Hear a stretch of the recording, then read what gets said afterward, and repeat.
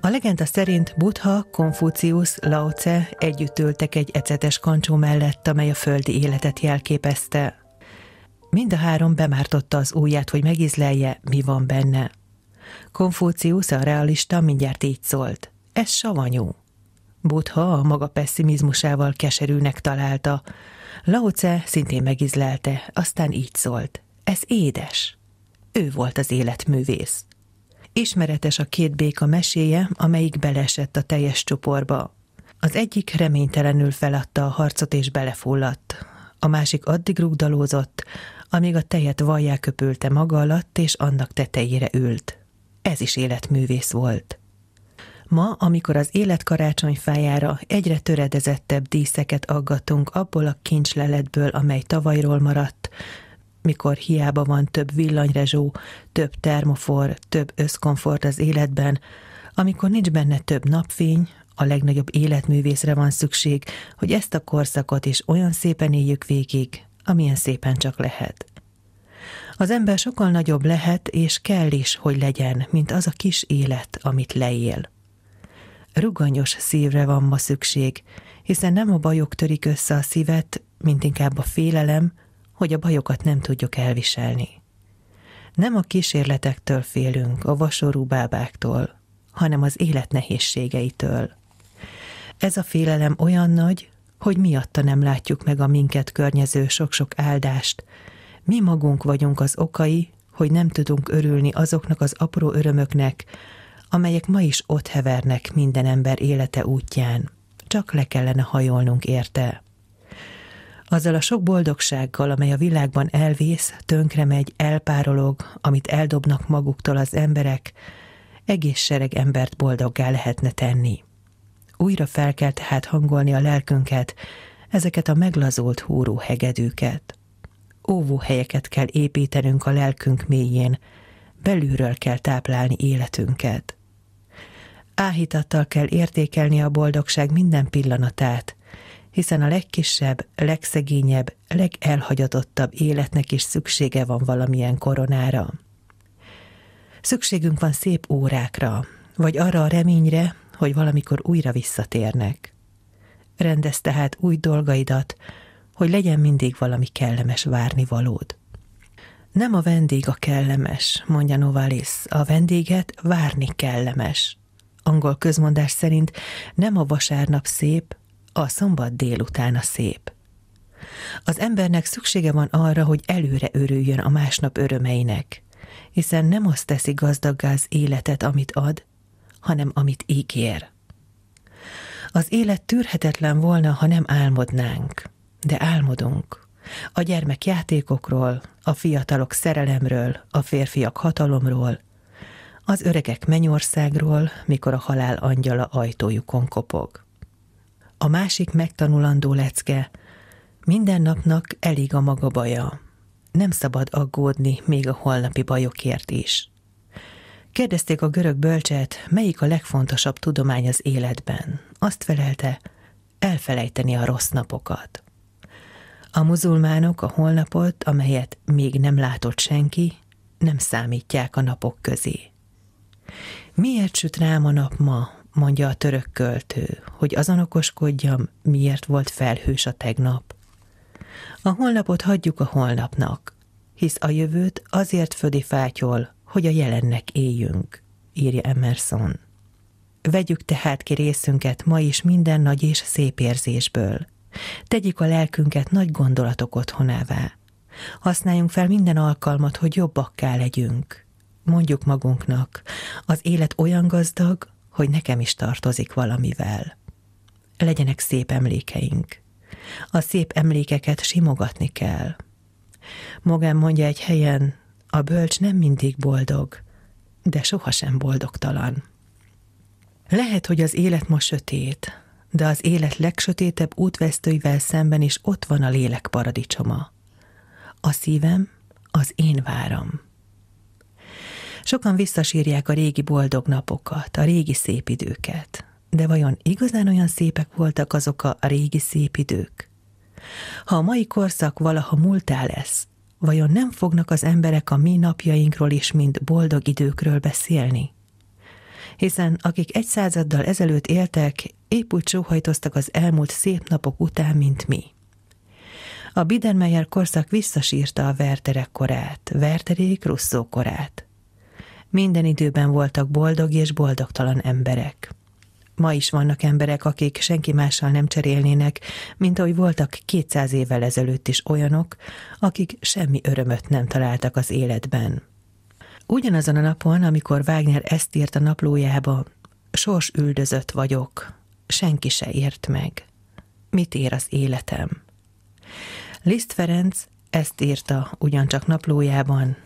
Ó, élet, miért nem vagy örök? Minden nap azzal ébredek, hogy történnie kell valami nagyszerűnek velem, bár ez a nap is örökké tartana. De Bois azt írja önvallomásaiban, hogy hosszú életének egyetlen napja sincs, amelyet újra szeretne megélni. George Sand viszont azt vallja, 16 éves házassága alatt annyi boldogságban volt része, mint tíz embernek együttvéve. Nem valószínű, hogy itt az életben volna a hiba, amely egyiknek mindent megadott, a másiknak mindent megtagadott volna. Egy életen belül is sokszor hall az ember a szívében oly dalszerű hangokat, amelyeket nem lehet kottára szedni, pedig lényegük a zene. Máskor az élet kriptáinál is üresebb és hidegebb. Az élet egy édes koktél, amelynek alapízai keserűek.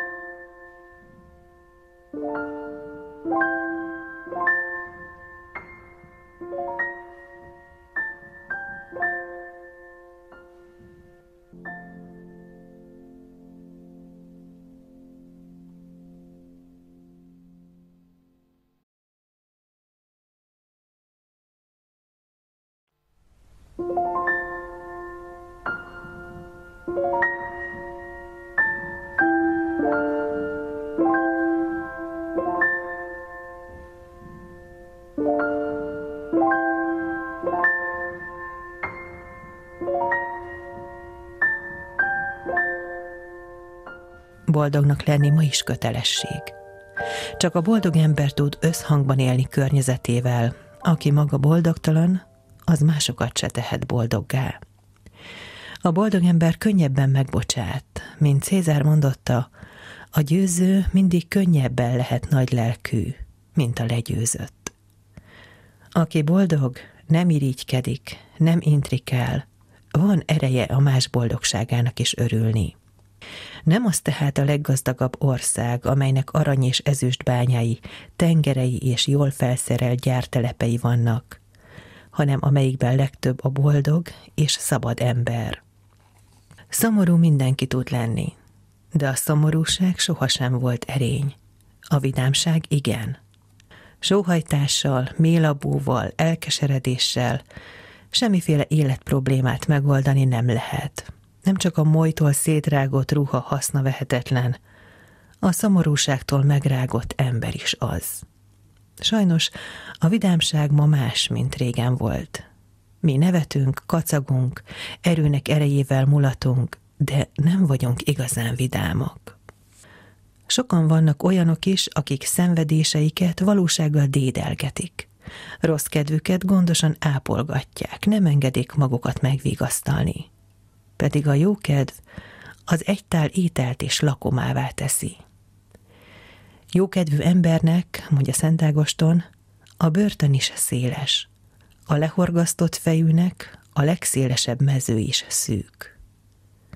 Ha az ember mosolyog, s még inkább ha nevet, hozzátesz valamit arasznyi életéhez. Minél sötétebb a világ, annál több angyalarcra van szükségünk. A mai viharfelhők alatt is elveszett nap az, amelyen nem nevetünk. Mosolyjal kell megenyhíteni a bal szerencsét, mint ahogy Shakespeare mondja, kit megraboltak a tolvajok, tolvaját rabolja meg, ha mosolyog. Mindenki tud magának új arcot adni. Mosolyogjon. Természetesen igaz mosolyjal, amely nem az arcból, hanem a szívből születik. Azt az igát, melyet Jézus édesnek mondott, nem hordozhatjuk savanyú ábrázattal. Meghatóan írja naplójában Baskircsev Mária, mindent jónak találok az életben, mindent elfogadok, még a könnyeket is, a fájdalmakat is. Szeretek sírni, szeretek gondokba merülni, szeretek szomorúvá lenni. Kegyetlenség volna meghalni, mikor ilyen kevéssel beérem. Vannak emberek, akikben megvan a titkos adottság mindenütt örömöt és mosolyt hagyni, ahol járnak. Ismertem egy embert, akinek puszta jelenléte mindenkit vidámabbá tett. Gyermekek, akik ösztönösen megérzik, melyik emberben van napfény, oda mennek hozzá. Megfogták kezét, és mosolygós beszédbe ereszkedtek vele, bár akkor látták először. Ismertem egy kereskedőt, aki azt szokta mondani, aki nem tud mosolyogni, ki se nyissa a boltját. Vannak örök elégedetlenek, akiknek egy tündérsziget, amelyre aranyeső esik, sem elég. Akik számára nincs olyan minden, ami elég volna. Az egyik arról panaszkodik, hogy őt félreállították, mellőzték, átugorták.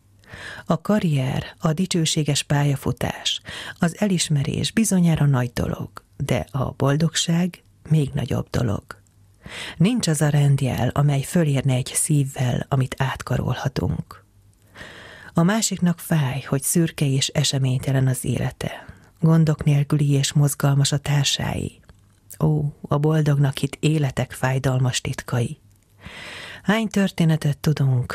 Tavaly gazdag volt, az idén szegény. Tavaly boldog volt, most kijár a temetőbe. Mi mindig azt hisszük, a másiknak jobb, pedig akit mi irigyelünk, nem tudhatjuk, nincs -e több sebe, sem hogy diadalának örülni tudjon. Nincs az a gazdag ember, aki egyszer az aranytól vissza ne térne a porba. Az élet rövidsége csekkéjé teszi a különbséget boldog és boldogtalan ember között. A gond nélküli élet is csak azok szemében ideál, akik a nagyúri élet szintelenségébe és unalmába sohasem kóstoltak bele. Akik nem tudják, mi az a gazdagság talizmányának elvesztésétől való rettegés. A szegény gyerekek sokszor boldogabbak, mint a gazdag gyerekek, akiknek nem szabad mezitláb járni, akiktől megtagadtatott a maszatosság gyönyöre. Azt ajánlom, amikor nagyon vágyunk egy ékszerre, sejemruhára, bundára, nézzük meg jól, mennyire boldog az, aki azt már viseli. A németeknek van egy találó szavuk, sich überfreuen, túl örülni. A túlfűszerezett élet épp oly kevéssé jó, amint a túlfűszerezett étel. A nagy életek rendes átka ez, amely azokat árnyként kíséri. Azt is sokan elfelejtik, hogy mindenki kapott az élettől valamit. Kevesen kaptak százezer dollárt, de igen sokan kaptak százezer órát. Az egyik gazdagságot kapott, a másik álmokat. Az egyik rongyokat kapott, de olyan szépséget, hogy mindenki utána fordul. A harmadik szellemes, de rút, mintha a természet nem akarná, hogy szerencsétlenek, kitagadottak is létezzenek. Mindenkinek ad valamit. Tehát törvény, semmi se olyan szép, mint ami nincs. A boldogság tulajdonképpen nem abból áll, hogy folyamatosan szép élményeink legyenek. Különös dolog az életben, hogyha az ember nem is gondol a boldogságra vagy boldogtalanságra, hanem csak a kötelességekre. A boldogság magától beköszönt. A boldogság nem vadászat. Aki azt mondaná, elindulok boldogságot keresni, olyan volna, mintha azt mondaná, kimegyek az utcára egy tál gyémántot találni. A legenda szerint a boldogság gyöngycsora, amikor az angyalok lehozták az égből, szétszakadt, elszóródott, ma már csak egy-egy szemet lehet belőle találni. Kis boldogságokból kell összerakni az életet.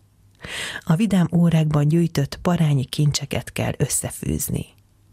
A kínai a boldogságot megtalálja egy teáskannában, az angol egy rakedben, öregasszonyok kötőtűkben és egy gombolyak pamutban, fiatalok két szájban, mely összeér. Egyiknek rágógumi kell a boldogsághoz, Anatol Franznak, hogy Racine verseit szavalhatta titokban.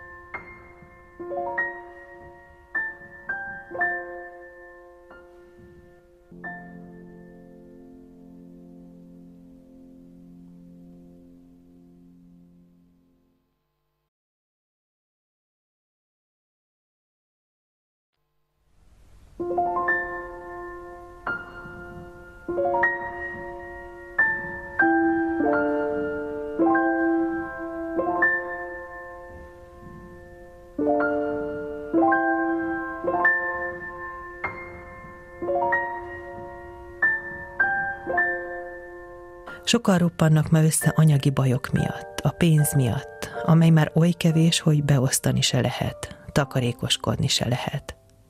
Aki azt mondja, hogy a pénz nem szükséges a boldogsághoz, az nem e világból való.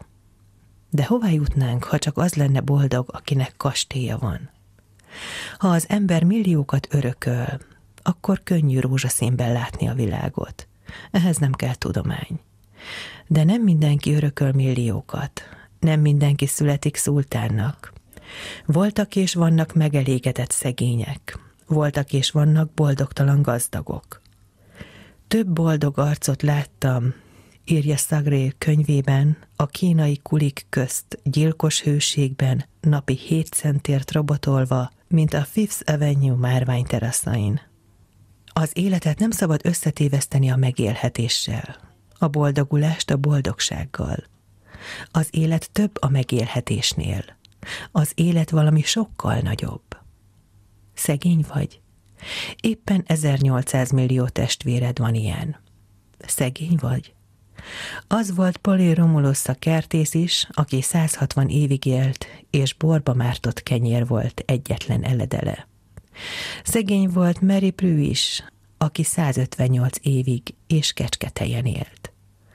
Hány ember van, akinek se háza, se vagyona, se bankbetétje nincs, de megvan minden joga, hogy büszke fejjel állhasson meg azok előtt, akiknek házuk is, vagyonuk is, bankbetétjük is van. Azt nem mindenki mondhatja el magáról, első akarok lenni a gazdagok között. De azt mindenki elmondhatja, első akarok lenni a becsületesek között.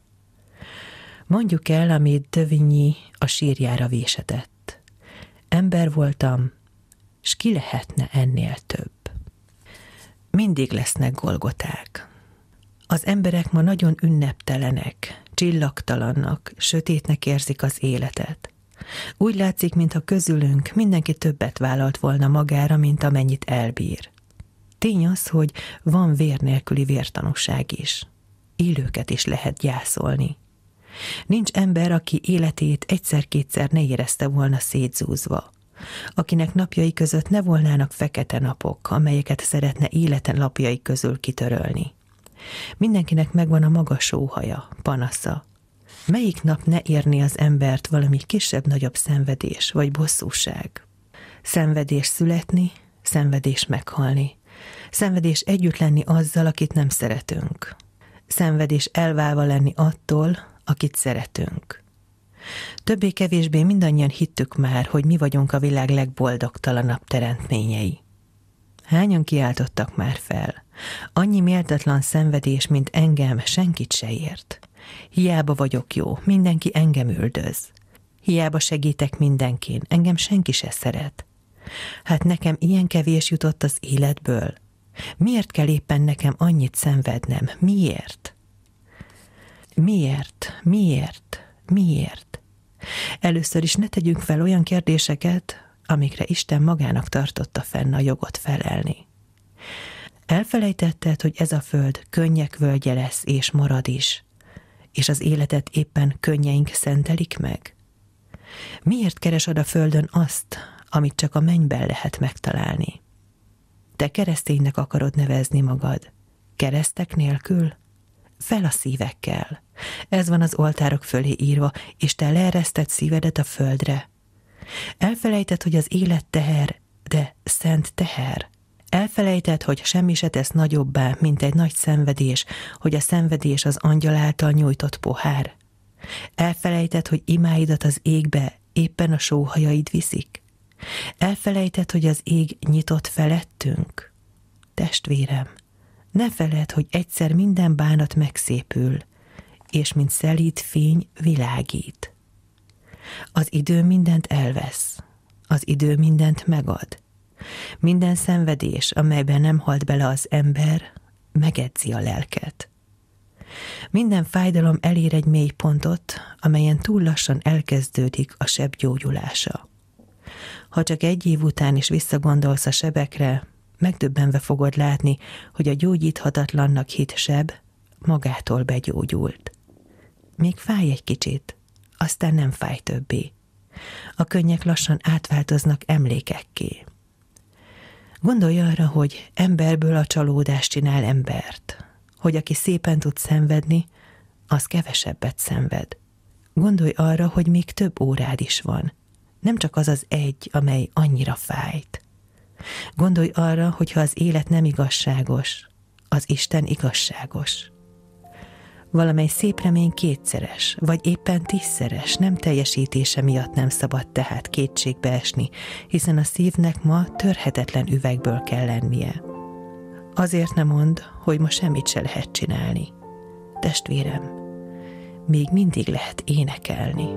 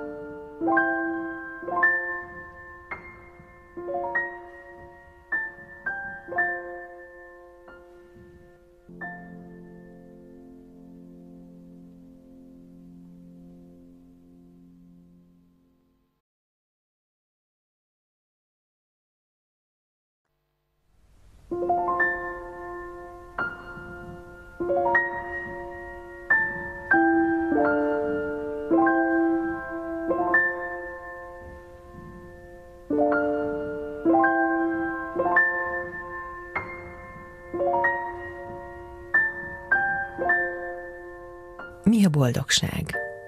Megszületni, önmagunkhoz hűnek lenni, csöndesen meghalni. Feleli Karim Michaelis. A boldogság egyensúly, válaszolja egy másik híres író. Két szép fiúnak anyja lenni, így válaszol egy anya. Ha a sors 25 bot ütésre ítélt, és a huszadiknál abba hagyja, feleli a humorista. A boldogság egy pillanat, amire egész életünkkel várunk. Ez a filozófus válasza. A boldogság teremtő nyugtalanság, az ismeretlen utáni örök vágyakozás, mondja az egyik nagy gondolkodó. Szemmel kísérni a vetés növését, a bimbó nyílását. Ha nem hittük az Istent, újra hinni. Gondolkozni, szeretni és megbocsátani, ebben állhat az emberi boldogság summája. Így nyilatkozott Tolstoy. Amint láthatjuk, a boldogságot sokkal nehezebb meghatározni, mint átélni. Régen gyalult jég, hogy az emberek nagy része hamis utakon, téves ösvényeken keresi a boldogságot. Bizonyára olvasták Andersen finom és bájos meséjét, amely egy pásztor fiúról szól, aki ütött-kopott kunyhóban lakik az Alverszi domtetőn. Ez a pásztorfiú naplemente idején kiül a dűledező pásztorkonyhó küszöbére, és elbűvölten tekint arra a káprázatos álompalotára, amely a messze völgy öléből ragyog fel hozzá. Egy este, amikor a tündérin csillogó ablakok még hívogatóbban fénylenek, a pásztorfiú elindul, hogy felkeresse a csodás álompalotát. A kis vándorlábát véresre sebzik a tüskék. Eltikkasztja a napheve, az útpora, amíg végre céljához ér. De Istenem, mi lett az alkony fényében tündérinek látott palotából? Az egész egy düledező rom, egerek tanyája, egy bedőlt, rozzant régi pajta. És a csodásan csillogó ablakok? Egyáltalán nincsenek aranyból, még csak tükörből sem. Töredezett, piszkos üvegablakok azok. A kis pásztorfiú csalódástól megkínzott szívvel, szemében könnyekkel megindul hazafelé. És mikor visszafordul, íme az út első fordulóján megpillant egy csillogó álompalotát, olyan ablakokkal, mint az olvasztott arany, tündöklőn és fényszórón a leáldozó nap aranyzáporában. A saját kis pásztorkonyhóját látja odafönn a domtetőn. Mennyire hasonlítom mi boldogságkeresők a meséke kispásztor fiához, akik a boldogságot mindig a kéklő messzességben keressük. Déli bábokban, szivárványokban. Rengeteg ember érzi magát Lázárnak az élet lakomáján, mert élete távol áll a rendkívülitől. A legtöbb ember szenved a hétköznapok megszokottsága, igénytelensége és szürkesége miatt. A nagy stílű élet, a rendkívüli utánvaló vágyakozás a modern lélek nagy betegsége. Ezek a boldogságkeresők nem ismerik az arab közmondás bölcsességét. Jobb egy száraz falat nyugalomban, mint tizenkét pástétom izgalomban. Elfelejtik, hogy az élet legünnepi percei az élet legegyszerűbb percei. Gőte a nagy életművész, aki maga is fenékig itta Faust bűvös poharát, élete végén kijelentette, Semmi sem elviselhetetlenebb az emberi szív számára, mint az örökös napsütés, az élvezetes órák hosszú sora. Ha valaki az élvezetekből csinál magának napszámot, oda jut, ahova egy híres angol ember, aki azt mondotta, hogy az élet egészen tűrhető, ha nincs benne élvezet. Ezért is van, hogy nagy tudósok, írók, költők, feltalálók, szentek élete kifelé többnyire egészen szürke és eseménytelen, ezzel szemben színes és mozgalmas a nemzetközi szélhámosok, hamis kártyások, kábítószercsempészek élete. Márpedig lehet valakinek a külseje tündöklőbb a páváénál, élete mozgalmasabb egy kalandorénál. Ha a lelke üres és fénytelen, sivatagnak fogja érezni maga körül a világot, Viszont ha a lelke gazdag és napfényes, a falusi postás kisasszony a muskátlis ablakon keresztül szebbnek fogja látni az életet minden eseménytelensége ellenére is, mint a bálok ünnepelt szépség királynője, akit pedig az élet tarka forgataga vesz körül. Az első tétel, amit a boldogság kérdésének elemzésénél levonhatunk, éppen az, hogy a boldogsághoz tulajdonképpen nagyon kevés kell. Nem kell hozzá pesgős pohár, mert a boldogság nincs benne a legfinomabb vövklikkal töltött pesgős pohárban. Nem kell hozzá ezüstlémruha, mert a boldogság még az aranyszálak révén sem varható be fodrai közé. Milyen csinos vagy ma, mondja az egyik lánya másiknak, aki otthon még könnyes szemmel gondolt arra, hogy ő lesz a legigénytelenebb a bálban. Négy szó az egész, és mégis elegendő, hogy egy ember szívben az egyszerű kis báli ruha alatt sugárzóbb fény gyulladjon, mint amin őt árasztani képes az ezerlángú csillára terem közepén. Ismerek embereket, akiknek húsz éven át az a boldogságuk, hogy minden hónapban megújítják a nyolcat sorsjegyüket, amelyet sohasem húznak ki. Ők talán már nem is gondolnak komolyan a nyerésre, de megváltják, mert az álmodozás boldogságához való jogukat prolongálják vele. Az öröm és a boldogság végeredményben nagyon egyszerű csodák és mindenki számára elérhetők. Itt van például a minnyájunk számára nyitott örömkapu, a természet. Tud-e az ember tisztábban és tökéletesebben örülni az életnek, mint egy tavaszi reggelen? Csalódhatik az életben, az emberekben, de sohasem fog csalódni a virágokban, a csillagokban, a fákban. Éppen ezért, ha nagyon fáj valami, ha a szív azt mondja, nem bírom tovább, csak ki kell mennünk a csillagos ég alá, be kell lépnünk az erdő csöndes templomába, hogy a megnyugvás dalát halljuk felzengeni a szívünkben. Egy jó barát, mondja Tolstoy, nagy dolog. De a barátunk elmegy vagy meghal, és mi nem mehetünk utána. A természet a leghívebb barát, akit holtáig megőriz az ember, és ha meghal, karjaiba temetik.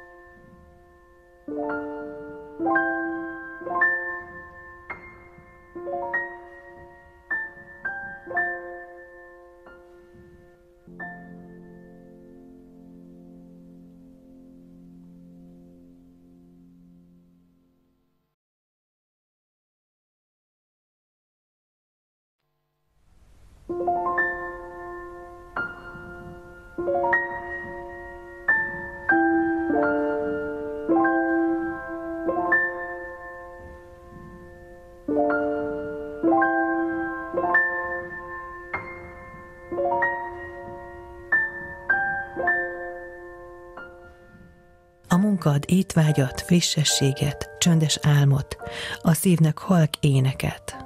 Aki dolgozni szeret, az derűsen él, és megelégedetten hal meg.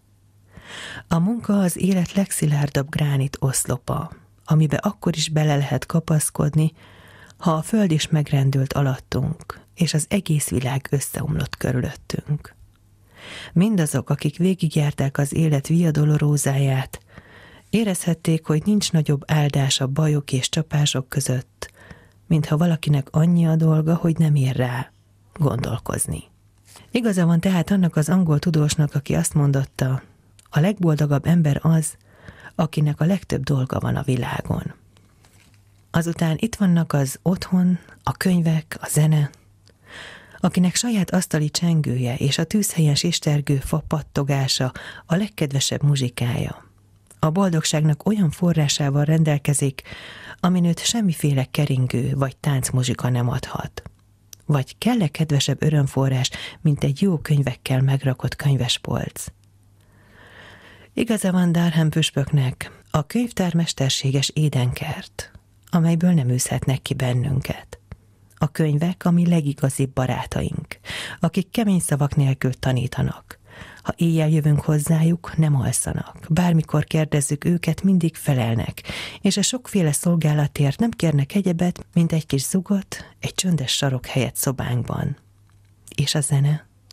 Már Homér azt megmondotta, hogy a zene az Istenek legszebb ajándéka, az egyetlen mennyei művészet, mely a földnek adatott, és az egyetlen földi művészet, amit a mennyekbe magukkal viszünk. Ezért írt a naplójában Schiller, ha az életemet újra kezdeném, úgy be, hogy minden napra jusson egy szép dal, egy kis muzsika. Az élet és minden a világon azt a bölcsességet hirdeti, hogy az ember boldogságához teljesen közömbösek az élet külső díszletei, a fény és gazdagság.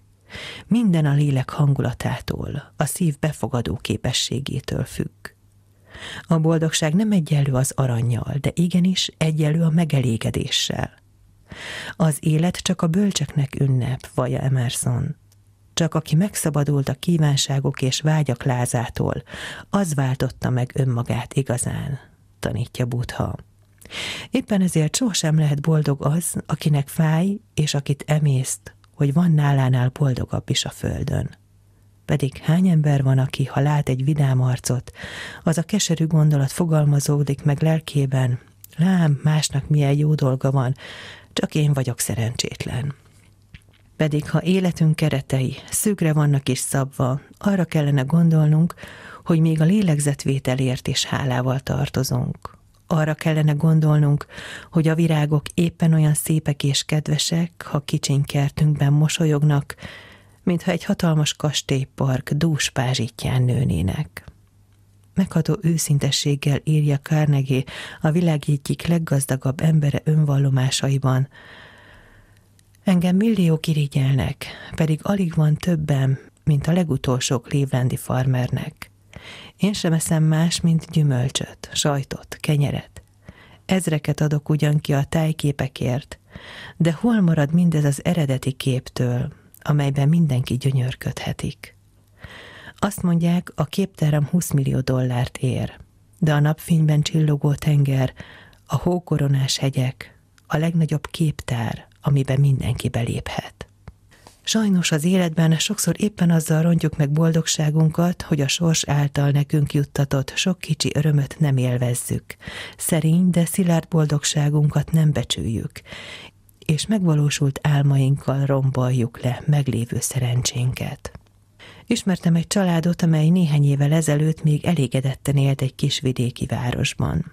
Volt egy napfényes, virágos kúriájuk, szép öreg bútoraik, a ház falán a napóra csendes, derűs percek felett suhant el. Véletlenül azonban meghalt egy amerikai rokonok, akitől ugyan nem milliárdokat, de néhány ezer olyan dollárt örököltek, amiért nem kellett megdolgozniuk. Az egész családot egyszerre heves láz fogta el a kényelem, a fényűzés, az élvezetek után. A lányok lábára kígyó bőrcipő került, nyakukba ékszerek, a fiúk sportkocsit vásároltak, és farsangá változtatták át a szürke élet szürke hétköznapjait. A történet vége az a doppergés, amely egy szép napon megszólalt az ablakuk alatt, a gyászindulója lett két leány boldog nászindulójának, és az élet ama csöndes dalának, ami pedig halk kórusként évtizedeken át ott zengett a régi kória ódon bútorai között. A rendkívüli szerencse nem kíséri el senkit lépteit egészen a sírig. A boldogság nem hosszú és tartós állapot, már csak azért sem, mert az élet sohasem lehet olyan szép, mint az álmaink. Ezen a földön tehát csak az az igazán boldog, aki megelégedett. A boldognak nem írott, de nagy törvénye ez. Ne követelj az élettől túl sokat. Ne szab neki feltételeket. Ne igényelj tőle olyat, amit még soha senkinek nem adott. Ha az embernek van egy darabka földje, amelyen dolgozhat, ha van egy kis darab kék ege, amelyről álmodozhat, ha megvan a mindennapi kenyeres, a holnapi nap végtelen reménye, ha megvan a kis fészke, amelyben esténként szíve megcsöndesedhetik, mindennek elégnek kell lenni ahhoz, hogy őt boldognak nevezzük. Ezzel a megállapítással el is jutottunk a boldogság problémájának ama lényegéhez, amelyet már Arisztotelész foglalt törvénybe. Tudnélik, hogy a boldogság azoké, akik beérik önmagukkal.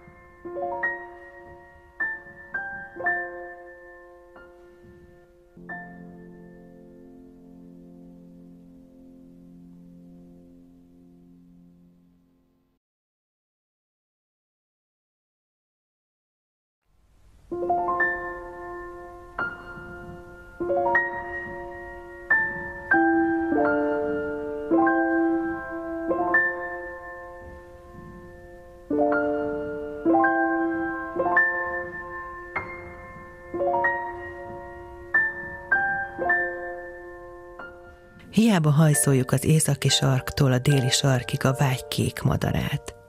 Hiába száguldunk a föld körül autón, repülőgépen, vasúton, hajón, óceánon, sivatagon és ősertőkön át.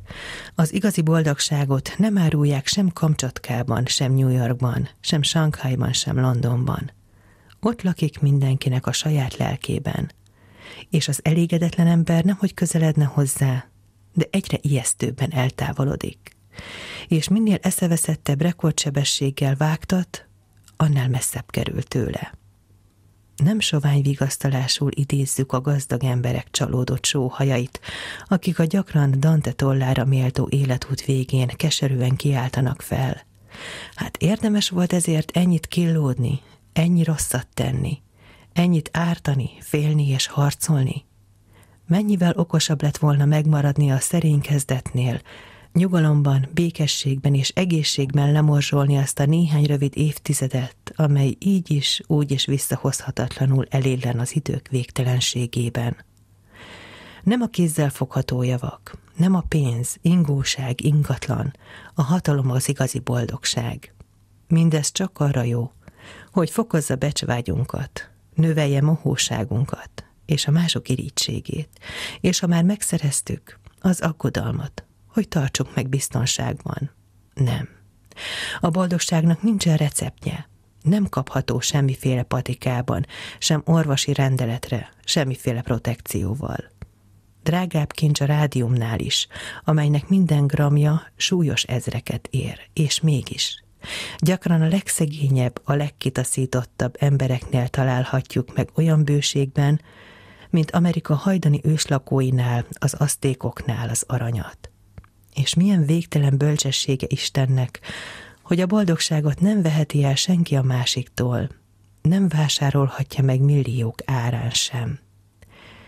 Igénybe veheti az erejét, tudását, ügyességét, izmait, ha beteg.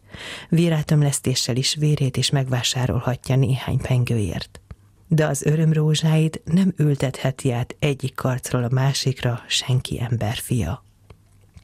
Boldogságot senki és semmi más nem adhat nekünk, csak a tulajdon lelkünk. A boldogságot igen nehéz megtalálni önmagunkban. Másút megtalálni azonban lehetetlen, mondja Sánfor. Elégnek lenni önmagamnak, elmondhatni, mindent magamnak hordok. Ez a boldogság tudományának legfőbb tantétele. De ahogy dalt is csak kifeszített húról lehet eljátszani, a boldogsághoz is csak azok jutottak el, akik sokat elviseltek, akik végigmentek a fájdalom oltár lépcsőin. A boldogságnak egyik leglényegesebb alapeleme szenvedni tudni. Mindenki átélhette már a tulajdon életében, hogy milyen érezni nem jó, de nagyon szép, hogy a nagy örömöknél csak egy van szebb, a nagy szenvedések. Hogy nem az a boldogság, amit elértünk és elvégeztünk, hanem amit elviseltünk és eltűrtünk. Ezért is nevezi a hindu bölcs a szomorúságot a lélek menyasszonyi fájtlának. Ezért írja a finn költőnő egyik versében, egyetlen kincsem az lesz lent a sírban, hogy itt a földön néha, néha sírtam. Igaza van Metterlinknek, amikor azt mondja, hogy vígnak lenni az még nem boldogság, és boldognak lenni nem mindig vigasság. Csak a pillanatnyi, rövid boldogság mosolyog, de a tartós boldogság épp oly komoly és szent, mint maga a szomorúság. Ahhoz, hogy valaki mélyen boldog legyen, tiszta és alázatos lélekkel, olyan, amely már végigjárta a nélkülözések, a másokért való önfeláldozás iskoláját, amely léleknek kapuján ez a két szó áll, nyugalom és béke. Igaz, hogy néha egy-egy kavics belehull az ő lelkük tavába is, amely lázadó gyűrűket vet a felületén. De a kő lesüllyed a fenekére, és a hullámok újra kisimulnak. Végezetül említem a fő-fő kútfejét a boldogságnak, a szeretetet. Van valami bennünk, ami bölcsebb a fejünknél. Erre kell hallgatnunk, hogy boldogok legyünk. Tolstoy beismeri magáról. Az ész nem tanított meg semmire. Minden bölcsességet, amit tudok, a szívem adta. Szeretetet kisugározni. Igen, ez a boldogság. Csak ugyan minél több valakiben a jóság, annál több öröm éri az életben. Valahányszor egy embert megsegítünk és jót teszünk, egy kevés boldogságot váltunk ki magunkból. Mert a legmélyebb boldogság nem a csók, nem az arany, hanem az odaadás, a lemondás, a szeretet. Aki nagyon szeret, az megszűnt szenvedni. Szegény csak az az élet, amelyben nincs szeretet, amely még áldozatot sem hozhat, mert nincs kiért. Miután pedig minden ember végső célja itt a földön, egy másik ember, a boldogság titka, hogy az emberekkel bánni tudjunk. Legyünk tehát jók, és boldogok leszünk. Legyen minden mosolyra egy mosolyunk, minden árva fej számára egy simogatásunk, minden szenvedő számára egy együttérző készszorításunk. Legyünk jók a boldogokkal szemben is, hiszen a legtöbb boldog ember a sikerével és szerencséjével jobban egyedül van és magányosabban marad, mint a boldogtalanságával. Hiszen nem szerethetjük egymást eléggé itt a földön. Nem adhatunk annyi jóságot, hogy egy-egy nyitott sír előtt szemrehányással ne kelljen illetni magunkat, amiért nem adtunk még több szeretetet. Megmondotta a nagyapostól, az élet olyan rövid, hogy nem szabadna másra időnek maradnia benne, mint hogy egymáshoz jók, gyöngédek, nemes szívűek legyünk.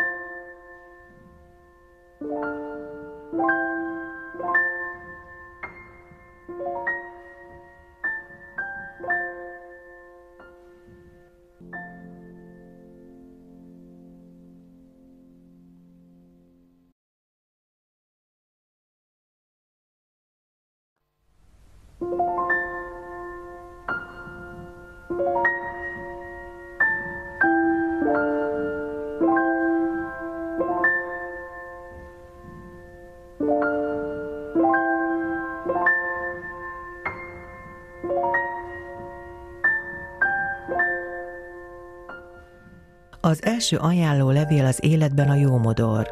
Elsőbb, mint a tiszta jeles vagy a diploma. Bizonyítványunkat és diplománkat nem vehetjük elő mindenütt, de néhány perc alatt levizsgázhatunk a jómodor tudományában tett előrehaladásunkról. Jeles és okos embereket rossz modorukért már nem egyszer félreismertek, mert szinte lehetetlennek tartják, hogy rideg külső, finom szívet takarjon viszont sok ember köszönhette előrejutását egy kis szívességnek. Teljé grófnő egy felemelt napernyőért egy szegény fiatalembernek ezer frankos csekket fizetett. Ahhoz, hogy kellemes és rokonszenves hivatalnok legyen valaki, nem kell több, mint egy kis nyájasság, együttérzés, előzékenység. Ez még nem ártott soha egyetlen hivatalnoknak sem. Az a kis üzlet, aki krajceros vásárlók előtt meghajtja magát, könnyen végezheti gazdagon. Egy londoni kereskedő úgy lett dúsgazdaggá, hogy egyszer ének idején felnyitotta boltját, hogy egy varrólányt cérnával kiszolgáljon. Svájcba, ahol a békeévekben milliós idegenforgalom volt, nem csak a nagy hegyek vonzották az embereket, hanem a svájci népnek az idegenekkel szemben tanúsított közmondásos figyelme és nyájassága.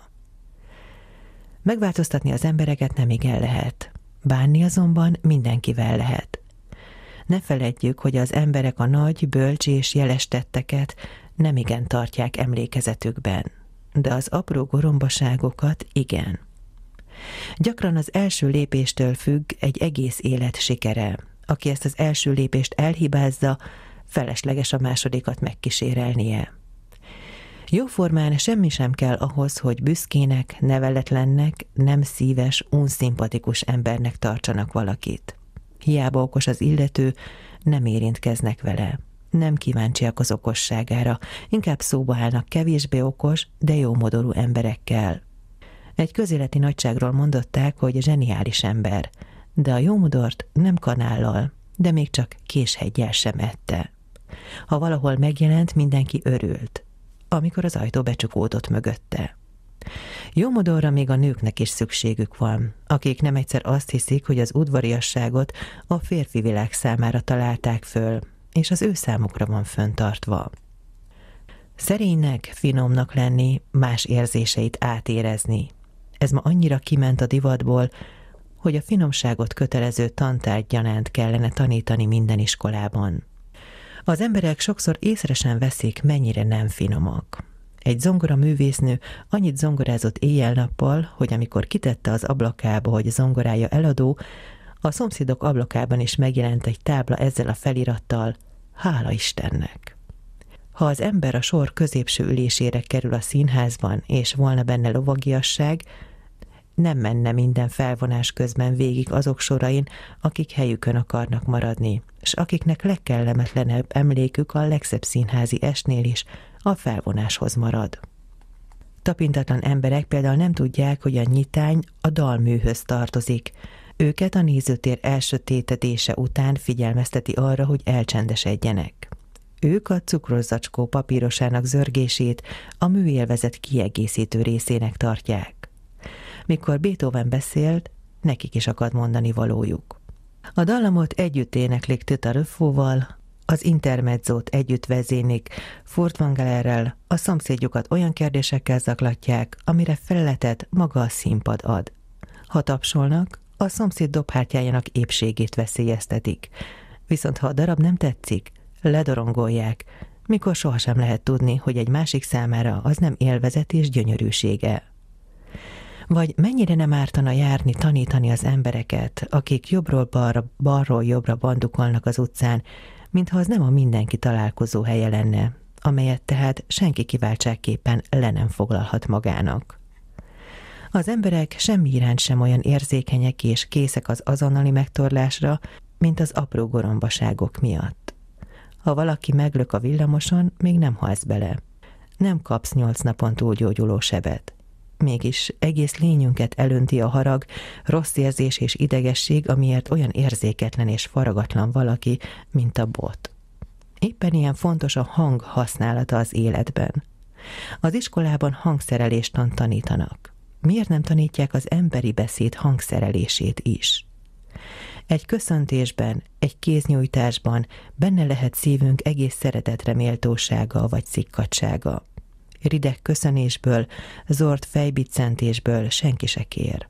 De a nyájas köszöntés átmelegíti szívünket.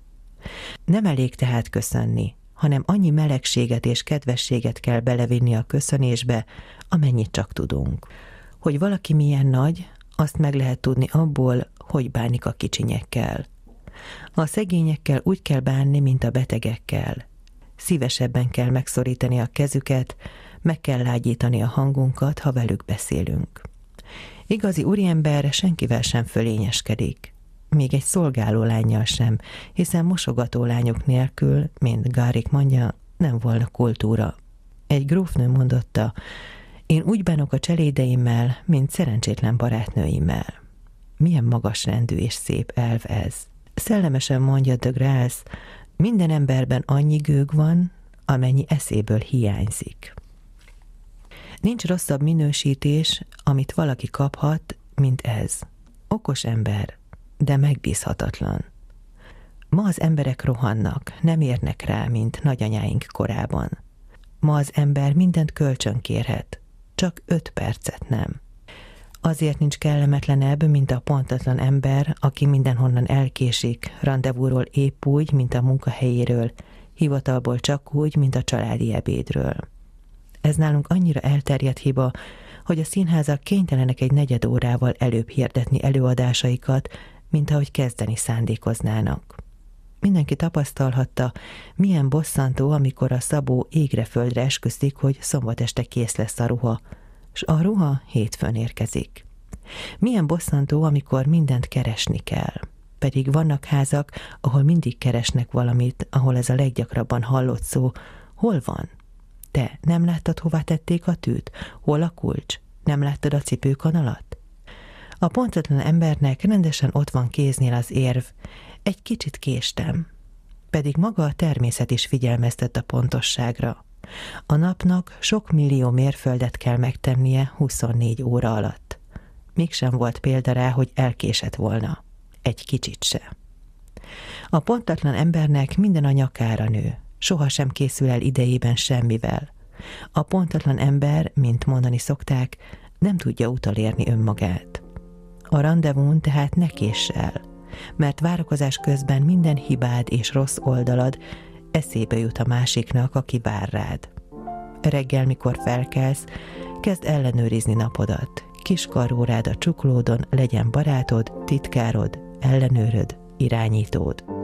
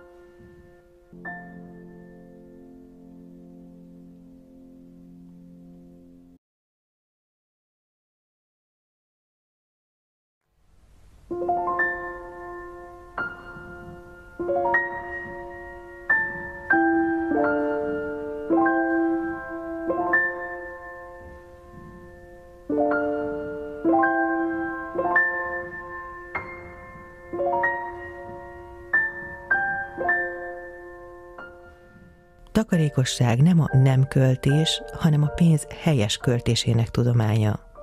Hogy van az, hogy a szerény fizetésű Altisznek háza van, a hatszor akkor a fizetésű tanácsosnak pedig nincsen háza?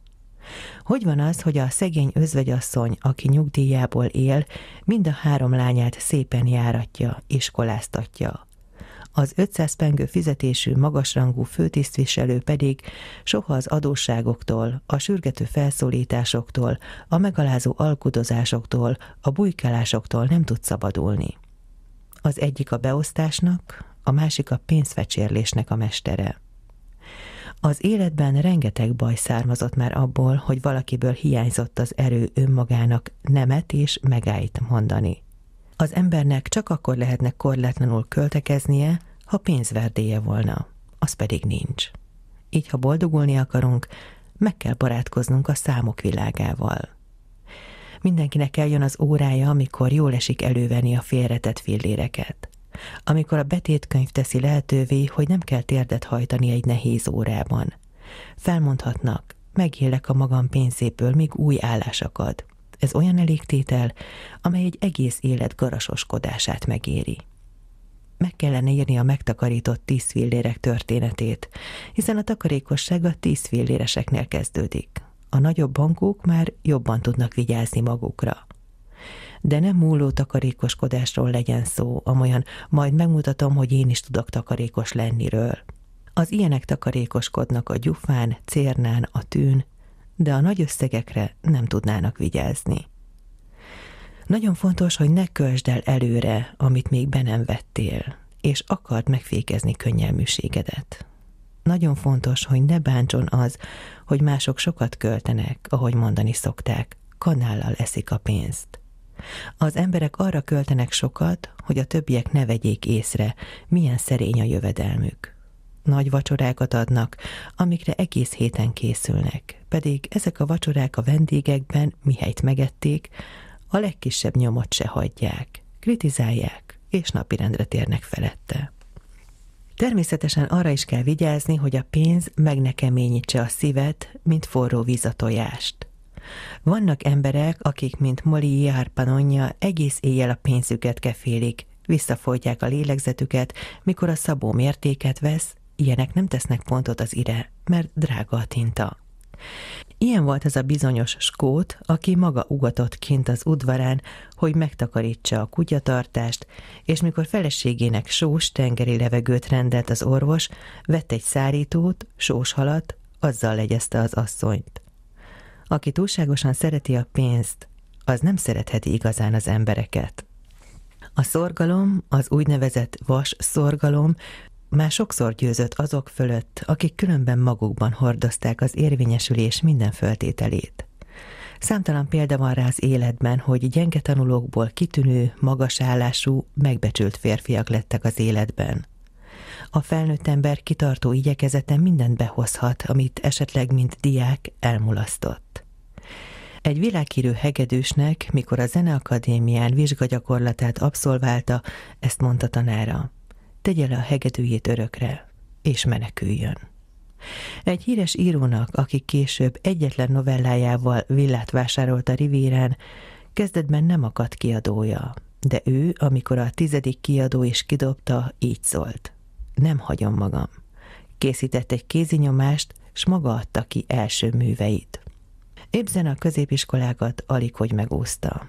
Linnét Sosterinasnak akarták adni, Küri, a rádium feltalálója, oly gyenge tanuló volt, hogy kitessékelték a gimnáziumból, és csak mint magántanuló tudott átvergődni rajta. Verdit abban a konzervatóriumban, amely ma a nevét viseli, nem vették föl. Sőt, megjósolták, hogy a zeneterén sohasem fogja sokra vinni. A svájciak a hátukon, kosarakban hordják fel a földet a sziklás tetőkre, s így teremtenek maguknak virágos kertet. Edward Book, mint ablaktisztító kezdte, és mint egy lapkoncern vezére végezte. Benjamin Franklin betűszedő volt. Philly Fur, a francia köztársaság elnöke, tímár legény. Carnegie tagácslegény.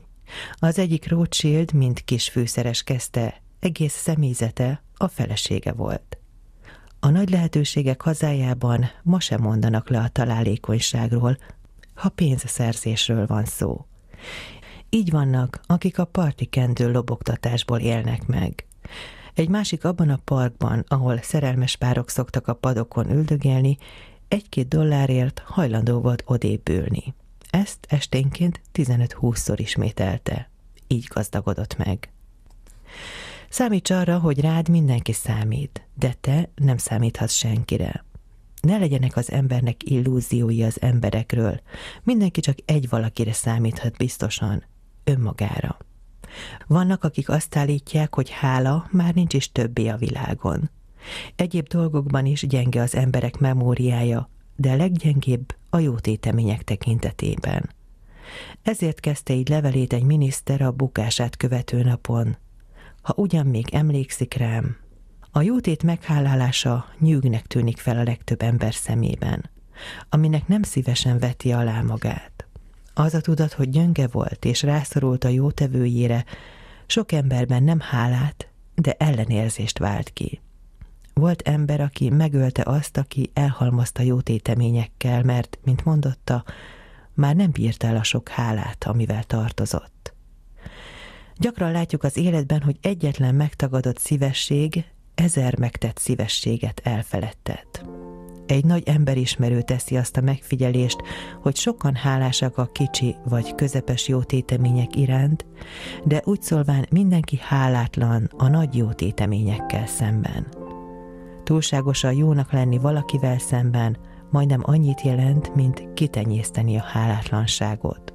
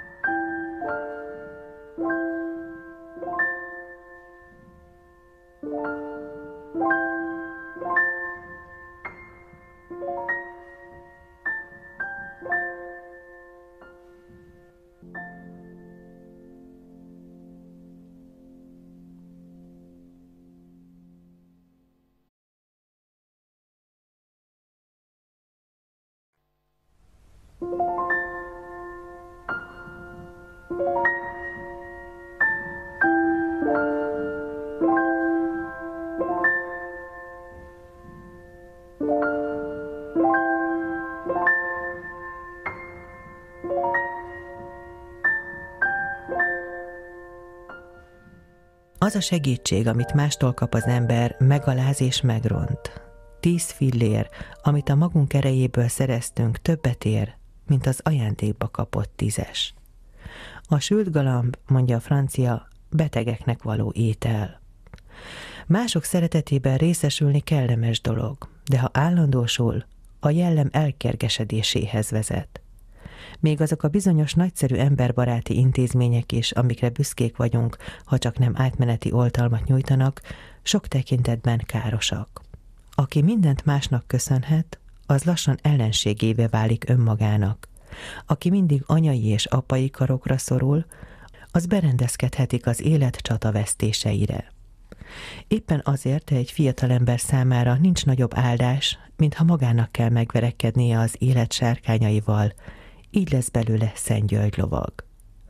Anyánk ölelése nagy erő és nagy támasz, de csak akkor, ha újra bele tudunk lendülni a habokba, bele tudunk vegyülni a küzdelmekbe.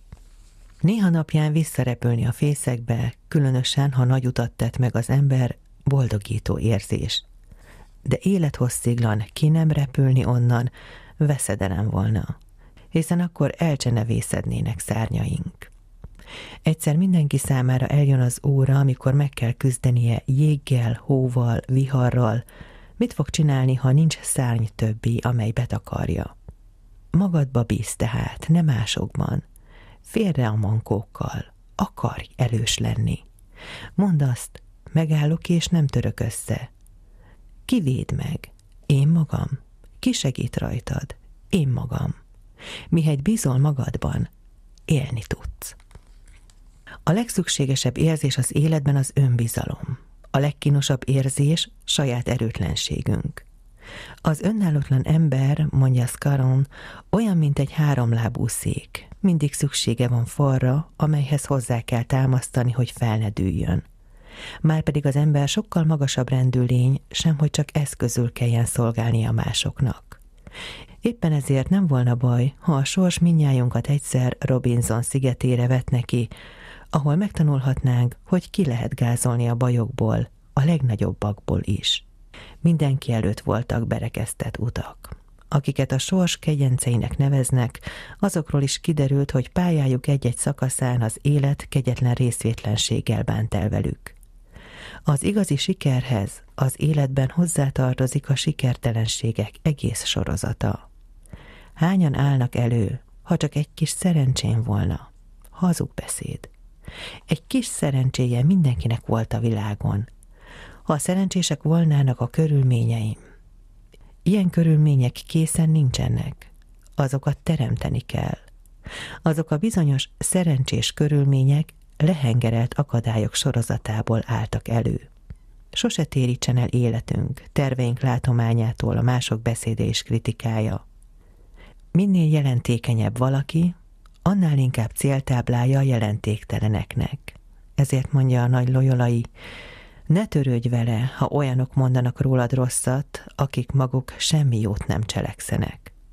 Középszerű embernek visszatetszeni biztos jele a magas rendőrségnek. Sértésnek vehetnéd, ha ilyenek dicsérnének, és meg lennének elégedve veled. Mit félsz tehát? Még a világ sem, a pokkol sem tehet ellened semmit. Ne hátra nézz tehát, hanem előre. Ne légy elégedett. Jaj annak, aki elégedett, mondott egy politikus, az hasat növeszt és elszondikál őrhelyén. Ha már utadnak végére értél, akkor lehetsz elégedett. De aki az elején van és már is elégedett, az nem fogja sokra vinni az életben. Aki mindennel meg van elégedve, mondja egy angol író, ahhoz a rongyok hozzátapadnak. Aki nem kíván semmit az élettől, az gyáva. Az mindig baj, ha valaki kelleténél jobban meg van elégedve a sorsával. A magunk sorsával való elégedetlenség, a mások sorsfokának megkívánása sok üdvös örreformnak lehet a szülője. Tedd fel tehát önmagadnak a kérdést. Valaki akarsz lenni, vagy akárki? Egyéniség akarsz-e lenni, vagy a személytelen és névtelen tömegnek egy hullámfodra? A karrier lépcsőfokait erőszakosan kell elfoglalni. A dicsőség nem rendelhető meg telefonon a legközelebbi csemege üzlet útján. Ha mindig szerényen félreállsz, ki akar téged vezetőnek? Ha mindig hátulálsz a sorban, hogyan akarsz az élre jutni? Ne feledd, az életben ott maradunk, ahová önmagunkat állítjuk. Az önbizalom alapja önmagunk ismerete. Másokban rendesen éppen azért csatlakozunk, mert előzetesen magunkat se ismertük jól. Bátran hasonlítsuk össze magunkat másokkal, jobbak vagy rosszabbak vagyunk-e azoknál. Ha elismerjük a lelkiismeret bírói rangját, tudjuk el is ítélni magunkat, hiszen olyan bíró még nem volt a világon, aki csak felmentő ítéletet hozott volna. Aki téved, az ember, aki tévedését beismeri, az férfi. Mikor Napóleon detronizálták Fontainebleau-ban, eléjetették a párizsi hírlapokat, amelyek kíméletlenül bírálták uralkodását. Ha ezeket a cikkeket, mondotta a bukott császár, három évvel ezelőtt megmerték volna írni, én ma is trónon ülnék. A legrosszabb anyagból felépített ember, aki sohasem hajlandó elismerni, hogy hibázott. A közepesen aluliak mind ilyenek. Pedig ha magunkban eddig rejtett hibákat fedezünk fel, inkább van okunk örömre, mint lehangoltságra, mint ahogy a tengerész is örül, ha megtalálja a repedést a hajón, amely azt az elsőjedés veszélyébe sodorta volna. Természetesen önmagunkat megjavítani nehezebb munka, mint egy felhőkarcolót felépíteni. Nem szabad félreállítani engedni magunkat. A valódi és egész férfi azt mondja, akarom, hogy helyem legyen ebben a világban. Van meg nem érdemelt balsiker is, ami ellen küzdeni kell. A húzamos balsiker ugyanis felőrli a legerősebb jellemet is, hiszen nincs fájdalmasabb érzés, mint utolsónak lenni az emberek között. Belsőleg tönkre megy az ember, ha nem hiszi, hogy jelent valamit másoknak. Értékünket tehát másokkal is el kell ismertetni, és ebből nem szabad engedni. Nem szabad belenyugodni az igazságtalanságba, a félreállítatásba, mert az megerősíti az igazságtalanság uralmát a földön. Ha a magad számára igazságot követelsz, az egész világ igazságáért küzdesz. Aki nem kíván elismerést ott, ahol valódi érdemek vannak, az súlyos jogtalanságot követel önmaga ellen. Nem hiúság kérdése ez, hiszen az igazi alázat nem követeli, hogy kicsinynek mondjuk a nagyot, verépnek a sast. Igaz ugyan, hogy nem azok vagyunk, akiknek az emberek tartanak minket, hanem aminek mi tartjuk magunkat, viszont az is igaz, hogy az életben az embereknek rólunk alkotott jó vagy rossz véleményétől függ a kenyerünk nagysága. Álszeméremből ne zárkozzunk el tehát attól, hogy értékeinket piacra vigyük. Ezzel tartozunk a tehetségünknek. A reklám lényege, hogy állandóan emlékezetben tartassuk magunkat, nehogy elfeledkezzenek rólunk, hiszen semmit se lehet jobban elfelejteni, mint egy embert. Az emberek általában hajlamosak a kényelemre. Lusták keresni a valódi érdemet, amely így ösztönző légkör nélkül elpusztul. Hiába kitűnő, jó és érdemes valami, ha nem kerül a szemünk elé. A szépséget azt még észreveszik, de az okosságot. A túl szerény, félrevonuló emberekből azt gondolja a világ, hogy ők maguk se bíznak önmagukban. Viszont vannak emberek, akik a legnagyobb erőkifejtésre képesek, ha a legkisebb elismerésben van részük.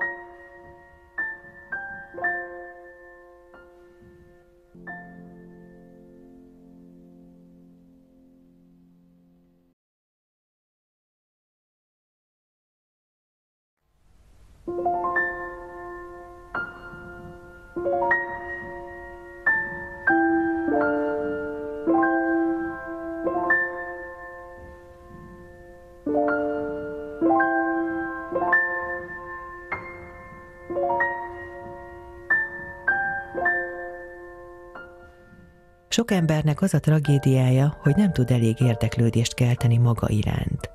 Senki sem mondhat róla semmit, éppen csak az a bizonyos szimpatikus ember. Ezért bármi tehetséges is, be kell érnie a harmadik vagy negyedik helyjel, hanem az ötödikkel.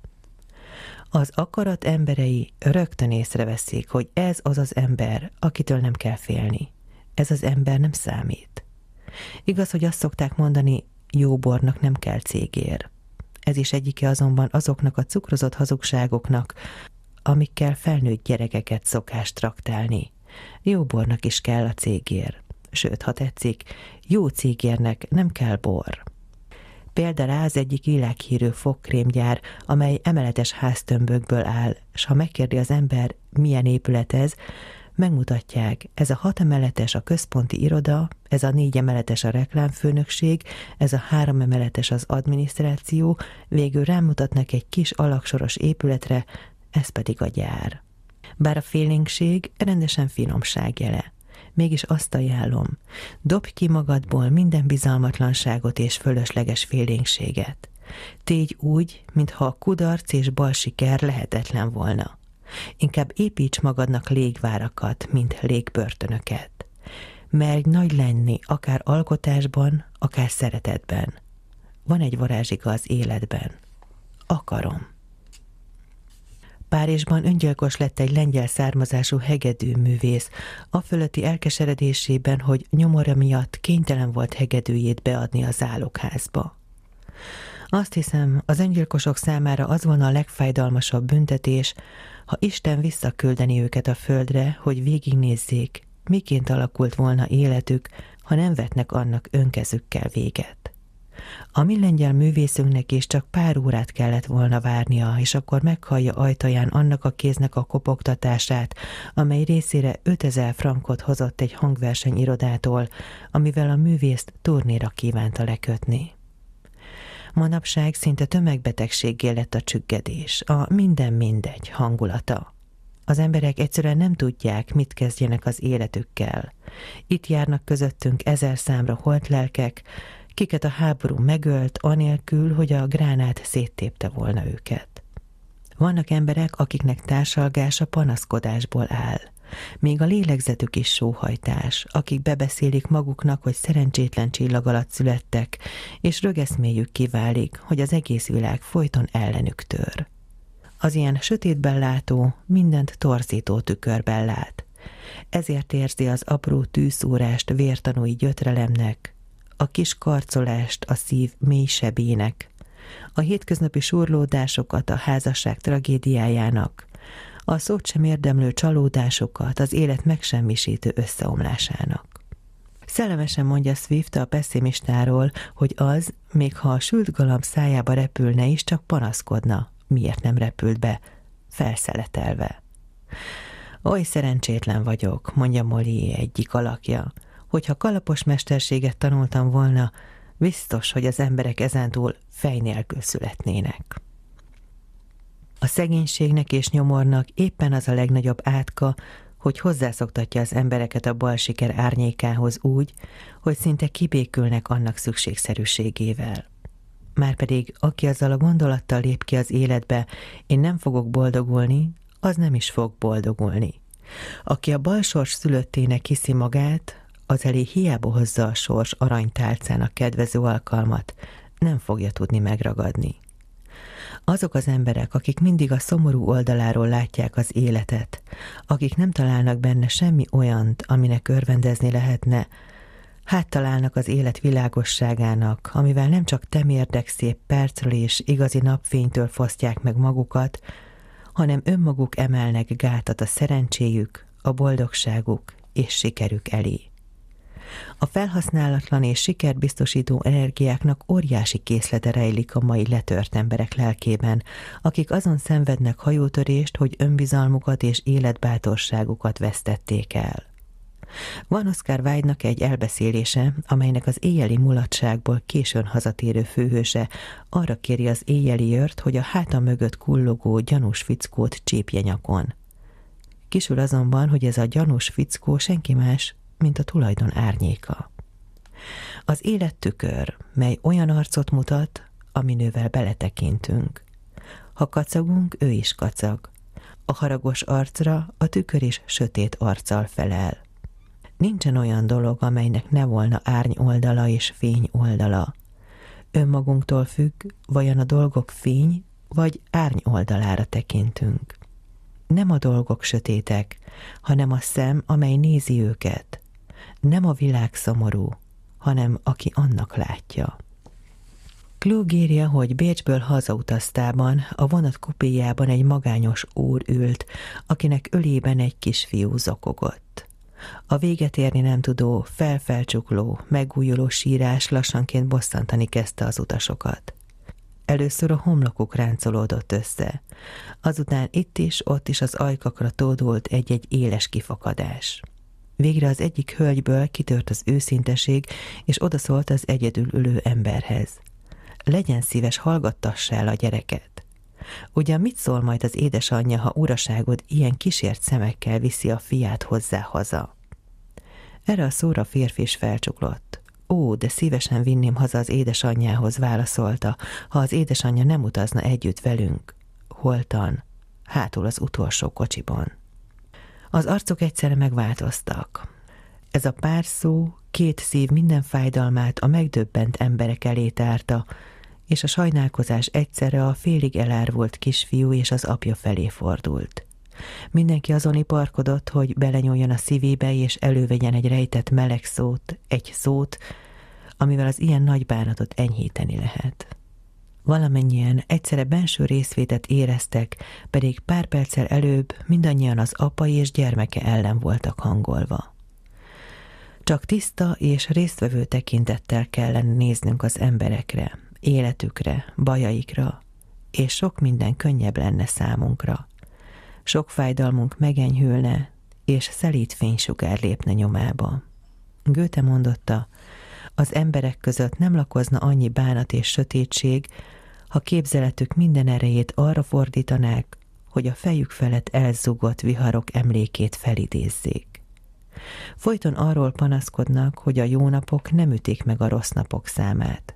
Pedig ha nyílt szívvel élvezni tudnánk a jó perceket, amiket az élet naponként ajándékoz, elég erőt meríthetnének belőle a sötét órák elviselésére. Boldogtalanságunk legfőbb oka, hogy alig akad ember, aki sorsával meg volna elégedve. A kis örömöket, az élet apró és finom szépségeit, a szerényebb élvezeteket lekicsinlik, vagy észre sem veszik. Szétperegnek, mint egy elszakadt lánc gyöngyszemei. A legtöbb ember nem ért hozzá, hogy boldog legyen azzal, amilyen van, hanem folyton azután sóvárog, amilyen nincs. Az emberek elérhetetlen álmok után futnak, és nem látják meg a kínálkozó boldogságot, amiért még a kezüket is alig kellene kinyújtani.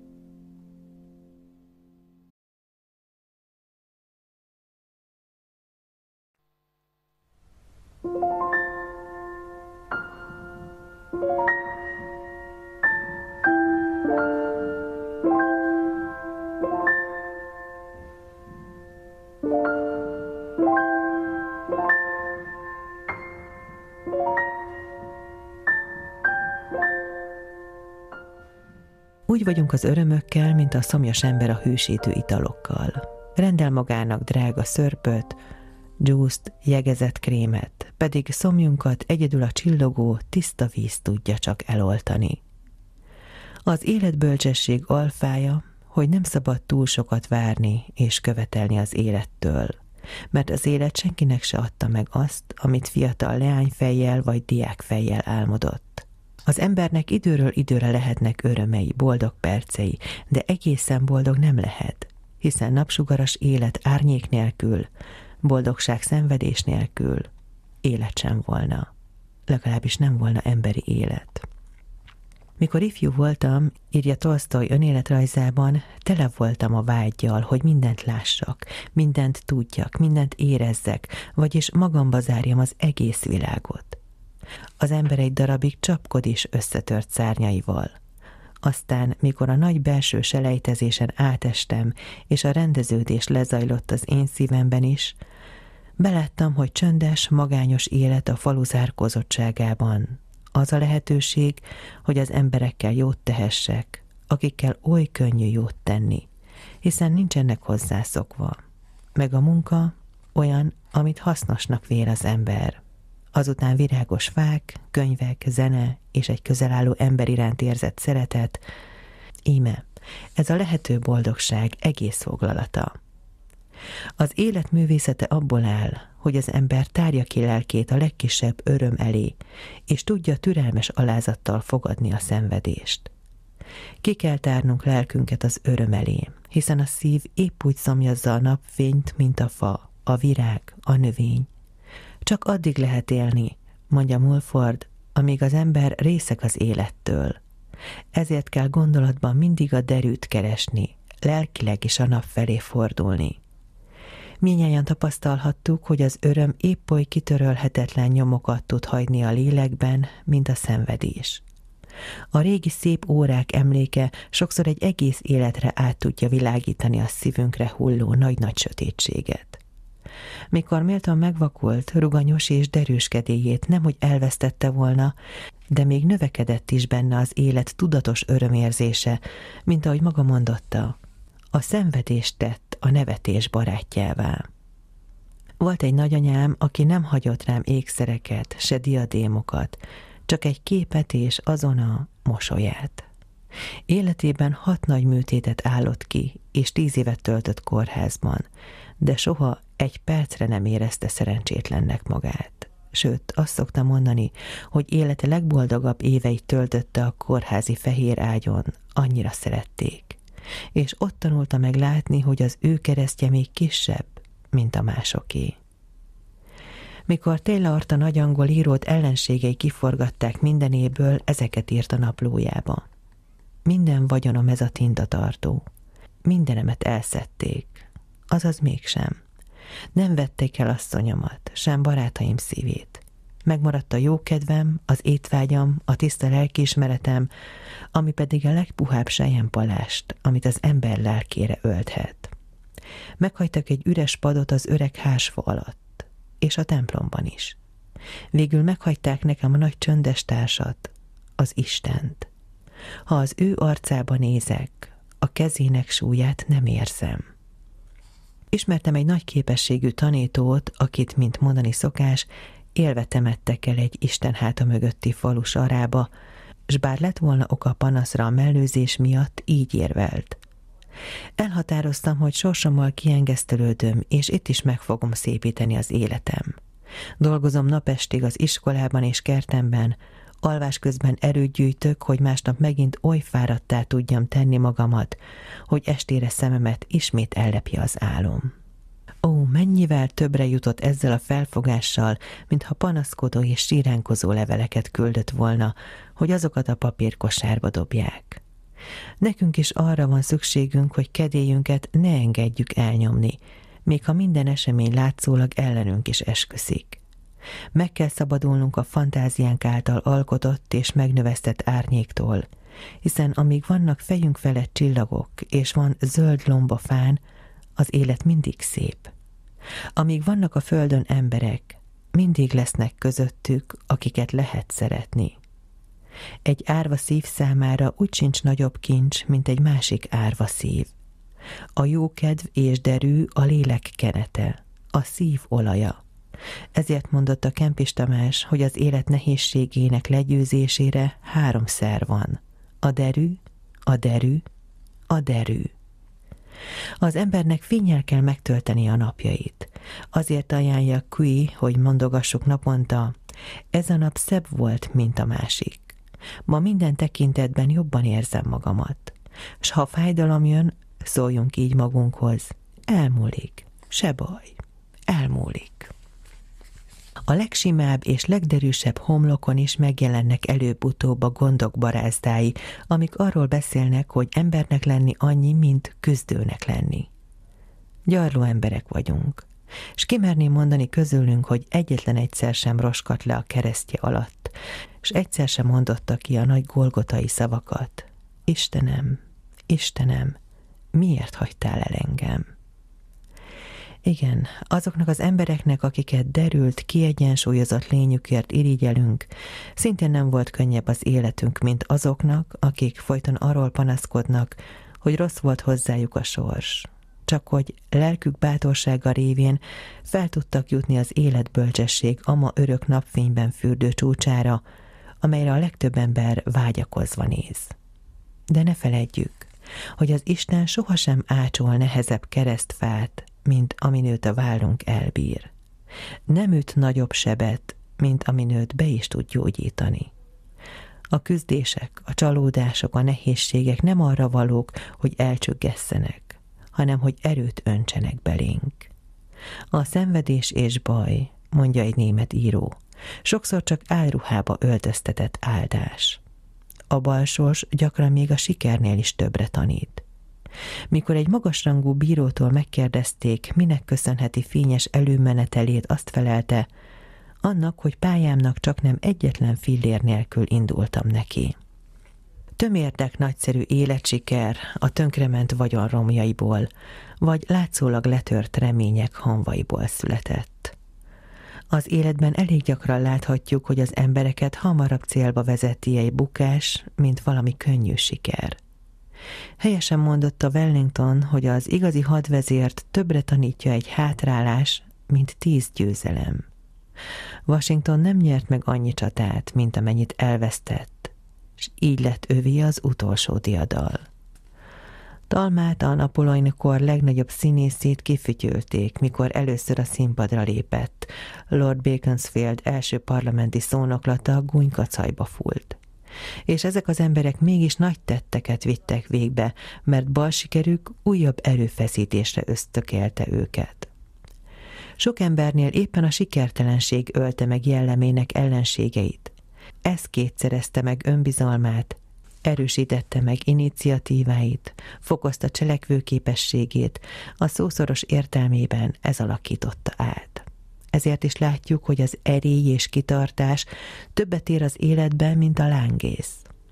A közélet érdekes fejezetét írhatnánk meg azokról a közepes tanulókról, kezdve Newtontól, akinek az iskola utolsó padjában volt a helye, Bismarckig, hogy a kitartással és önbizalommal megáldott kisebb tehetségek miként körözték le az életben az energiátlan, fényes tehetségeket.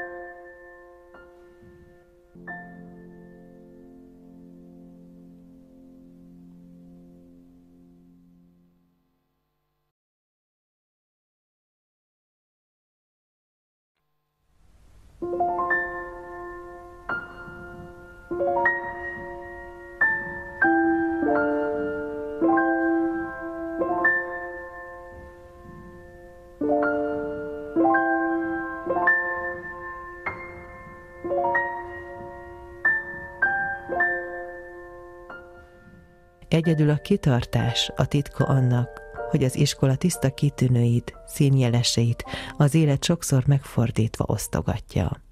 Hiszen senkiről se tudhatjuk igazán mire képes, még a balsors egy nehéz csapása meg nem mutatja az emberben rejlő felsőbbrendű embert. Hányszor láthatjuk az életben, hogy látszólag hasznavehetetlen emberek küzdelmekkel járó helyzetek sodrában váratlanul meglepő jellemerőt fejtenek ki, energiájuk tömörré kovácsolódik. Azon növényekhez hasonlók, amelyek csak szétmorzsolva és összetaposva árasztják gyökerük nemes illatát. Abraham Lincoln, Amerika egyik legnagyobb fia, 40 éves korában még jelentéktelen vámtiszt volt, akit gyenge testalkatánál fogva még a hadsereg kötelékéből is elbocsátottak. Később politikai okokból börtönbe került, s íme a börtönben töltött fél év volt az, ami a legnemesebb önteremtő erő kifejtéséhez hozzásegítette. Faraday a villamosság nagy zsenie mondotta magáról pályája kezdetén, Nincs se pénzem, se címerem, nincsenek őseim, de ha már egyszer élek, meg fogom mutatni, hogy ugyanannyit tudok használni embertársaimnak, mintha mindezekkel az előnyökkel születtem volna. Xantus példája, aki volt könyvügynök, boltos segéd, jutagyári munkás, újságkihordó, zongorahangoló, görög nyelvtanár, míg Amerika mérnöki vezérkarának élére jutott, mutatja, hogy az ember nagy dolgokat vihet végbe anélkül, hogy egyetlen dollár volna is a zsebében. Stevenson, a gőzgép feltalálója, az ifjúsághoz intézett beszédéből sohasem felejtette ki eme bátorító tanácsot. Boldogulni akartok? Csak azt tegyétek, amit én. Legyetek kitartók. Nagy Sándort egy ízben az ellenséges túlerő beszorította kicsin csapatával egy sziklavárba. Már-már csüggedni kezdett, amikor megpillantott egy hangyát, amely önmagánál tízszerte nagyobb terhet igyekezett fészkébe cipelni. Nagy Sándor megfigyelte, az apró állatka 71-szer esett vissza a teher alatt. De a 72. alkalommal mégis sikerült neki a terhét a hangyafészekbe felhengeríteni. Mit? kiáltott fel erőre gyulladva Nagy Sándor. Egy oktalan állat ilyen kitartásra képes, és én, a férfi elcsüggedjek? Kitört a várból és győzött. Így tanította bátorságra, önbizalomra, akarata kifejtésére a világ egyik legrettenthetetlenebb hősét, a világ egyik legigénytelenebb férge. Egy hangya. De nem csak a nagyok nagy esete. Az élet apró hőstettei is azt igazolják, hogy ragyogó győzelmeket arathat az életben a kitartás, az önbizalom, a szív bátorsága. Ismertem egy anyát, aki húsz évi fáradozással, odaadással, szerető tűréssel és hősiességgel elérte, hogy gyerekei felfogták, mit tett értük. A gyerekei ma felnőtt korukban jobban ragaszkodnak hozzá, mint bárki máshoz. Pedig kamaszkorukban hányavetik, követelők és hidegek voltak hozzá, míg a múló évek, a soha nem csökkenő szeretet mégiscsak visszavezette őket ahhoz, aki mindent eltűr, mindent megbocsát, mindig simogató kézzel és vigasztaló szóval vár. Mindenki, aki az életben boldogult és előre jutott, önmagából merítette a cselekvő erőt. Önmagunkban csörgedezik a csodaforrás, amely visszaadhatja a szerencsénket, lelkünk szépségét, az élet boldogságát. Mert sehová sem menekülhet az ember több biztonsággal minden baj elől, a legnagyobb baj elől is, mint önnön lelkébe. Ezért mondja Marlowe, a szívem az én váram. Nincs olyan bal siker, ami jóvá tehető nem volna, és mindenki megteheti azt, amire egy másik képes. Gondoljunk arra, hogy mi vagyunk azok, akik saját életünk folyását intézzük. A sors senkinek nem ellensége. A sorsot mindenki önmagában hordja. Igaza van Epiktétosznak, aki boldogtalan, a saját hibájából az. Az embernek szilárdan meg kell győződve lennie arról, hogy célját eléri, mint ahogy el is fogja érni. Minél mélyebb és értékesebb egy lélek, annál nehezebben találja ugyan meg helyét, de ha megtalálta, a boldogság társává szegődik. Nem szabad beletemetkeznünk a szomorúságba és csüggedésbe. Nem azt kell mondani, én annyit vártam az élettől, hanem én még annyit várok az élettől. Hinnünk kell abban, hogy az életben minden megoldódik, hogy az élet legnehezebb problémáiból és legkilátástalanabbnak látszó helyzeteiből is van kivezető út, ha az ember eleget és higgadt fejjel gondolkozik rajta. Csak nem szabad ölbe ejteni a kezet. Nem szabad leülni és magunk elé meredni. Minden kezdés, minden küzdés, ha sikerül, hanem többet ér, mint a néma és a fáradt kétségbeesés. Aki ma az életben a starthoz áll, el kell készülve lennie, hogy a célhoz csak is megjósult küzdelmek árán vezet az út. Az élet bármely vállalkozásának keresztülvitelére tehát a lelkesültség összes erőit ki kell fejtenie az embernek. Ma azoknak van igazuk, akik nem nyugszanak bele a sors pöröly csapásaiba, akik, ha Isten tudja, hányadszor kell is újra kezdeniük az életet, mégis reménykednek. Éppen ezért, aki ma nem roskad össze, aki ma élni tud, az mind értékes ember, az mind megérdemli az élettől a hősiesség vaskeresztjét. Ne felejtjük Gőte szavait. A szerencsétlenség a gyávák szemében óriás, bátrak szemében törpe. Kis hitűséggel semmire sem megyünk az életben. Soha se sóvárogjunk azután, ami elmúlt, ne akarjuk arra építeni a jövőnket, hogy valamikor jobb napokat láttunk, és nem érdemes tovább vergődni, hisz azt, amit elvesztettünk, soha se tudjuk visszaszerezni. A múlt, az emlékek és az árnyak birodalma. Élő ember erre nem támaszkodhat, sőt, azzal a ruganyossággal, ami legjobban az amerikai kivándorlókat jellemzi, kell talpra állani az elbukónak, és ismét és újra nekivágni a látszólag bevehetetlen akadályoknak. Egy ember, aki bízik a saját képességeiben és szorgalmában, az sohasem elveszett ember. Ne ábrándokat, déli bábokat kergessünk. Mesés amerikai örökséget, főnyereményt, ne azt várjuk, hogy a szánkba repüljön a sült galamb, hanem magunk ragadjuk kezünkbe a sors gyeplőjét. Van egy embertípus, amelyre azt szokták mondani, a jéghátán is megél. Ezek az igazán életre való emberek, akik nem hátrálnak és a szenvedést, a gondot, a nélkülözést átmenetnek tekintik. Párizsban a Döm de amelynek kupolája Napóleon, a nagy katona császár márvány sírgödre fölé emelkedik, van egy ablak, amely minden látogató számára felejthetetlen élményt nyújt. A tervező művész valami különös találmányú, aranyszínű üvegből készítette, amelynek egy csodás és elragadó tulajdonsága van.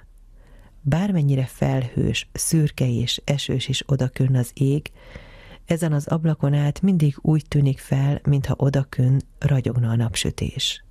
A szívünkre is fel kellene szerelni egy ilyen aranyszínű, fénytörő üvegablakot, hogy minden, ami rajta áttör, ködés árnyék, napsugár és szűrődjék.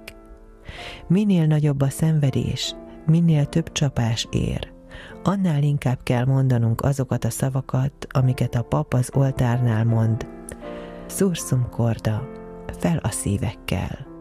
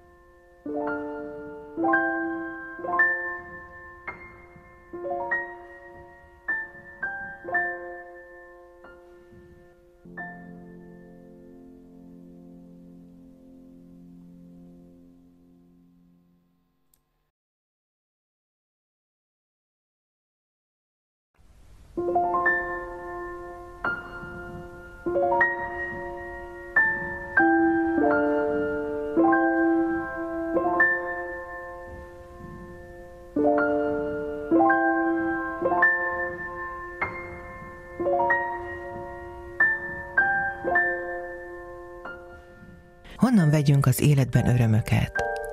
Az élet első és legfontosabb feldíszítési módja a nyugalmas, szép otthon. Amint az emberek építkeznek és laknak, úgy gondolkoznak és élnek.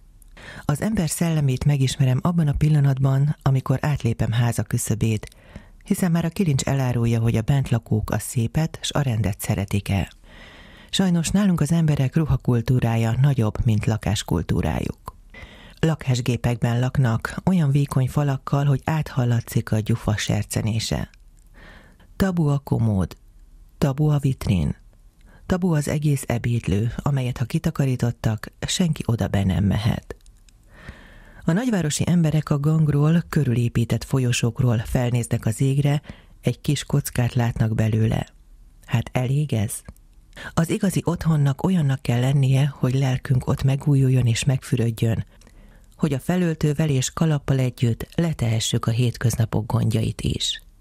Nem mindenki tarthat főúri nagy lakást, de mindenki összehangolhat magának egy nyájas, meleg, tiszta fészket, amelyből kisugárzik az idilli életkör öröme. Nem csak a drága lakásnak kell szépnek és kényelmesnek lenni. Én, ha a sors az északi sarkra vetne, ott is építenék magamnak egy csinos jégkunyhót, belül rénszarvasbőrrel kárpitozva és agancsokkal feldíszítve. Erez be annyi napfényt a lakásodba, amennyit csak be lehet bocsátani. Ha nem jut orhideja asztalodra, jusson legalább egy ibolya csokor. Vigyél be a természetből legalább egy faágat otthonot falai közé. Az igazi otthonhoz tulajdonképpen hozzátartozik egy kicsi kert. Boldog az, aki fenyők között nézhet fel az égre. Boldog az, akinek dolgozószobája előtt fák ágai ringatóznak, és virágok szépítik meg gondolatait. Gyönyörűen mondja a költő, aki virágokat ültet kertjébe, meghívja a pillangókat. Aki sziklákat halmoz föl, meghívja a felhőket. Aki fenyőfát ültet, meghívja a szelet. Aki fűzfát ültet, meghívja a vidám tücsköt. Becsült meg otthonodat. Sokan azt hiszik, hogy az illemszabályok az opera páholyára vagy a bálterem parkettjére vannak korlátozva, s otthon letehetjük azokat a smokinggal és plastronnal együtt. Nem, nem ezt a fényűzést nem engedhetjük meg. Aki jogot érez a kényelem nevében, hogy otthon az asztalra rakja lábát, gallér nélkül, nyitott inkben fogadja vendégeit, elárulja, hogy nem a lélek gentlemanjei közül való. A bútoroknak is van lelkük. A tervező művész lehelte beléjük, nekik fáj, ha neveletlenek vagyunk. Ha egészen magadra maradtál, ne feledd, hogy a szobában jelen van az előkelőség, a lelked, Wellington, ha egymaga ebédelt is, megkövetelte, hogy az asztalra tegyék legdrágább ezüstneműit. Az angol ember, mikor az irodából vagy a hivatalból hazajön, megfürdik, ünnepi ruhát ölt, és így ül asztalhoz. A japánok, ha otthonukba hazatérnek, meghajolnak a házuk küszöbe előtt. Szeressünk mi is otthon lenni. Nem csak ha fáradtak vagyunk, ha otthon zsúr van, ha kint esik az eső, de akkor is, amikor a szabadidőnkben máshová is mehetnénk. A legidőszerűbb prédikáció, amelyet manapság férfiaknak tartani kell, apák, maradjatok otthon. Annyi időt töltsetek családotok körében, amennyit csak lehet. Minden este csöndes angyalének száll föl a házfödelek alól, ahol egymásért élő és küzdő család van együtt, akiknek ajtajára láthatatlan betűkkel van írva a székelykapuk felirata, áldás a bemenőnek, béke a kimenőnek. Beszéljünk az asztal örömeiről is, hiszen az élet művészetéhez hozzátartozik az is, hogy életünket összhangba hozzuk ösztöneinkkel. Az ember sorsa részben a teste. Ten teóriát állított fel, amelyben például az olasz nép jellemét az articsóka fogyasztásából származtatja le. Tény az, hogy Éva almájától Lukulus asztaláig az emberi élet át és át van szőve gasztronómiai elemekkel. Életrajzírói szerint Geoffrey Márni győzelmet jó étvágyának köszönhette. Nem kisebb ember, mint Victor Hugo, egész könyvet írt a főzésről.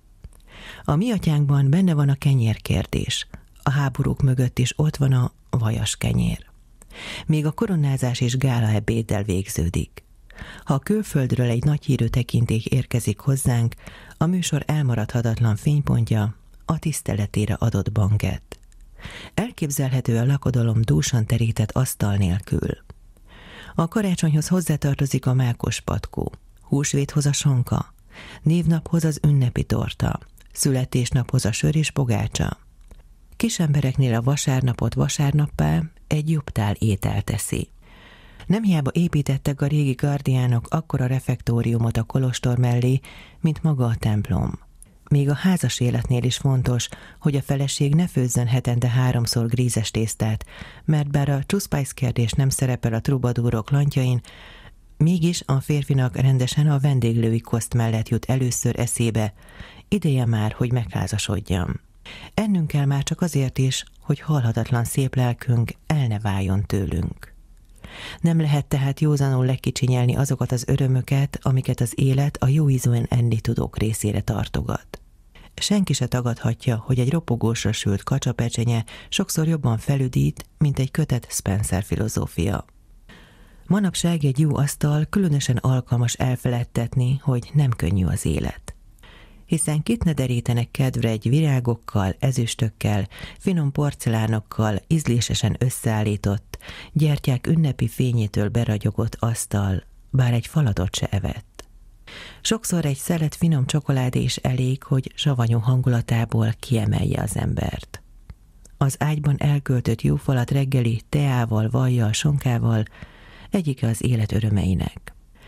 Ha fáradtan, egyedül töltöd az estét odahaza, életkedvedet visszaadhatja egy jó vacsora falatokból összeállított estevéd, amelyet egy üvegbor koronáz meg.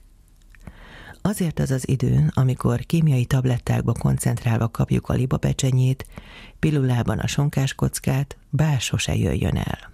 Már így is fájdalmas korszakhoz jutottunk el, amikor gyors éttermekbe állva kapják be az emberek ebédjüket, vagy a munkások terített asztal helyett a parkban, az utca kövein ülve egy épülőház gerendái között költik el papírosba csomagolt falatjaikat.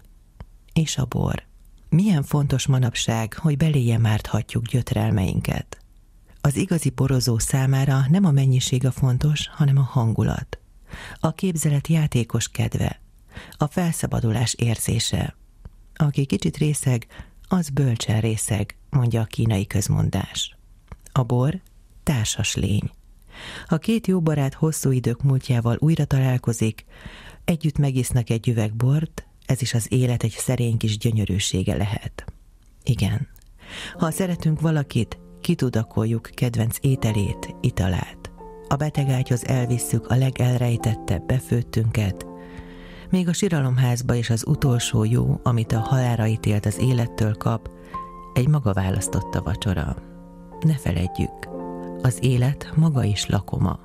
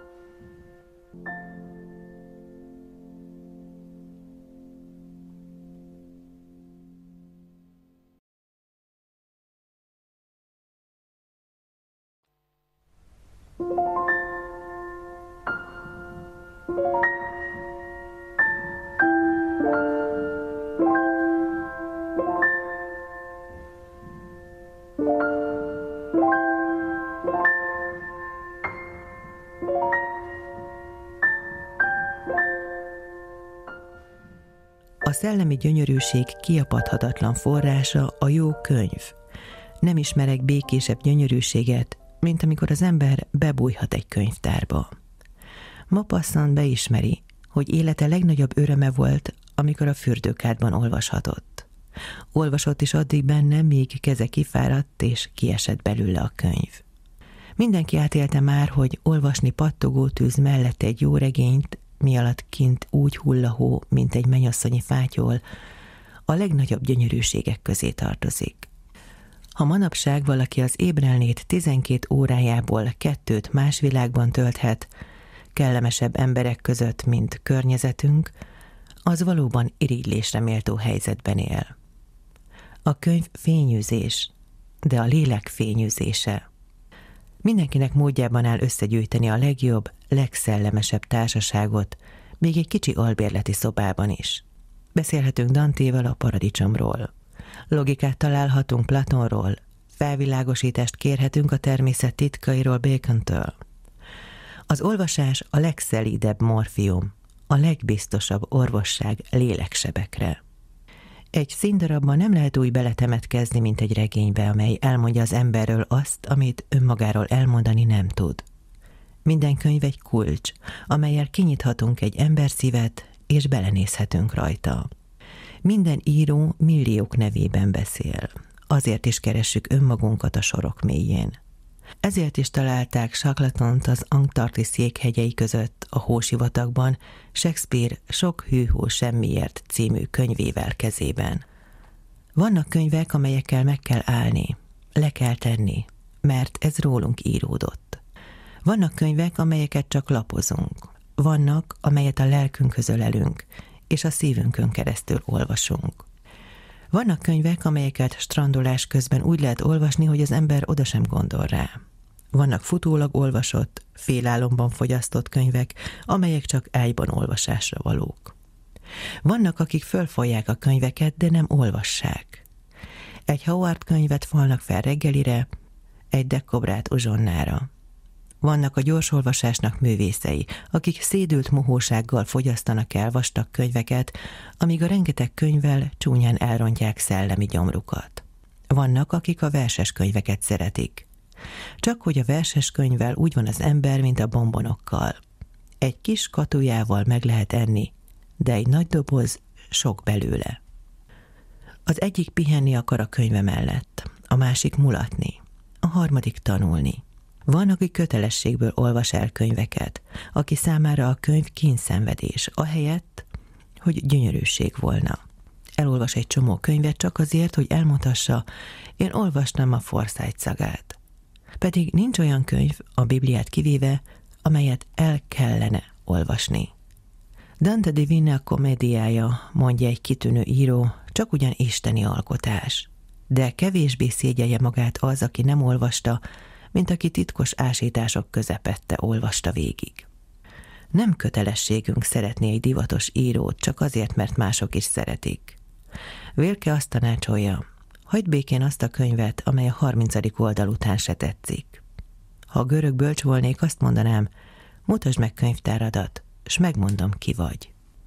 Az olvasás legfőbb szabálya, olvassunk jó könyveket. Ahogy nem mindegy, hogy zserbó minyon teszünk, vagy ciánkálét, úgy az sem mindegy, hogy Shakespeare-t olvasunk-e, vagy egy kefekötőből lett regénygyáros ponyva regényét. Macaulay tanácsa, mint az üres beszédű emberek, úgy kerüld a tartalmatlan könyveket. Némely könyvet csak kóstolgatni kell, másokat lenyelni. A jó könyveket meg kell rágni és meg kell emészteni. Igaza valla Rosenfoldnak is, amelyik könyvet nem érdemes többször elolvasni, azt egyszer se volt érdemes elolvasni. Csak hogy melyik a jó és értékes könyv. Régebben kevés könyv volt, ma túlságos tömegük az, ami megzavar. Sok ezerre megy a legjobb könyvek száma. Erzsébet angol királynő korában azt tartották jó könyvnek, amely szépen volt bekötve és szerelemről szólt. Én azt tartom, a legjobb könyv az, amelyik rólunk szól. A legjobb könyv az, amelyről az olvasó azt hiszi, hogy ezt ő is meg tudta volna írni. Az olvasás művészetének legfőbb szabálya ez lehetne.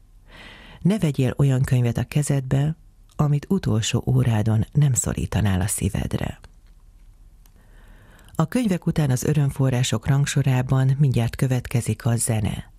Mi emelheti ki jobban az embert a szenvedélyek fénytelen mélységeiből, mint a zene? Mi tulajdonképpen a muzsika? Herman Bank szerint kavargás az örök csönd központja körül. Beethoven szerint a közönséges szótól való menekülés. Egy másik esztétikus szerint a zene híd az isteni és emberi nyelv között. Tény az, hogy van az érzelmeknek olyan hullámzása, akár a fájdalomnak, vagy fölmagasztosultságnak, amelyet szóval nem lehet ecsetelni. Beethoven ezt meg tudja tenni. A holdfényszonáta azért olyan nagy és örök, mert a szenvedésében szabadulásért sóhajtozó ember legfájdalmasabb sóhajaiból készült, amelyet semmiféle szavakba foglalt költemény meg sem közelíthet. Chrysler a hegedőjével ki tudta fejezni mindazt, amit a szívpokláról el lehet képzelni. A pillangó kisasszony sírásában minnyájunk fájdalma ott zokog, akit valaki valaha elhagyott. A mai élet bonyolult zűrzavarában tehát, ha megenyhülni akarunk, nem menekülhetünk jobb helyre, mint a zenéhez. Csak föl kell nyitni a zongora varázslatos ládáját. El kell játszani egy szonátát, halkan, magamnak, és egyszerre száműzve van szívünkből ezer gond. Ismertem egy embert, aki minden este hegedűihez menekült, aki annyira szerette ezt a hegedűt, hogy magával temettette el. Ne gondoljuk, hogy zenét csak azt tud élvezni, aki maga is valami hangszeren játszik. Ahogy egy festményt is élvezhet az is, akinek soha ecset nem volt a kezében, épp úgy gyönyörködhet valaki Csajkovszki patetikus szimfóniájában anélkül, hogy zongorázni tudna. A muzsikát mindenki élvezni tudja, akiben magában is van muzsika. A belső hallása fontos, ami a természet egyik legnagyobb adománya. Az örök érzésekkel titkos szálak kötnek össze. A zene éppen azért szép, mert benne föl lehet ismerni a lélek legbensőbb vívódásait. Ki lehet hallani zengeni belőle saját fájdalmainkat. Sok jó zenét kell tehát hallgatni, hogy fölnyissuk a fület a nagy muzsika élvezete számára.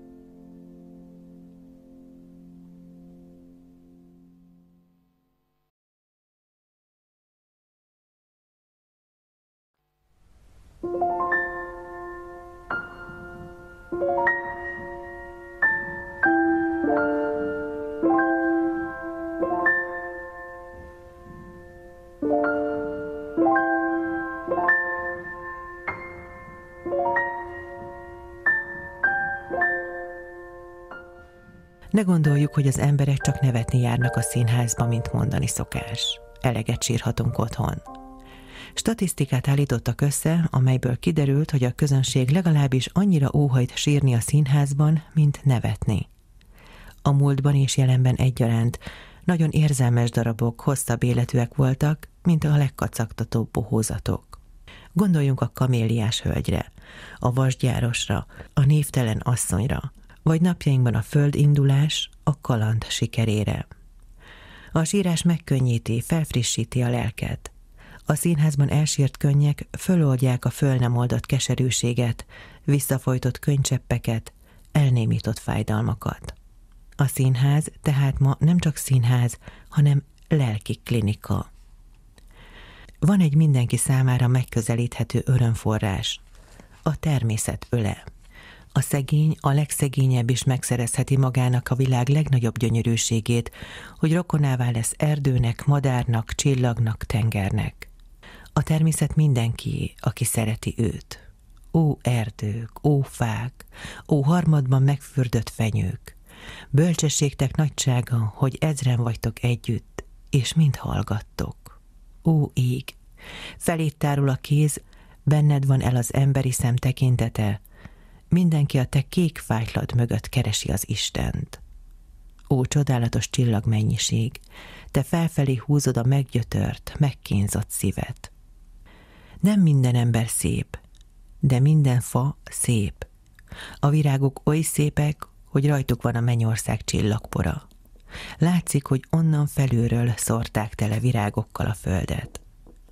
Gyönyörűen írja Zálma Lagerlöf egyik könyvében, én nem hiszem az Istent, én láttam őt. A szépségben találtalak meg téged. Az erdő áthatolhatatlan sűrűjében találkoztam veled. A tenger azt mondta, itt vagy. Láttalak elvonulni a villámokban, mint Mózes az égő csipkebokkorban. Hallottalak a patak csöndes zenéjében. Rám mosolyogtál a gyermekszemek kék ragyogásában. Egy szálvirágban. Glória, Gloria in excelsis Deo. Nagyon kevéssé élünk a természetben, ez a tragédiánk. Pedig a természet föloldja a kis gondolatokat, kitágítja nem csak a szemeket, de a szíveket is. Aki a fákat szeretni tudja, az nem lehet rossz az emberekhez sem. Minden séta után jobb vagyok, mondotta Walt Whitman a költő. Azért, akinek gyásza vagy fájdalma van, forduljon az erdőhöz. Hogyha senki se ért meg, fordulj a természet szívéhez, egy virághoz, egy tölgyhöz. A természet egy nagy szanatórium, a fák csöndje gyógyítani tud, egy séta, s a természet részt vesz töprengéseidben, és szívedből a szenvedések hegyes fullánkjait kilopja. A fákon rügyeket fakasztó szövődést, azt a titokzatos erőt, amely fehér virágokba öltözteti az ágakat, a szívünkig kell tehát lehatni engedni. A tavasz jelentsen tavaszt, misztériumot, ne csak toalettet, sportot, új színházi szezont. A földi örömök egyik legszínesebbike a gazdagodás, a gyarapodás, ahogy tulajdonképpen nem a szegénység a fájó, hanem az elszegényedés. Úgy nem a gazdagság, mint állapot az igazi öröm, hanem amikor az ember lassan előbbre jut a vagyon létrafokain. Aki lent kezdte és lent végezte, az soha se érezte azt a vonagló kint, mint akinek szebb napok után kell felöltenie a szegénység és lemondás rongyait. Viszont kevés élénkebb öröm van, mint amikor az ember előre halad a gyarapodás birodalmában. A pénzről általában illik bizonyos hipokrízissel beszélni. Pedig valljuk be őszintén, ki ne álmodta volna végig közülünk, ó, ha nekem egyszer sok pénzem volna, ha kihúznám a főnyereményt kezdetű álmot. Pénzről van szó a beszédben, a könyvekben, az emberi álmokban. Mi rossz van abban, ha van az embernek egy kis napsugaras kúriája, előtte park, benne rózsák nyílnak, és nyájas szőlőlugas vet árnyat a tornácra. Hiszen azért teremtette Isten a világot, hogy a miénk legyen. Azért teremtette szépnek, hogy gyönyörködjünk benne. Az aranynak nem az a rendeltetése, hogy a földön heverjen. A szőlőfürtnek nem az, hogy a tőkén rohadjon el. Senki se akarja elhitetni velem, hogy egy kitaposott sarkú cipő, amelybe belefolyik a hóli, kívánatosabb, mint egy dupla tarpó szevro cipő. Hogy egy petróleumlámpa szebb, mint egy velencei csillár. Hogy egy kirajtosodott függöny szebb, mint egy sejembrokát. Hogy az a kívánatosabb állapot, ha valaki kétszerül életében kocsin, egyszer az esküvőjén, másodszor a temetésén, mint aki minden nap egy limuzinon jár. Csupa gazdag emberből álló világ ugyan sohasem lesz, de az az angol közmondás is igaz, hogy egy jól borotvált férfinak mások a gondolatai, mint egy nem borotváltnak. A vagyongyűjtés férfias dolog. Rendes körülmények között ez a mértéke az ember életre valóságának. A gazdagság, a védettség érzését adja az embernek. A pénz az utolsó szalmaszál, amibe belekapaszkodhatunk. Sokan így szólnak a pénzükhöz, te vagy az egyedüli vigaszom. Az arany sok sebet gyógyít, sok ráncot eltüntet, sok pusztulást megelőz vagy elodáz, hiszen nem is magát a pénzt szeretjük, hanem amit rajta megvásárolni lehet. Ha a pénzem van, sok mindent kapok, még a szeretet valamelyes visszfényét is. Ha pénzem van, egy kis paradicsomot rendezhetek be magamnak, ha nincs, szerényen félre kell állnom, csak a kirakat mögött nézhetem az élet legjobb falatjait. Hát olyan igen rossz a nyugalmas jólét? Hát nem állíthatom be a pénzt az összes erények szolgálatába? A nyomorban nincs költészet. Igaza van Mackerman atyának, amikor azt mondja, ahol a pénz van, ott van az ördög, de ahol nincs pénz, ott két ördög van. Az is igaz, amit a közmondás mond, üres zsák nem áll egyenesen. Sokkal könnyebben lehet valaki jószívű, becsületes, könyörületes, ha pénze van, mint ha nincs.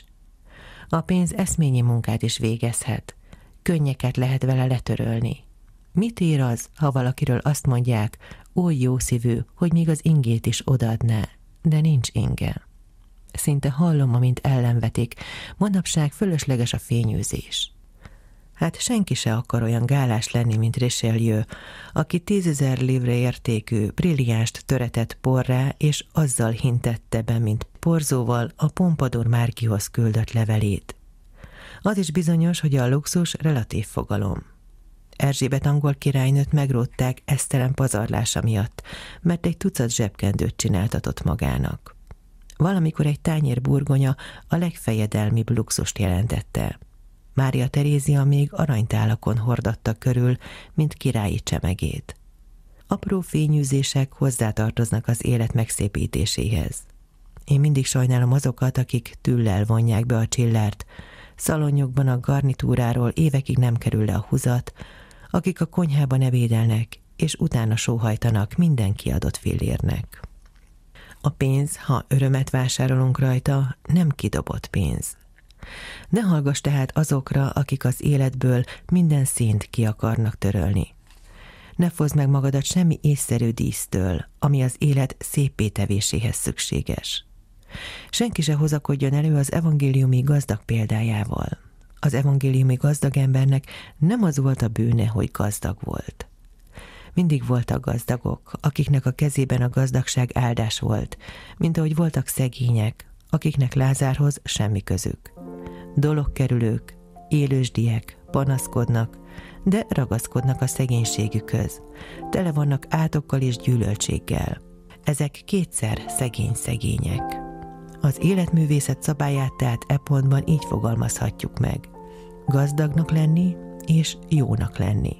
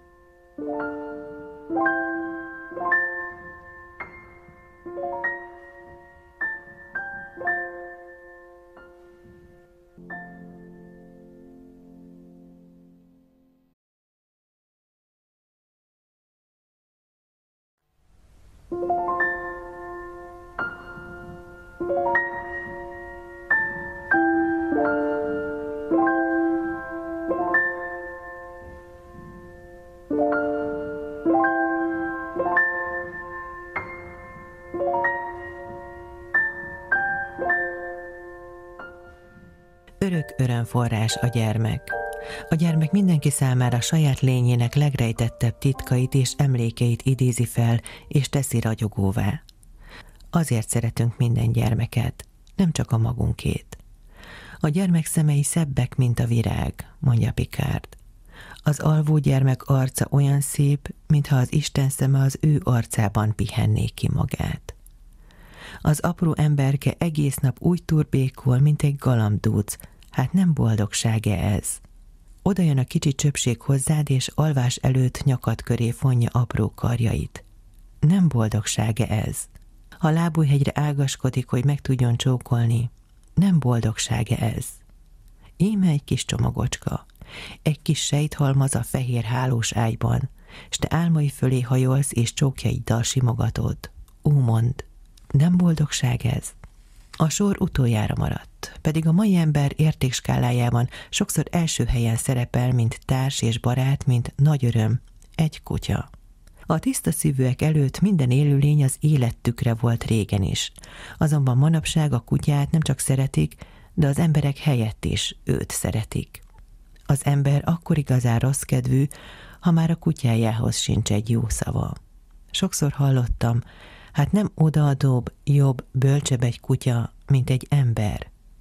Ki tud az embernek úgy örülni, mint egy kutya? Kitől kapunk annyi néma hálát, rongyos csontokért, mint tőle? Mikor simult hozzánk valaki olyan örömmel, mint ő? Ki más lát bennünk felsőbbrendű lényt, mint a kutyánk? Negyedik Henriket megkérdezték udvarhölgyei, miért tart annyi kutyát. Azért, hogy lássa hűséges lényeket is környezetemben, felelte a király. Igaza volt. Mert nem legenda a gazdája sírján elpusztult kutya, bár nem jelöli márványkő hűsége helyét. Ott halt meg a síron, mi alatt gazdáját a felesége elhagyta, barátai elfeledték.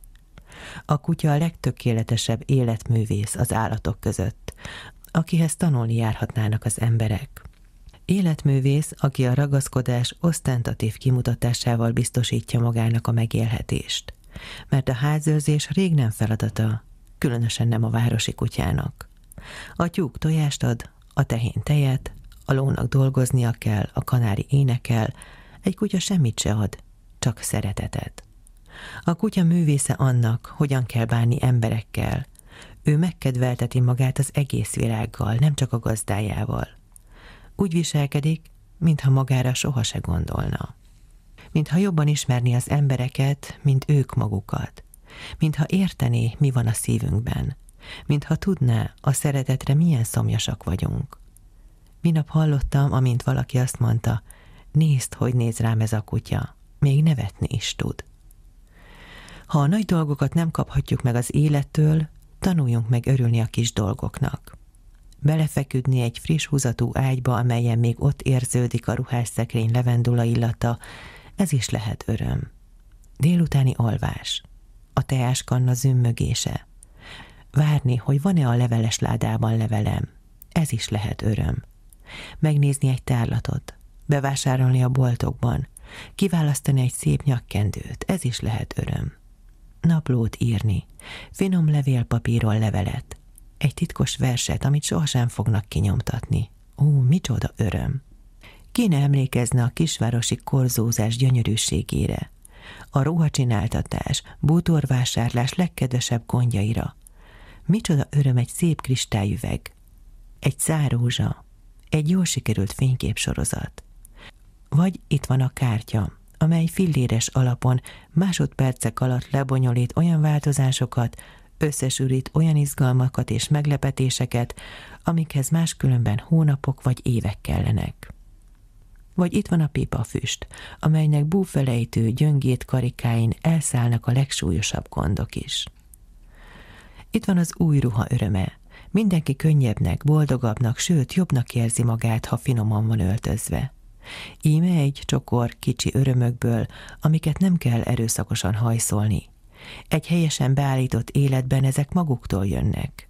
Igazi életművész az, aki nem csak a nagy, de kicsi örömöknek is tud örülni, aki nem csak Shakespeare-en, Dantén fényesíti gondolatait, de ha egy vásáron vezet át az útja, a vásári bohóc bohóckodásain is szívből tud nevetni.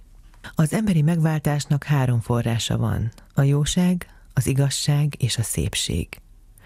A kanti meghatározás szerint, amelynél tökéletesebbet a legújabb korig sem tudunk a szép meghatározására találni, szép az, ami érdek nélkül tetszik. Hozzátehetnénk, szép az, ami az éhező, fázó, szenvedő embernek is tetszik. Szép az, amit szívünk, műveltségünk, ember szeretetünk, filozófiánk azzá tesz. A szépség a legtöbb, amit a világ adhat a tünemények titkai mögé a szépség visz. Ahol szépség vesz körül minket, mindjárt otthon érezzük magunkat, mint egy lelkünk igazi hazájában. A fiatalságukhoz azért ragaszkodnak oly szenvedélyesen az emberek, mert semmi a világon nem olyan drága, mint az a pótolhatatlan báj, ami a fiatalságból sugárzik elő. A szépségtől nem foszt meg az öregség sem. Nimond Lentlos oly szép asszony volt öregkorában is, hogy több udvarlója volt, mint a leányának. Később a saját unokája is szerelmes lett bele. Tény az, hogy a szépre a mindennapi életben is nagy szüksége van az embernek. A japánok virágos ágaikkal rakják körül a bölcsőket, hogy már a kisded is megtanuljon a szépnek örülni. A görögök, a szépség bálványozói, vajúdó anyák ágya fölé szép ifjak képét függesztették, hogy szép fiúkat hozzanak a világra. Sajnos mi megkoptunk, elhasználódtunk. Ma a szép, kevések időszerűtlen öröme, a tömegek személyében valóságos frivol öröm, majdnem bántó különcködés. A világ, amelyben élünk, nem csak etikailag feldult, de esztétikailag rút is. Nem szépek benne az emberek sem. Tulajdon fogyatékosságunktól a görög szobrászathoz kell menekülnünk, hogy újra élvezhessük a hús csodálatos alkotását Héraklész izompompájában, Antonius férfi szépségében, Apolló ifjúságában. Az élet rútságától a természethez kell menekülnünk. A természetben mindenütt nyitva áll előttünk a szépség. Ahol természet van, ott szépség is van. Csak meg kell látni azt. Az embereket hozzá kell szoktatni, rá kell nevelni, hogy megnézzék az őket körülfogó gyönyörű világot. Sok ember van, aki csak hatalmas vízesések, niagarák, dolomitok, vérvörös naplementék, égbe nyúló havasok hangolnak lelkesedésre, mint hogy az elvodult ivót csak a legnehezebb viszki izgatja. Minél finomabb akkordokra van lelkünk hangolva, annál könnyebben meglátjuk Istent egy lepkeszárnyán, egy zuzmara művészi sugár szerkezetében is. Mert a szépség nyelvén Isten beszél hozzánk. Mint Schiller mondja, a szépség a végtelen, véges formában.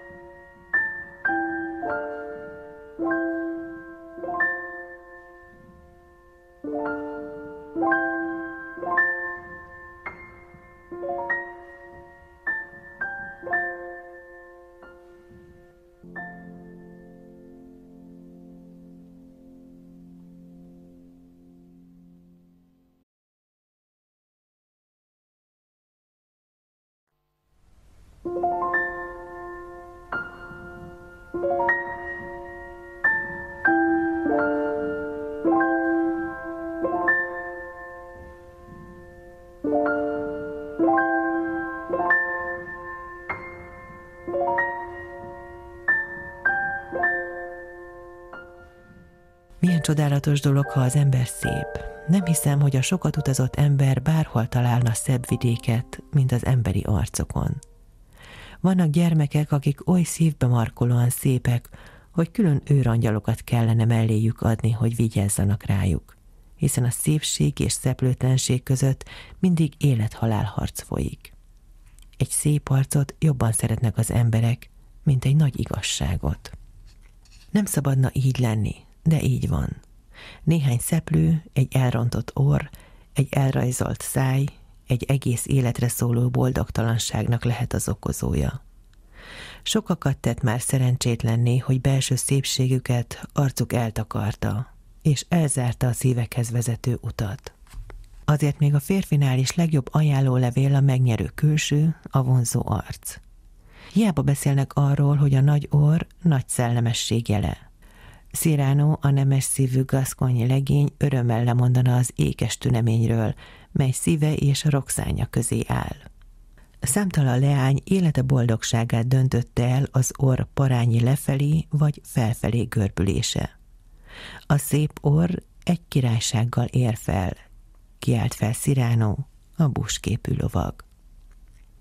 A szépség a legősibb és legkézenfekvőbb megkülönböztetés, amely emberen hatalmat ad. Megfigyeltem, egy asszony a vendéglőben virágot árul. Hervadt a nő is, a virágjai is. De valaven egy kislány, arca rózsa, szeme ne felejts. Mindenki rámosolyog a kislányra, és vesz egy csokrot hálából a szépség mosolyáért. Egyenlőtlen és fölényes a küzdelem a potrohos bankár és ifjú suhancok között, akik szép mesztelenség friss karcsúságok könyörtelen szépségében, érezve és éreztetve az ifjúság ijesztő hatalmát, hancúroznak a habok között. Hányszor láttuk az életben, hogy az emberek előrejutását egyedül a csinosság számlája javára kell írnunk. Mopassan megírta egy tehetségtelen ifjúnak a történetét, akit közönséges csinossága, amelynek varázsa tucat számra ejtette meg az asszonyokat, előkelőket és közönségeseket, fiatalokat és öregeket győzelemhez segítette egész életen át. Ismertem egy fiatalembert, aki még ki sem nyitotta a száját, már is meghódította a szíveket. Volt benne valami elragadó bűbáj, ami egyenesen az emberek szívéig hatolt. Már gyermekkorában egészen magától értetődőnek találta, hogy ne emelhesse fel fejét valakire anélkül, hogy nyomban kéz ne simuljon a hajára. Mindenki rajongó nézéssel becézte, asszonyok majd felfalták szemükkel. Ezzel a bájjal, ahol csak megjelent, nyert ügye volt. Élete húsz éve alatt szívből szívbe vándorolt. Fiatalon halt meg, de emlékét ma is őrzik szívek és szemek. Az embereknek igen sokszor szebb a lelkük, mint az arcuk, de milyen nehéz ezt elviselni. Az ember belenéz a tükörbe, és a tükör azt mondja, téged nem lehet szeretni. Ilyen archoz nem lehet becéző és simogató szavakat intézni. Tolstoy arca olyan közönséges volt, mint egy para, ha a bakon ült. Nem tudták ki a gróf és ki a kocsis. Szinte kétségbe esetten írja naplójában önmagáról. E kifejezéstelen arc, ez üres, lágy tekintet, minden nemesség nélkül való vonalak, amelyek közönséges muzsikra emlékeztetnek, a túlságosan nagy kezek és lábak, hát ez volnék én. Balzak arca is semmit mondó és múzsátlan. Magáról írja, lehet-e boldog ember, akinek ilyen széles orra, ilyen vastag ajka és kicsi, szürke szeme van? Ki fog ilyen embert szeretni? Hány ember tett már keserű szemrehányást a sorsnak, és kérdezte, hát ennyire más lehet a külső arc, mint a belső. Mennyire szeretjük a jóindulatú tükröket és fotográfiákat, amelyek eltemetnek valamit abból az ellentmondásból, amely arcunk és lelkünk között van. Minden szívnek van kisebb-nagyobb szépség szükséglete. Ha egy egyszerű parasztasszony a rikító színeket szereti, amelyek nekünk talán fájnak, ez nem jelent tompaságot, ellenkezőleg a szín szeretetét, a szépség keresését a maga módja szerint. Az emberekben benne él a természetes vágy a szép öltözködésre. Vannak országok, ahol nincsen ház legalább néhány cserép virág nélkül. A templom is a szépségek háza. Arra a szépségre és nyugalomra, amit a templomokban találnak az emberek, szükségük van, hogy elhordozhassák szürke hétköznapjaikat. Otthonában minden ember többé-kevésbé körül akarja venni magát a szépség páncéljával, hiszen a szépség egy vár, amelybe az élet csúnyaságai elől menekülhetünk. A művészetnek, amely nem más, mint álmaink formába öntése, éppen az a kötelessége, hogy szerettesse meg velünk az életet, és mutassa meg nekünk, hogy szép. Vannak, akik még a halálban is szépek akarnak lenni. Szép halottak. A legmagasztosabb dolog, amit a bölcsek kigondoltak, s a még bölcsebbek megvalósítottak, szépen élni. Igen, a szépet élvezni, átélni, mindenben meglátni, szépséget teremteni magunkban és magunk körül, ez az élet művészi feladata. Éppen ezért nem szeretem azokat, akik az egyszerűséget magasztalják, mivel nincs tehetségük a gyönyörködésre. Az egyszerűség dicsérete mögött bensőjük tompasága, szívük szikkatsága húzódik meg. Miért volna több az, aki a szépet élvezni nem tudja, mint az, aki tudja? Miért lennének többek a vaklelkű emberek, mint az esztéta életélvezők? Hát igazán bűn volna az ízlés, az ápoltság, az összhang, az arányérzék? Hát bűn az, ha csupa intim és meleg bútor vesz körül, ha a gondos otthon szeretet arról az embertípusról beszél, akinek ízlése a mindennapja? Hát bűn a szépség élvezése? Miért volna alacsonyabb rendű az az ember, aki kristályokkal, amelyen halkan permetezik a szivárvány színeit, áttört ezüst kosarakkal, finom, szétszort virágokkal szépíti meg a vacsora prózáját, a táplálkozás funkcióját, mint aki terítetlen asztal mellett költi el az este bétjét. Miért volna a lelkisége romboló hatású, hogy valakinek a lakásában csevegő sarok van, szép nagy perspektíva nyílik a verendára, az ódon kandalló, a fahasábokra berendezett tűzhely, az álványon a karós gyertyatartó, a vitrénben csillogó vidámságok, a szépség országának eljövetelét hirdetik. Azt tapasztaltam, egy ember, ha még oly mélyre süllyed is, aki otthonát szereti, nem egészen és nem örökre elveszett ember. Arisztotelész mutat rá arra, hogy a tragédia hatása a katarzis, a tisztulás, a felemelkedés, de tágabb értelemben minden szépség ilyen tisztuláshoz vezet. Aki a szépet szereti, az nem lehet pessimista. Annak egy csokor hóvirág elég, hogy napját fényjel és mosolyjal szórja szét. A szépség szeretete igenis megférhet a szív jóságával.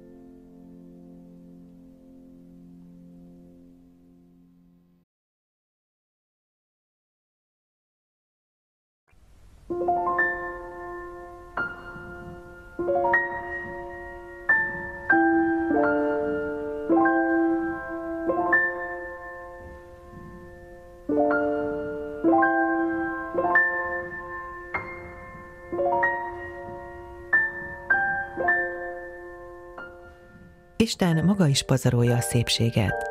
Szeretni maga is annyi, mint megszépíteni. A legkitűnőbb tokai is másként ízlik egy csillogó, metszett kristálypohárból, mint egy bögréből.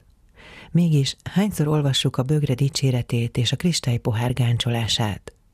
Igen, az emberek becsmérlik a gazdagság hajóját, közben körülötte keringenek, mint a sirályok, lesve egy eldobott falatra.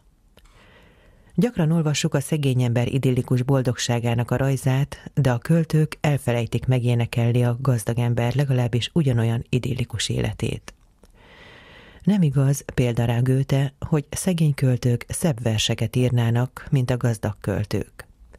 Michelangelo vésőjét, Rubens vagy munkácsi ecsetjét nem bénították meg a százezrek, amiket kerestek.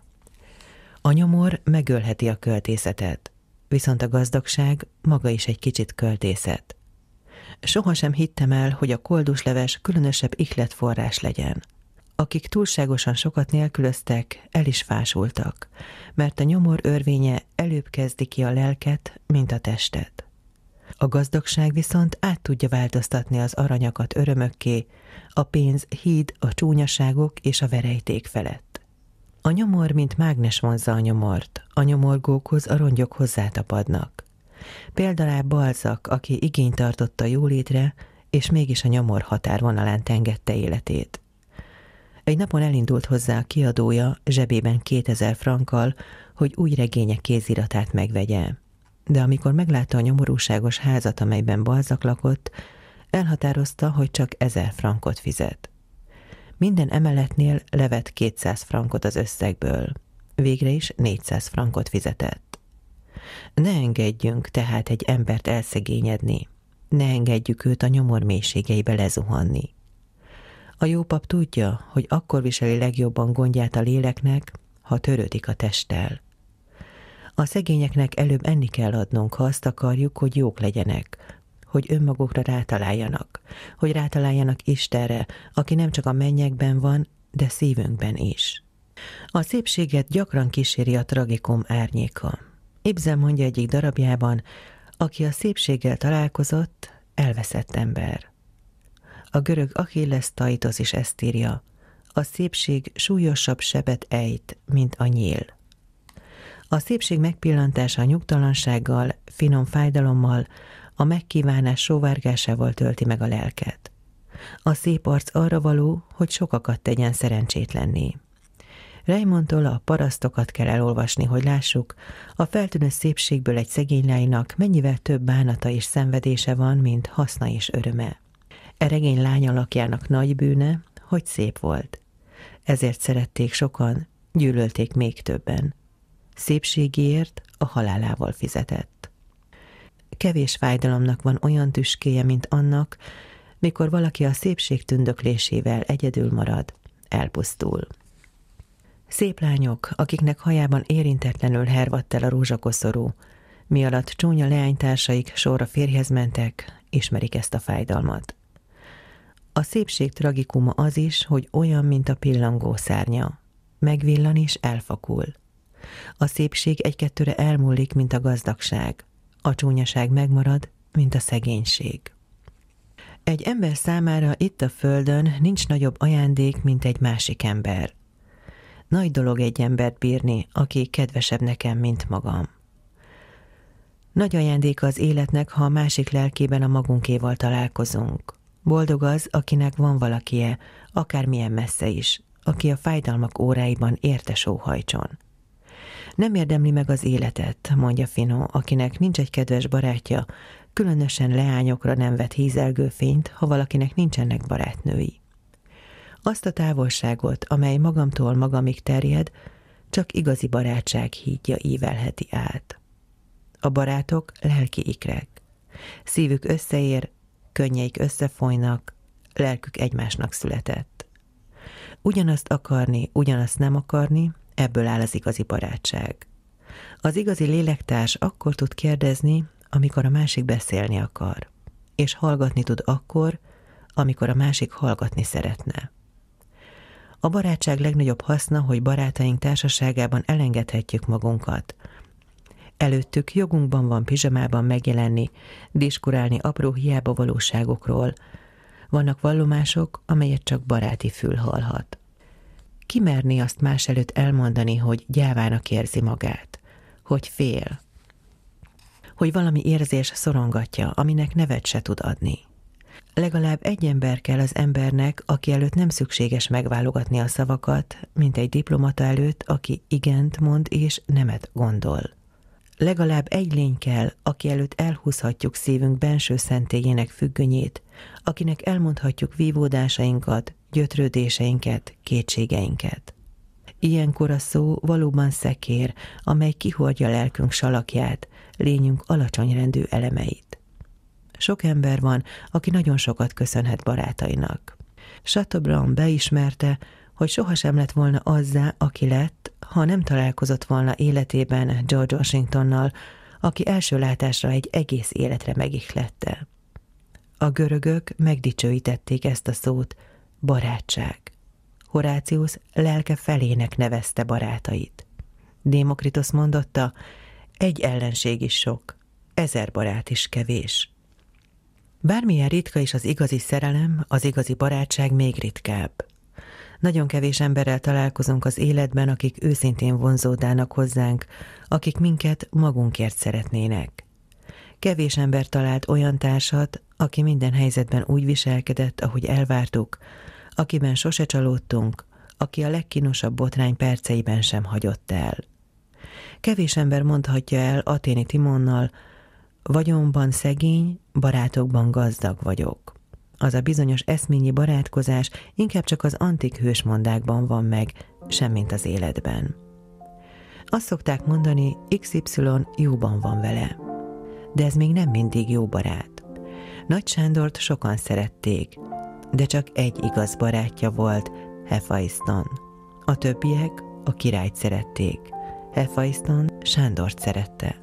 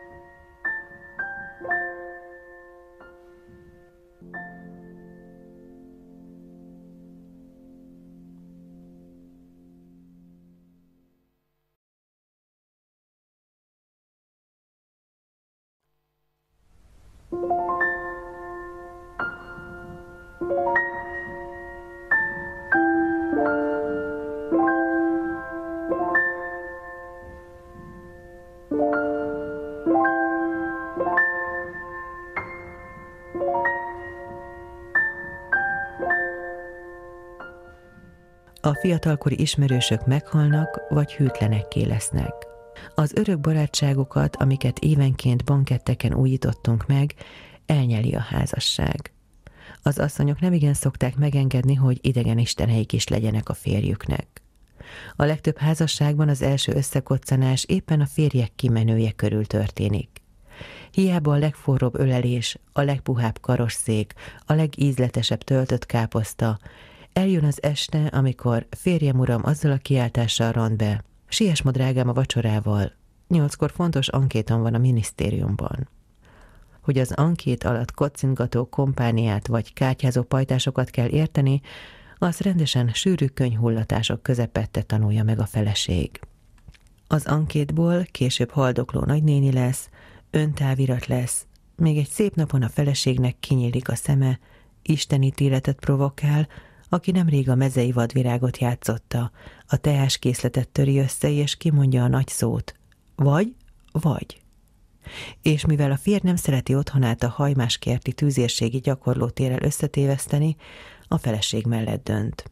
Így dőlnek ki a sorból jó barátaink, az egyiket elnyeli a munka, a másikat a társadalmi állás, a harmadikat a beosztás, meghalnak, megváltoznak, kihűlnek. Prohászka püspök mondotta, hogy aki 60 éves koráig hat jó barátot szerzett, az elmondhatja, hogy az életben sok jó barátja volt. Arisztotelész élete végén így kiáltott fel. Ó, barátaim, senki se barátunk. Egy régi közmondás azt tartja a barátról, ha van, becsüld meg. Van-e köszönet egy kierőszakolt érzésben? A kényszerített szeretet úgyse szeretet. Aki mindenáron barátokat akar szerezni, az rendesen rosszul jár. Csak álbarátokat és élősdi cimborákat szerez magának. Ismertem egy embert, akinek sok ezer pengőjébe került, még kimondotta a belátásnak e szavait. Számomra nem termett igaz barát-e földön. A túl nagy önátadás és kapcsolódás soha jóra nem vezethet. Aki beíri azzal, hogy mindig másnak a vízhangja legyen, az nem fogja sokra vinni az életben. Egy jó barát úgy ránehezedik egy másik életére, hogy elterelheti saját utairól, kiemelheti saját célkitűzéseiből, kiforgathatja önmagából, a maguk életét a maga életével helyettesítheti. ehhez pedig a legjobb barátnak sincs joga. Baskircsev Mária mondja híres önvallomásában, legjobbnak látszó barátaink is kisség kirabolnak minket. Akinek túl sok barátja van, alig van szabad akarata, pedig minek szétforgácsolni vonzalmunkat. Akinek egy sereg barátra van szüksége, olyan, mint aki egy csomó fűszfanyalábra támaszkodik, mikor ehhez elég egy bot is. Jung a költő szava, ne remélt, hogy más valakiben találsz fel barátot, mint abban, aki benned találja fel barátját. Tehát nem szabad futni barátok után. Rájuk kell bízni, hogy akarnak-e minket szeretni, vagy nem. Minnyáján nevelői vagyunk egymásnak, de még apa és anya sem nevel annyira, mint egy barát. Sehol nincs a példának olyan hatalmas varázsa, mint ennél a lelki kapcsolatnál. A rossz társak magukkal visznek nem csak moziba, tánclokálba, de ami veszedelmesebb, saját lelkük sötét tájaira is. Van rá elég példa az életben, hogy ugyanazon családból való fiúk közül az egyik kitűnő fiú minden jóval biztat, a másik komisz és jellemtelen. Honnan van ez? Csak is onnan, hogy az egyik az élettől jó barátot kapott, a másik olyat, akit e csak gúnyolni lehet. Amíg csupa jó emberek között szinte lehetetlen még a rosszra hajlamosnak is süllyedni, viszont a folytonos érintkezés second class emberekkel a legjobbakban is nívóromlást okoz. Törvény az, hogy egy magasabb rendű és egy kisebb rendű összekerülésénél mindig a magasabb rendű szenved, ő száll alá. Nak életek a börtönajtóig, vagy végződnek az útszélen. De nem muszáj idáig jutni, elég, ha baráti befolyás révén lelki rangadón alul gondolkozol. Az ő semmivel se törődése átragad reád is. Könnyelműsége a tied lesz. Megszereted neveletlenségét, megszokott kifejezéseit. Tetszik neked hányavetissége, modortalansága, mi alatt mulatsz olcsó szófröccsein, belophatja magát szívedbe minden szép és nagy iránti tiszteletlensége. Azok a bizonyos jópofák, akikre azt szokták mondani, alapjában véve jó fiúk, csak kicsit könnyelműek, nem veszik elég komolyan az életet. Rendszerint tanárai egy továbbképző tanfolyamnak, amelyet a romlás tantárgyából adnak elő. Le kell rázni az ilyen barátot, aki az ember csak lefelé húzhatja. Hamis barát, igaz ellenség, mondják a finnek. Minnyáján ismerünk barátokat, akik nagyon szerettek és ragaszkodtak hozzánk, szeretetük azonban az éléskamrába lakott. Téged nem hagylak el, drága barátom, Veled leszek, amíg egyetlen fillér lesz a ládádban, mondották. Ha már semmit sincs, akkor tudod meg, hogy kid van.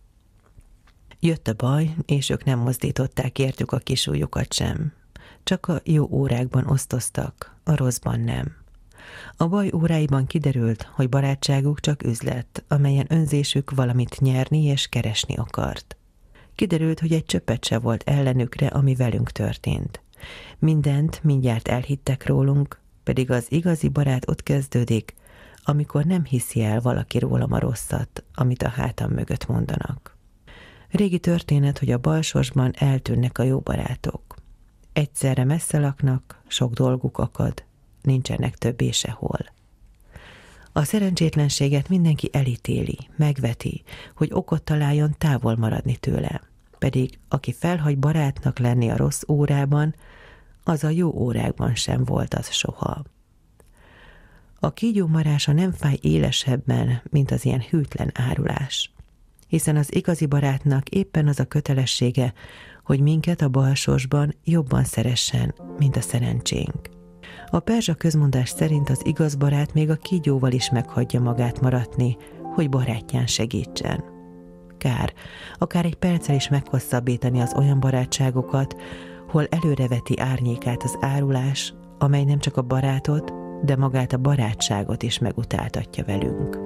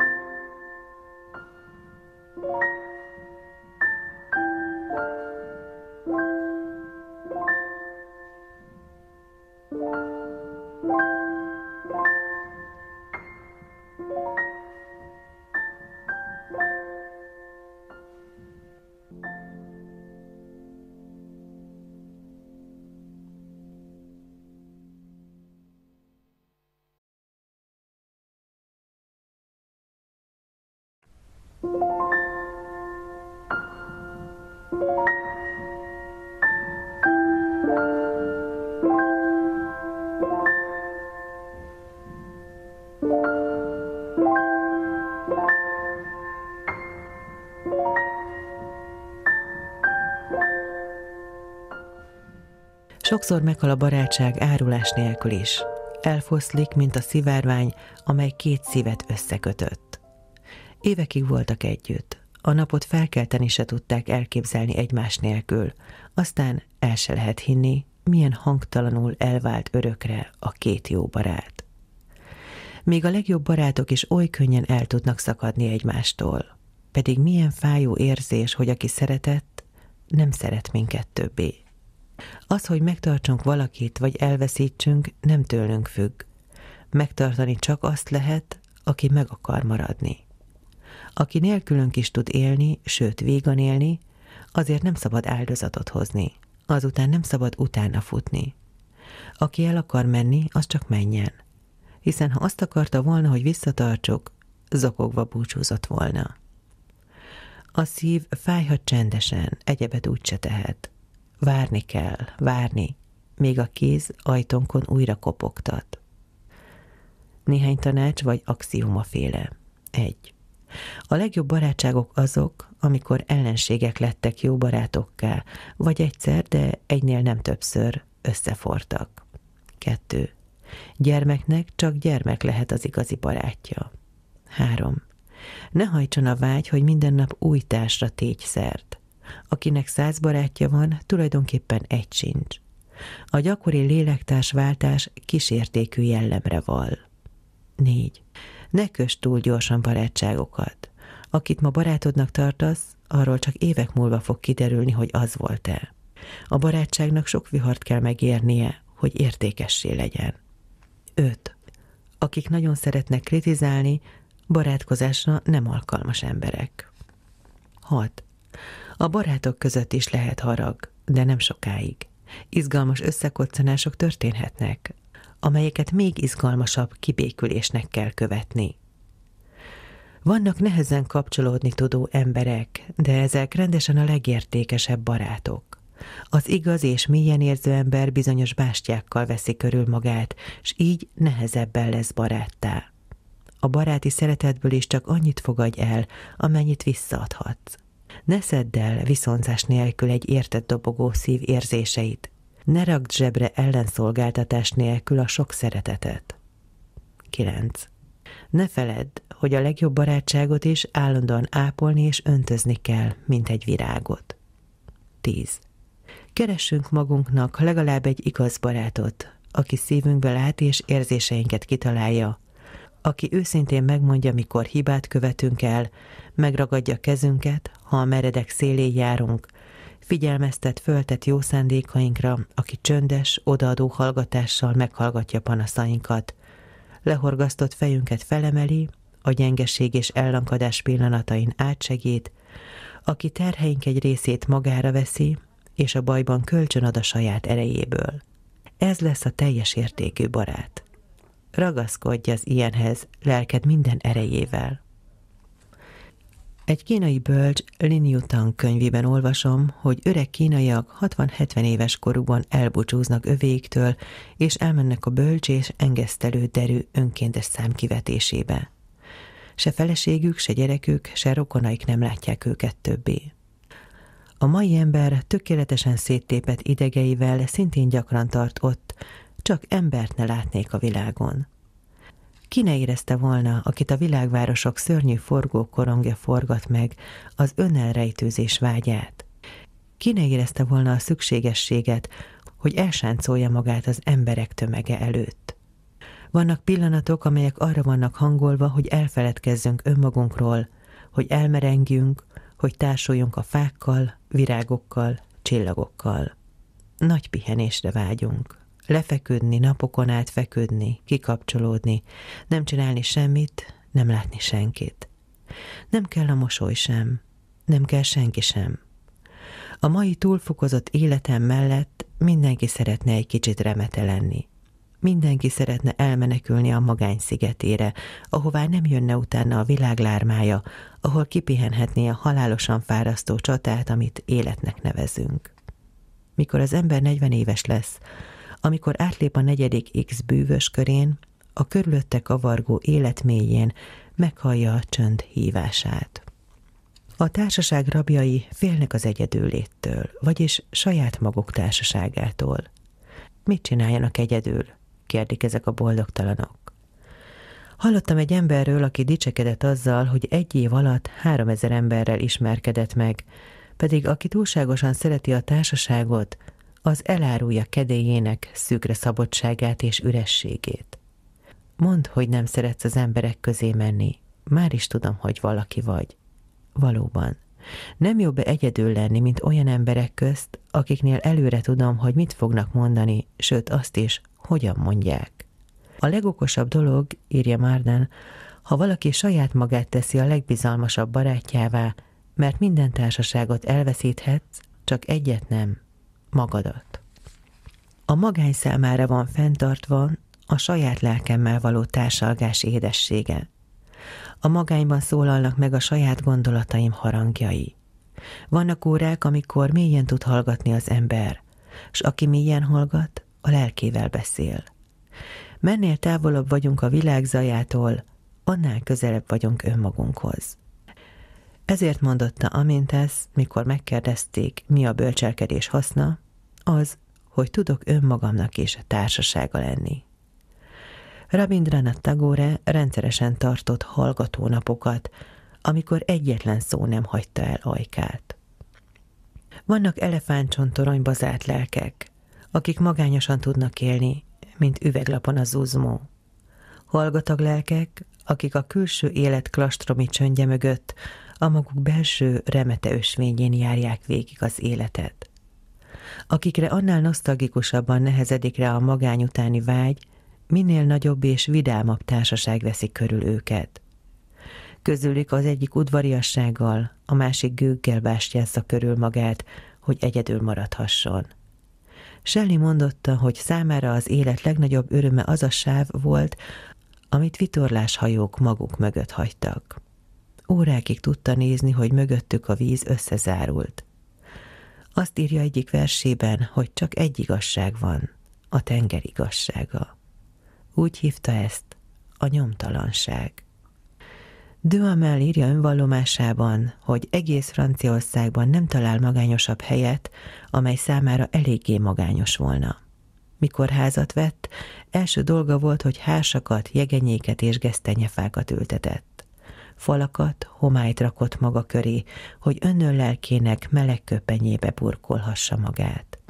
Boldog volt, ha az utcán ismerősei nem ismertek rá. Különben, ha ezren vették is körül, ha emberekkel teleteremben ült is, egyedül volt.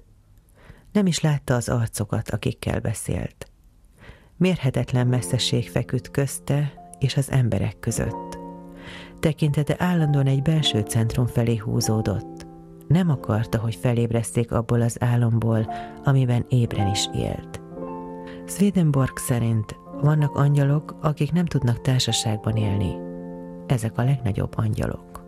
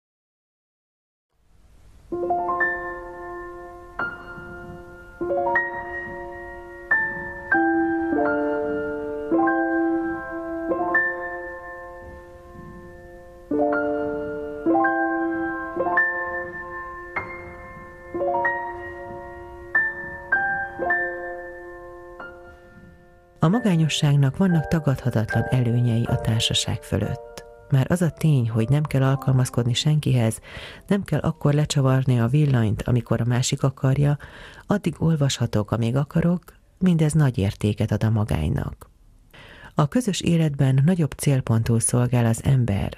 A társaság arra kényszerít, hogy azt szerint éljek, mit mondanak rólam az emberek. Ha egyedül vagyunk, senkinek a szeszélyei nem nehezednek ránk. Ha magammal beérem, nem kell ellenségeket vendégül látni asztalomnál. Nem kell némán hallgatnom azoknak becsmérlését, akiket én megbecsülök. Egy szóval, ura vagyok saját lelkemnek és saját életemnek. Egy erdei séta magányosan egészen más, mintha az erdőt társaság zaja veri fel. Az erdő ilyenkor nincs többé. Rigó fütyre, az erdő zsongására, a fák kórusára nem lehet hallgatni beszéd közben. Ezért is halkul el önkéntelenül a szó, ha az erdő templomába lépünk. Természetesen, akiknek nincs más sétaútjuk, mint a korzó, ezt nem értik. Magányosság kell. Nézni az eget, ahol szüntelenül születnek és halnak a csillagok. Belelátni sárkányt, hajót a fellegekbe, tündérmesévé változtatni a felhőket. Magány kell ahhoz, hogy egy csillagsugáros estén meglásd, milyen nagy az Isten, és milyen kicsi vagy te. Egy francia író szerint elmélkedő pillangók vagyunk, de hol lehet elmélkedni csönd nélkül? Már Melabranche megmondta, a filozófiához csönd kell, és sötétség.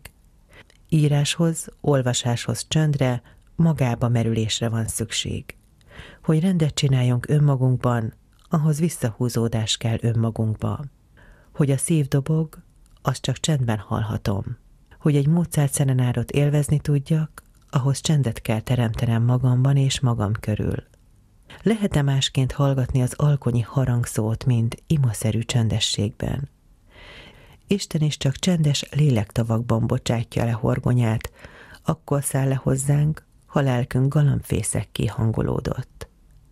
És mi a szerelem magány nélkül?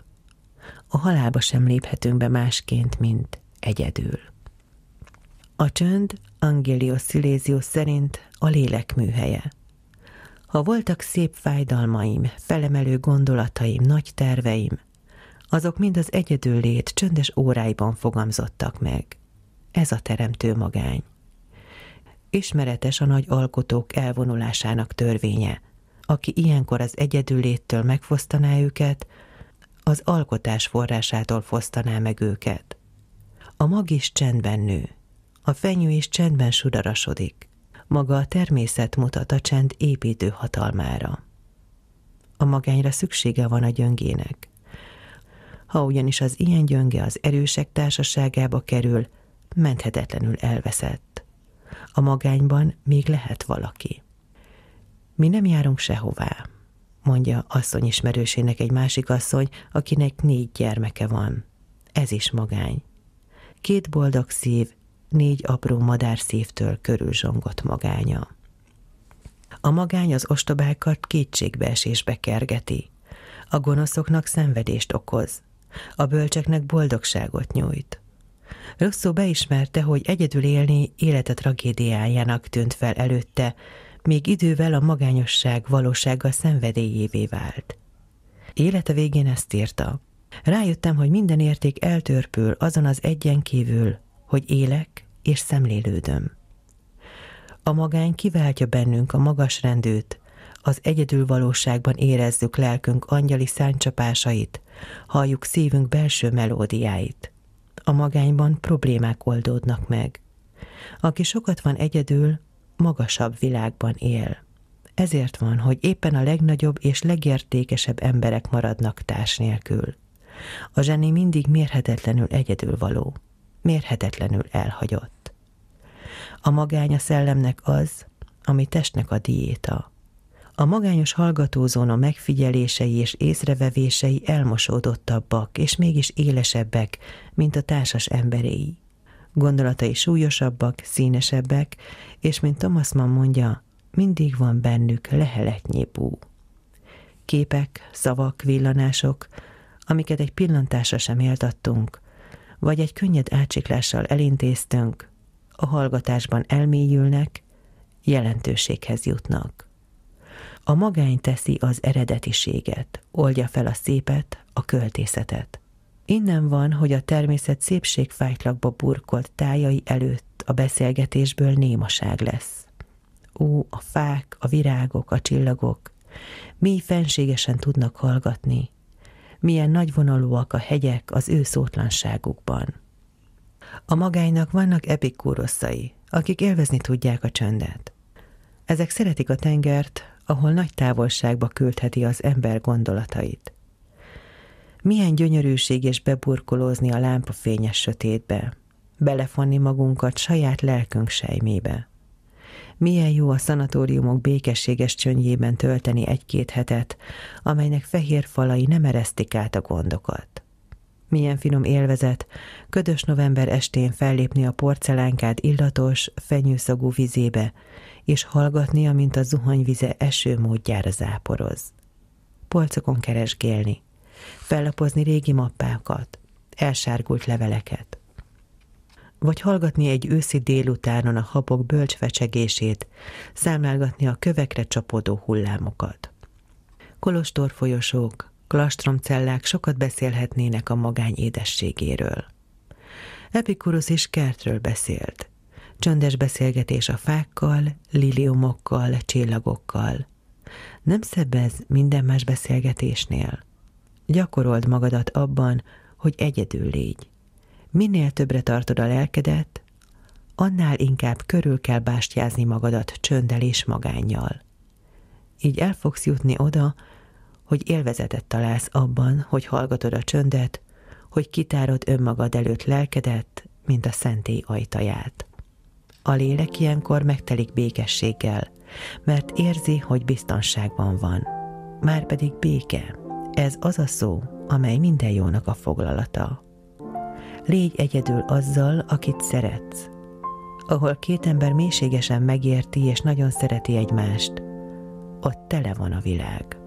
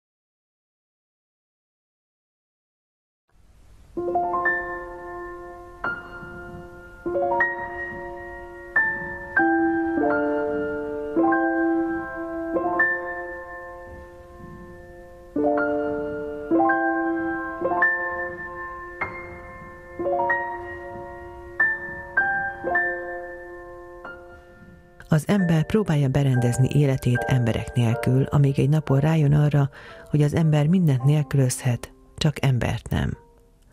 Vannak pillanatok, amikor a remete is kibúvik barlangjából.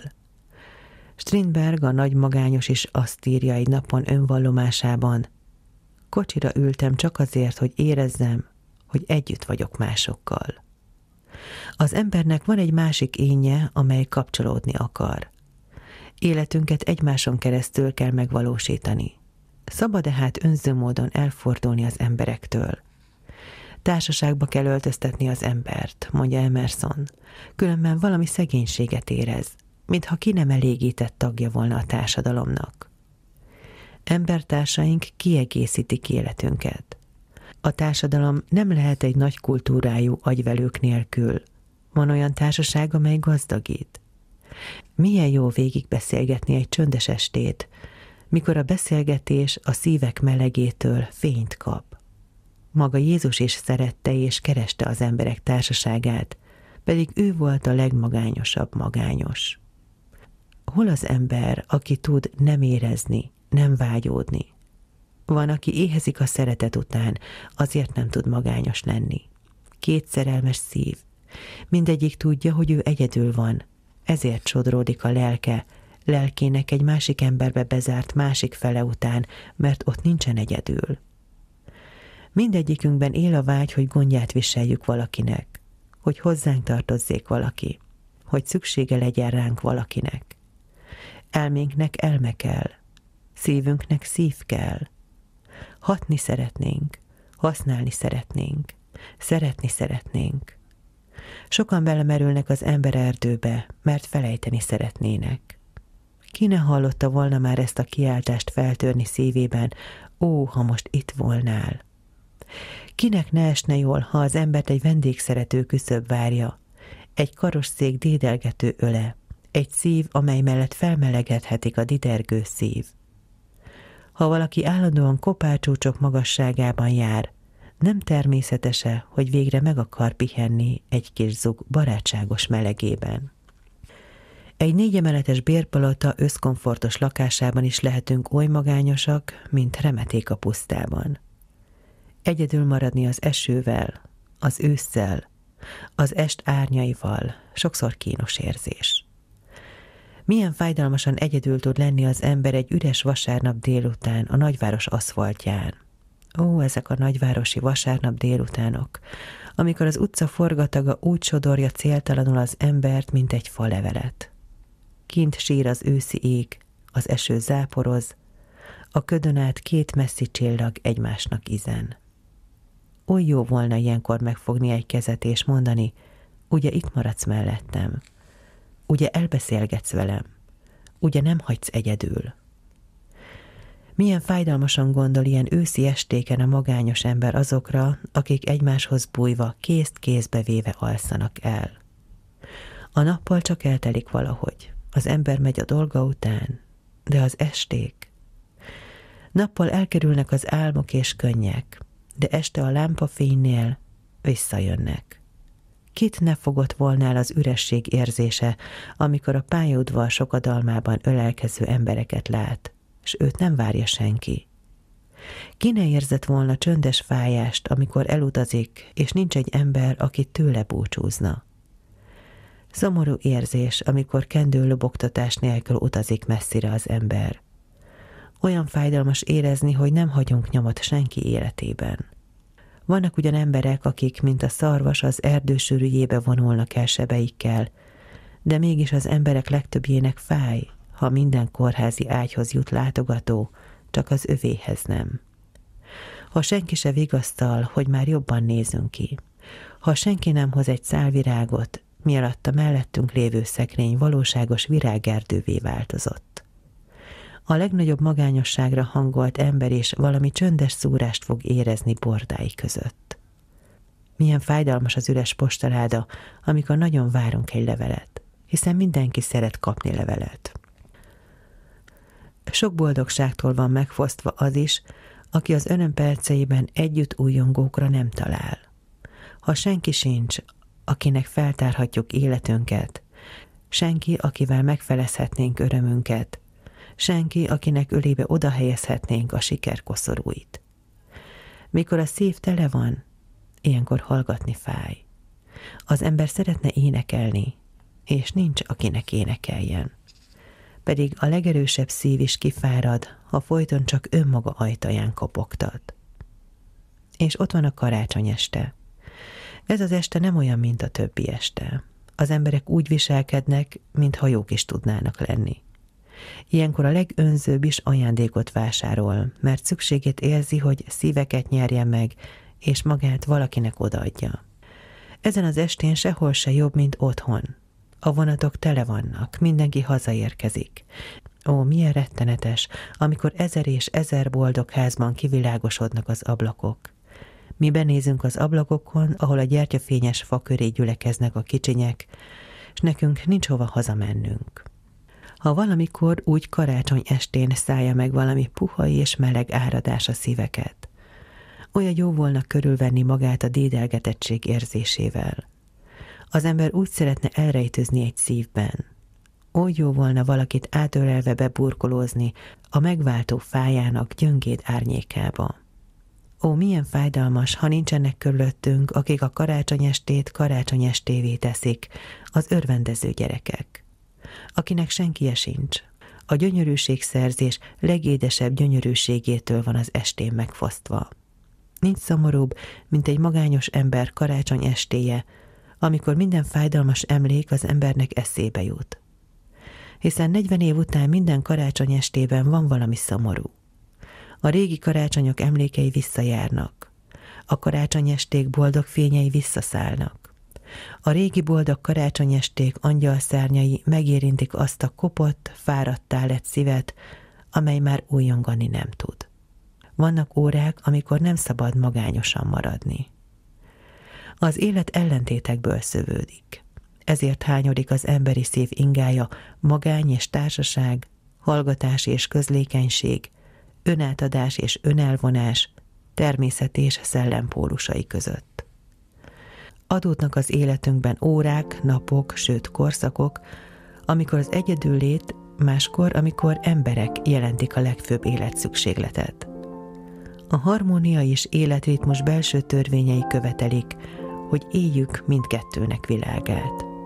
Oszd be tehát helyesen idődet az emberek és önmagad között.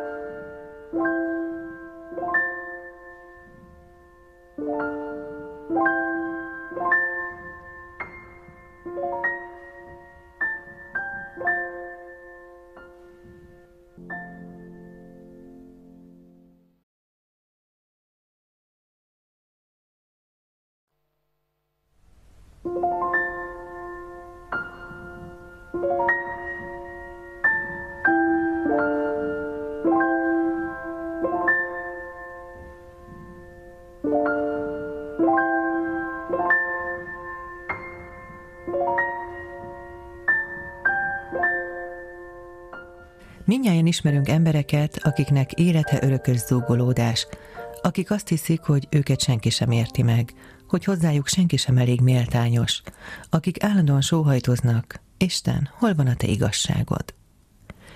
Mint Montaigne írja, van, aki a virágos kertben is temetőt lát, minden kőben keresztet, minden fában fejfát. A takaró, melyet magára húz, a föld göröngyeire emlékezteti.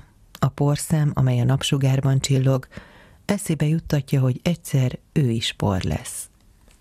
Hallottam mennyasszonyról, aki olyan sötéten látta a világot, hogy fekete ruhában akart menni az esküvői oltár elé. Az ilyenek társalgása panaszkodásból áll, kimeríthetetlen a dolgok kifogásában. Kedélyük mimózába mimózánál, örökké tele vannak sértődöttséggel, minden porszemet mázsa nehéz tehernek, minden vakontúrást sziklának néznek, minden kis karcolást a szív gyógyíthatatlan sebének éreznek, a legkisebb baleset a földhöz veri őket. Ha az ilyen levelet kap, nem lehet benne más, mint rossz hír. Ha olykor a szerencsét nem lehet letagadni, azért sóhajtozik, hogy boldogsága úgysem tart sokáig.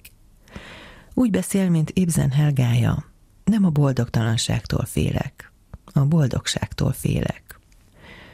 A legenda szerint mindenben elégedetlen, örökösen zúgolódó védencét angyali őre magával vitte a mennyekbe, ahol megmutatta neki az ég szépségeit, és aztán megkérdezte, hogy most már csak meg van elégedve mindennel. Szép, szép itt, mondotta az ifjú, de egy baj mégis van. Fejemen a glória karikája nem áll elég erősen.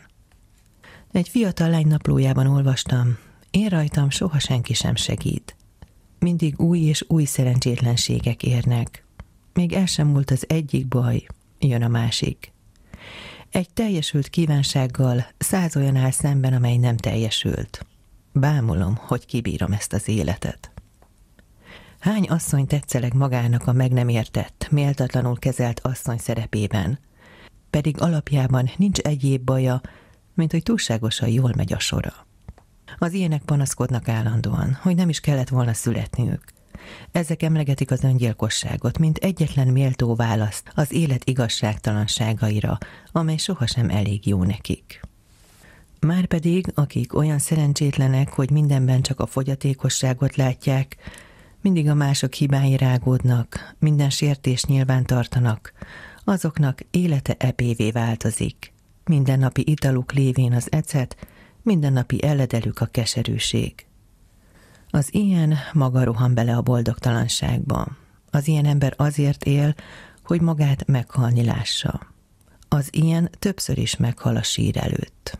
Reggel felkelnek, hogy este lefeküdjenek, és ami közben van, az egy elveszett nap. Boldogtalanságukban csak egy titkos vigaszuk van, hogy ők boldogtalanok. Nincs igazuk a pessimistáknak, akik úgy állítják be az életet, mintha az fenékig szenvedésből állna, mintha örökös felhőben fürödnének csúcsai, mintha nem volna benne más, mint köd és záporeső. Az igazság az, hogy az élet az ég és a föld keveréke. Az élet gyönyörű és borzalmas, édes és keserű. Az élet rút kellemetlenségek és csodálatos percek vegyüléke. Az igazság az, hogy a mennyekben csak gyönyör van, a pokolban csak kín, a földön van mind a kettőből. Az élet olyan, mint egy forgószínpad. Egyszerre tragédia jelenet megy rajta, máskor vidám bohózat. Olyan, mint a hajóhinta. A boldogság csónakja hol felszáll, hol leszáll. Az életben gyorsan változik minden. Diadal és csalódás. Boldog felszárnyalás és marcangoló zuhanás. Vannak napok, amikor csapás csapásra következik. De vannak napok, amikor egész sorozat jön a jóból. Minden sikerül, amikor teljesülnek az ember rég elgondolt tervei. Mindenki megér mindent az életben, a porig aláztatás mélységeit épp úgy, mint a szív mennybe menetelének perceit. Az ember ma gazdag, holnap szegény. Ma egészséges, holnap beteg. Ma örül, holnap semminek se tud örülni. Ma tömjénezik, holnap vérig sértik. Idelent a csillagok alatt egyenletesen nyugodt, egyformán boldog élet lehetetlen. A sors nem tűri sem a tartós szerencsét, sem a tartós szerencsétlenséget. Az emberi szív képtelen csak szenvedni, mint ahogy képtelen csak örülni. Olyan ember, aki folyton kacagna, épp úgy nincs, mint ahogy nincs olyan, aki folyton tudna zokogni. Az emberi lélek úgy van alkotva, hogy csak reménykedve tud élni. Csak hogy az emberi reményekben mindig van valami teljesíthetetlen. Ez az a felhúzott rugó, amitől ez óra jár. Az élethez szükséges feszültség megkívánja, hogy az örömöket ne lehessen elképzelni szenvedés nélkül. Ezek nélkül az élet szintelen és untató lenne, mint ahogy a legszebb kert is unalmas, amelyben csak egyszínű rózsák teremnek. Olyan életet, amelyben csak fény van árnyék nélkül, nem teremthetünk meg ezen a világon, melyet imáinkban völgyének nevezünk. Aki életet akar szenvedés nélkül, az telet akar hideg nélkül, nyarat akar forróság nélkül. Vannak virágok, mondja a kínai közmondás, de egy virág sem virágzik száz napig. Ez az élet törvénye is. Tudomásul kell venni minnyájunknak, akik élünk, nem lehet arra számítanunk, hogy bennünket nem érhet többé szenvedés. És nem lehetünk annyira elkeseredettek, csalódottak és megbántottak, hogy kikerülhetnünk az örömöket, amik valahol, talán az első fordulónál várnak ránk. Ahelyett tehát, hogy Istent vádolnánk azért az egyedülálló, gyötrelmekből és édességekből összerakott csodáért, melyet életnek nevezünk, köszönd meg, hogy azt olyan szeretettel nyújtja neked. Búbaj közt is szép az élet, virágért a tüskét tűrd el. Vedd, mint sorsot közli véled, az édeset a keserűvel. írja Herder.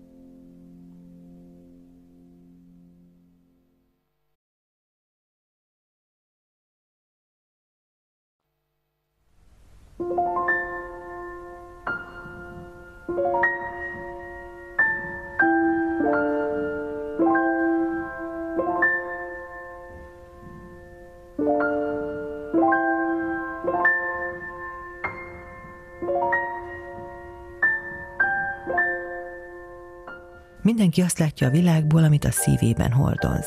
Az egyik azt mondja, az élet szép, a másik azt mondja, rettenetes. Ugyanabból a virágból a mély mézet szív, a pók meg mérget. Ugyanabban a helyzetben két ember közül az egyik mérhetetlenül boldog lehet, a másik mérhetetlenül boldogtalan. A szenvedésre felhúrozott lelkek, akik elvesztették az élethez való erejüket, nem képesek számba venni mindazt a jót, ami van, akik szemben állnak a világossággal, viszont nem értik, miért nem boldogok az emberek azzal a sok mindennel, ami a végre adatot, hogy boldogok legyenek. Olyan rettenetes dolog például a betegség. Mikor a ma szörnyű hajszában szinte egyetlen lehetőség a legtöbb ember számára a pihenésre, arra a bizonyos kikapcsolódásra. Mi a baj, és mi a szerencse? Mi a balsors, és mi a boldogság? 50 éves korában, mondja Elizabeth Russell, egyik regény alakja, minden ember mosolyog azon a szerelmen, amelyért 20 éves korában meg akart halni. Valaki kétségbe esettel lázadozott a sors ellen, mert elesett és eltörött a karja. Következő évben kitört a háború, és neki nem kellett bénakarral bevonulnia. Most áldotta ugyanazért a sorsot, amiért röviddel ezelőtt átkozta. Egy keleti tudósról olvassuk, hogy volt idő, amikor mezítláb kellett vándorolnia, mert szegénységéből cipőre sem tellett. Nagyon szerencsétlennek érezte magát. Ekkor az utcán egy koldust látott ölni, tövig levágott lábakkal. Amint ezt látta, bement az első templomba, és térdre borulva köszönte meg Istennek. Ha cipője nincs is, de van lába, és tud vele járni.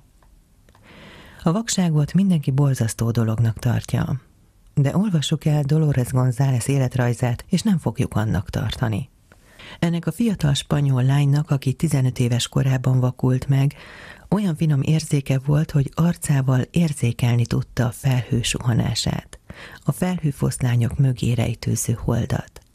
A helyet, ahol egyszer megfordult, megismerte a kövezet hangjáról, melyet léptei okoztak. Tapintásával a szövetek színét is meg tudta állapítani, a legvékonyabb tűt is gyorsan be tudta fűzni. Ha két-háromszor hallott egy embert beszélni, épp úgy megismerte, mintha arcát látta volna. Soha sem unatkozott. Élt halt a zenéért. Azt szokta mondani, ha a mennyországban egyéb boldogság nem volna, mint zene, ez neki elég volna. Ő maga kitűnően játszott hegedűn, tökéletesen tudott kártyázni, a vakok módján írni és olvasni. Egy csöppet se bánta meg, hogy nem lát. Amikor még láttam, mondotta, csak a magam szemével láttam, most valamennyiével. Most mindenki sajnál, mindenki segít, mindenki kedvességet tesz nekem, ugyanazok az emberek, akik, ha látnék, nem törődnének velem. Nem félek este a sötéttől, nem félek az egyedülléttől, mert megtanultam, hogy beérjem önmagammal. Nekem ezer okból jónak kell lennem, mi lenne belőlem, ha nem volnék jó mindenkihez? Ha megkérdeznének, hogy akarom-e visszanyerni látásomat, nagyon haboznék, hogy igent mondjak-e. Hiszen akiket utoljára fiatalon láttam, azóta megöregedtek.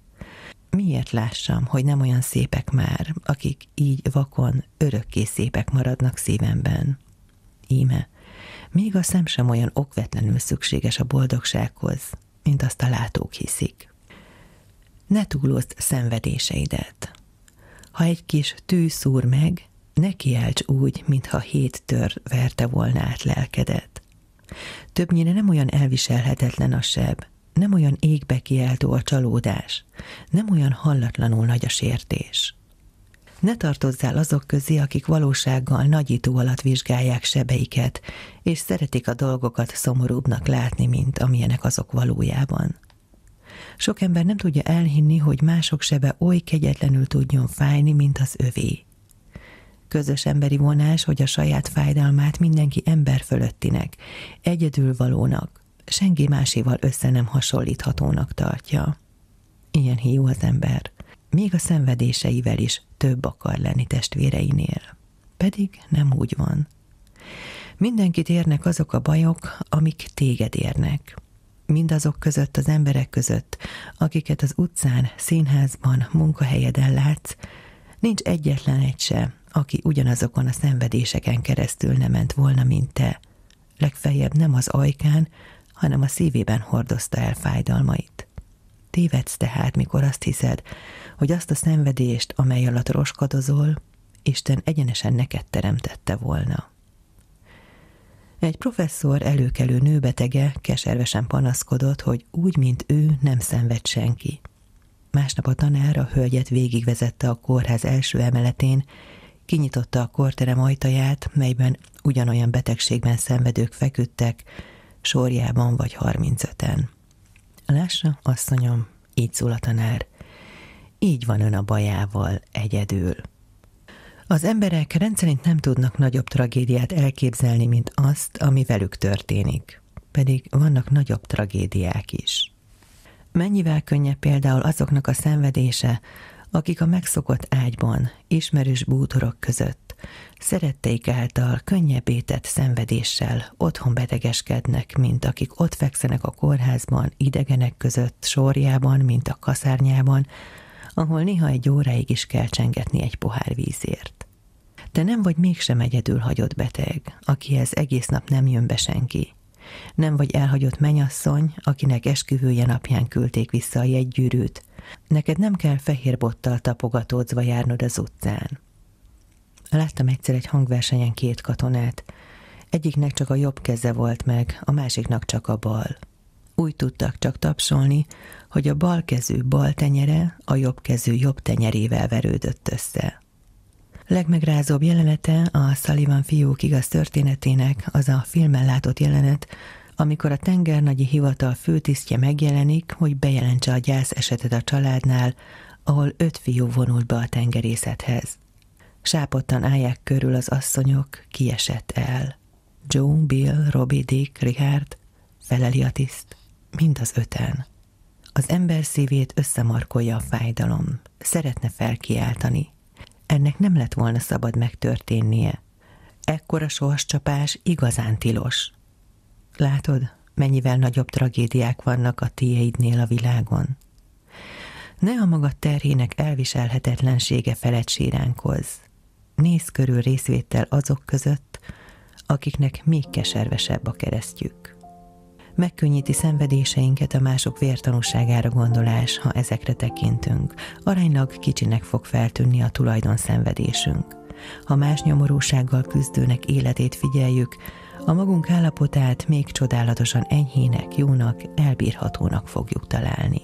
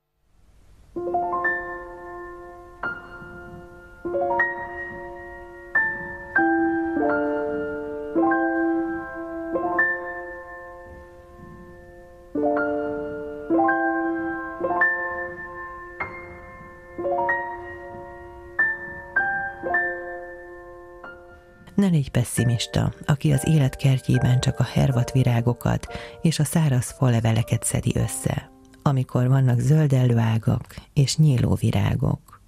A világban van kórház és temető, de az egész világ mégsem áll csupa kórházból és temetőből. Igaz, hogy szemünkben egyetlen könycsepp elég, hogy elfátyolozza az ég összes csillagát. De a könnyet le kell törölni, mert az élet megy tovább, és nem törődik a szegény szív fáradt vívódásaival. Nem szabad tehetetlenül ölbeejteni kezünket az élet feladataival szemben. Különben hasonlóak leszünk a hajóhoz, melynek árbóca eltörött, vitorlái szétszakadtak. Okos ember nem fogja egyetlen bal siker miatt az életet végleg elrontottnak és rossznak látni. Ő tudja, hogy minden óra nem lehet a diadalé. Testvérem, ki zúgolódol a mai élet ostorcsapásai miatt. Elfelejtett, hogy nem is olyan régen, amikor esténként hazatértél, a láthatár minden pontjáról fénycsóvák söpörték végig az éjszakai mennyboltot, fönt összeértetve tejfehér kévéjüket, tovasikló kereséssel fürkészték a gyanús pontokat. Emlékezz csak vissza, milyen újongó öröm töltött el, amikor az ostrom után először hangzott fel madarak csicsergése, egy varrógép zakatolása, a villamos csilingelése.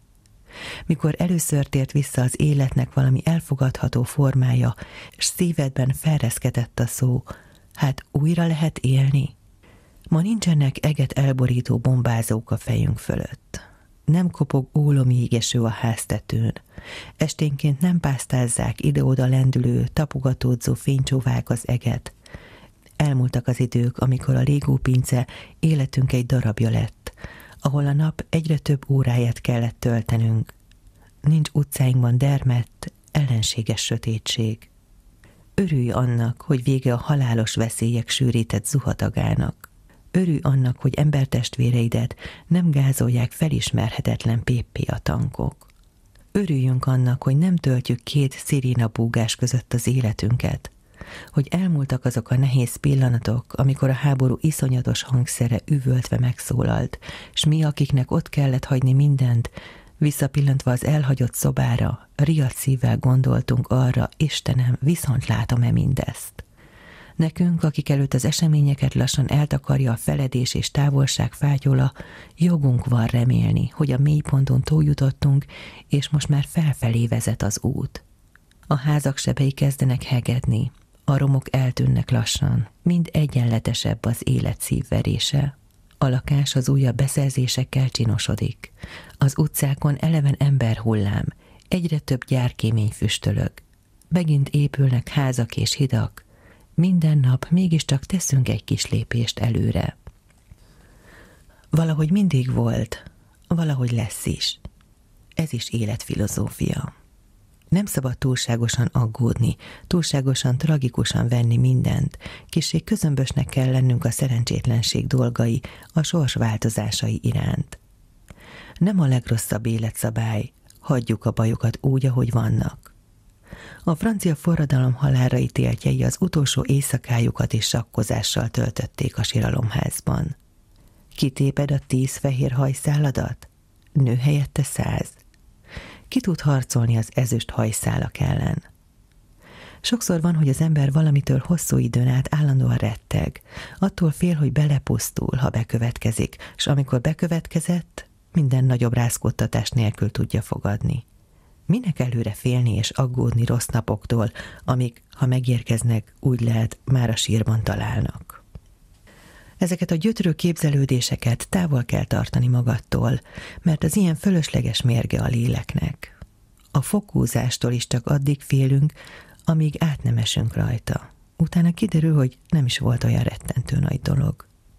Az ember, aki retteg és gyötrődik, mert gyáva, Csodálkozva látja, hogy micsoda kis szálka volt, amely oly sokáig megkínoszta, mert nem merte kihúzni.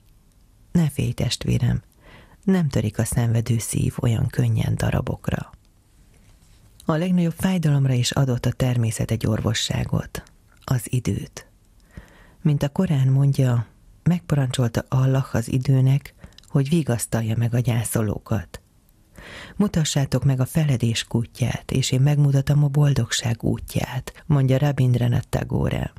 Ha végigéljük az élet mélyszántású szenvedéseit, nagy felforgató viharait, azokat a sebeket, amelyekről úgy éreztük, mintha jégpenge járta volna át szívünket, meglepődve fogjuk észrevenni, hogy a szenvedés elhalványodik, megfakul, a kétségbeesés elpárolog, amiről azt hittük, hogy nem fogjuk túlélni. Túléltük. A gyógyíthatatlannak tartott sebek begyógyultak.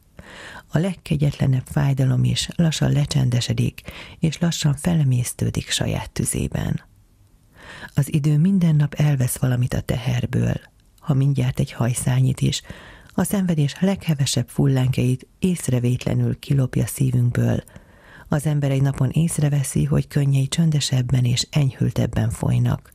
Az eltávozott után küldött sóhajok mind halkabbak lesznek. Természetesen a seb nem gyógyul egyszerre, egyik pillanatról a másikra. Sokszor nagyon fájdalmas állomásokon kell átzarándokolnia a megalázott szívnek még felépül, hiszen az elnyomott könnyek, elfolytott sóhajtások még mindig róla beszélnek, az emlékek még hegedősebeket érintenek. Mégis, mikor a legnehezebb órákon túljutottunk, a fájdalom már fegyelmezettebb lesz. Már nem tépi szét a szívet. Az ember, aki kezd magához térni, életre ébredni, azon veszi észre magát, hogy akire gyászsal kellett gondolnia, tulajdonképpen senkivel sem azonos, csak saját fájdalmával.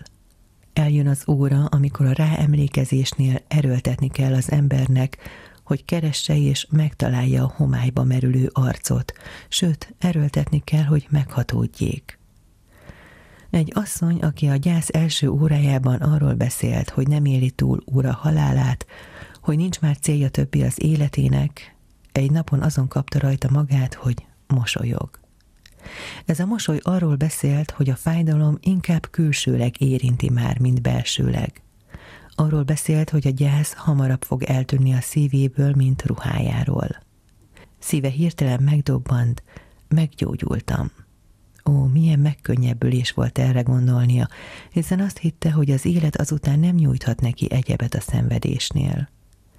Visszagondolt ugyan tovább is férjére, de az az érzés, mely a visszaemlékezését kísérte, nem hasonlított a fájdalomhoz. Egyszerre úgy érezte, új fejezete nyílik meg életének. Lassan-lassan, fokról fokra ismét boldog lesz. Ó, milyen boldogság is az, amikor egy szív, amely nagyon szenvedett, nem szenved többé. Sok szív épít romokon. Az idő befutja ezeket a romokat, mohával, később virággal.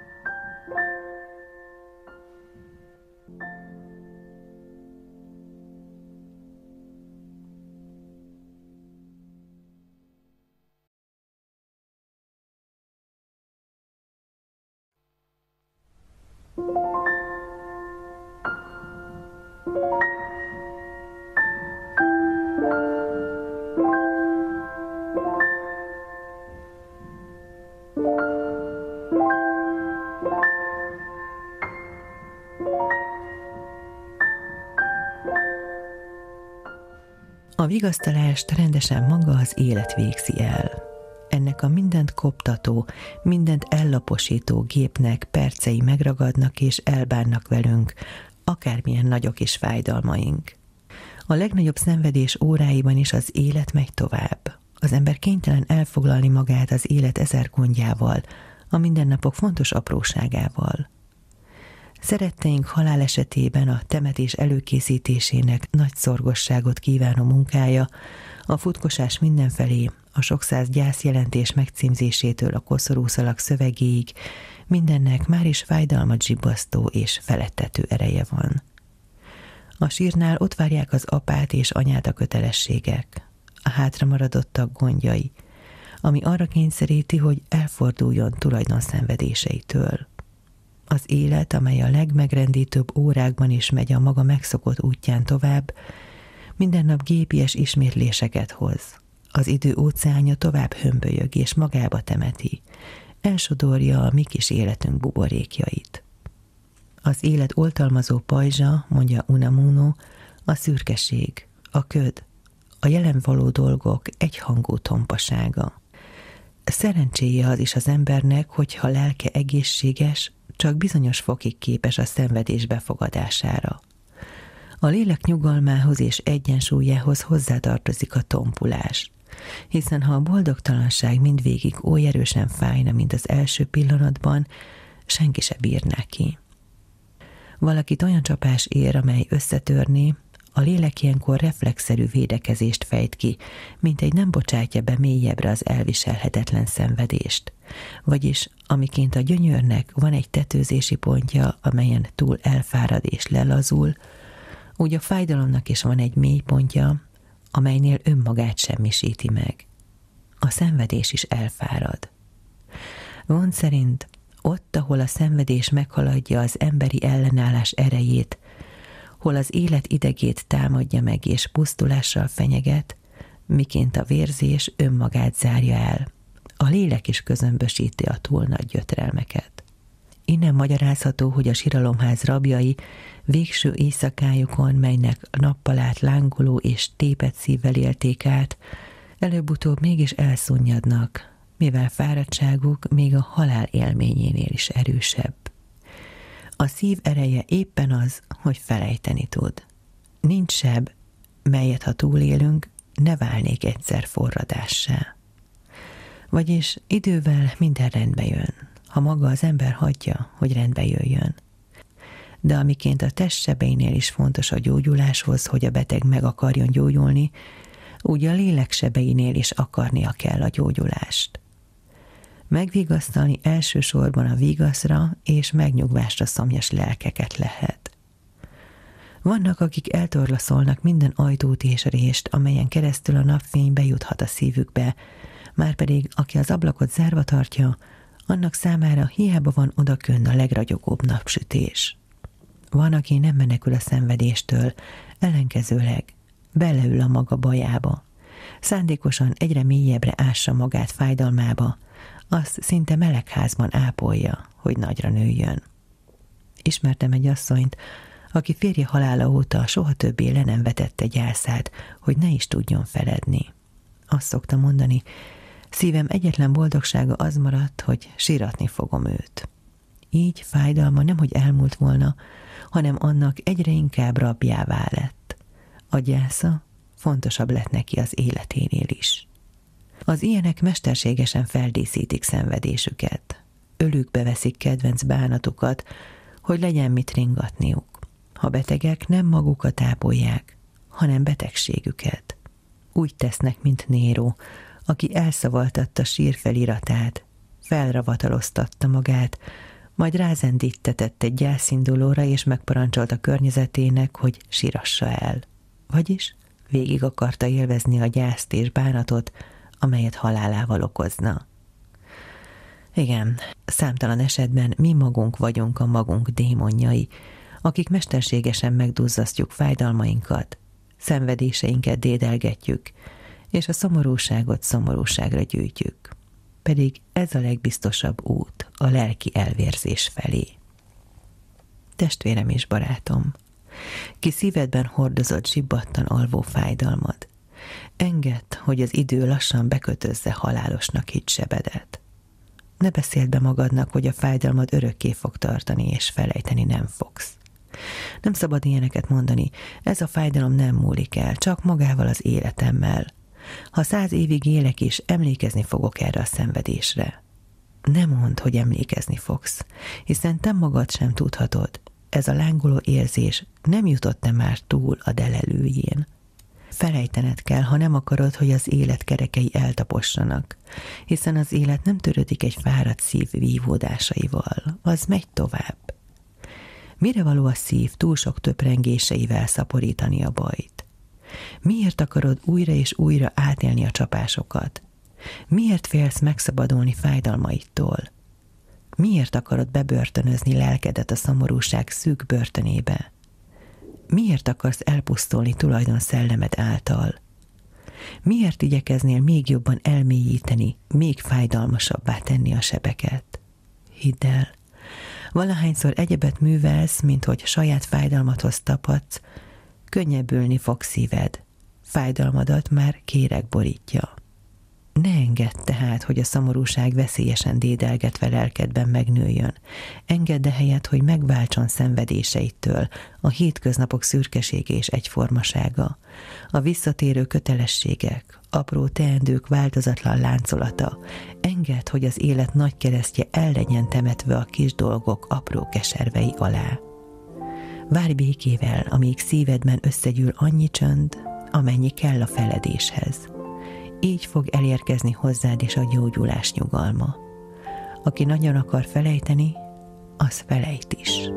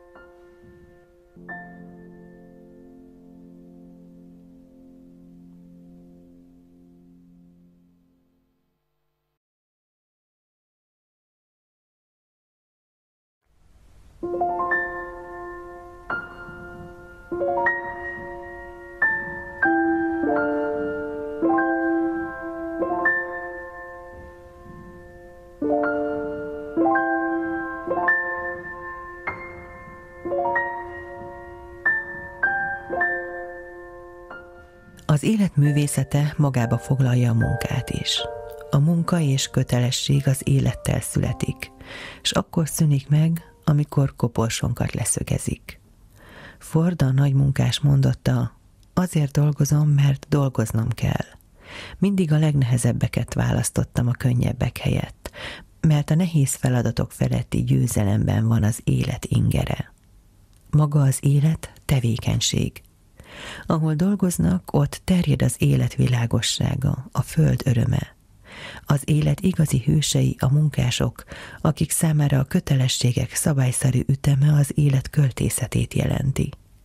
Az élet hősei, az agyon dolgozott anyák és feleségek, ha kérdezed őket, bármennyire fáradtak is, nem fognak panaszkodni.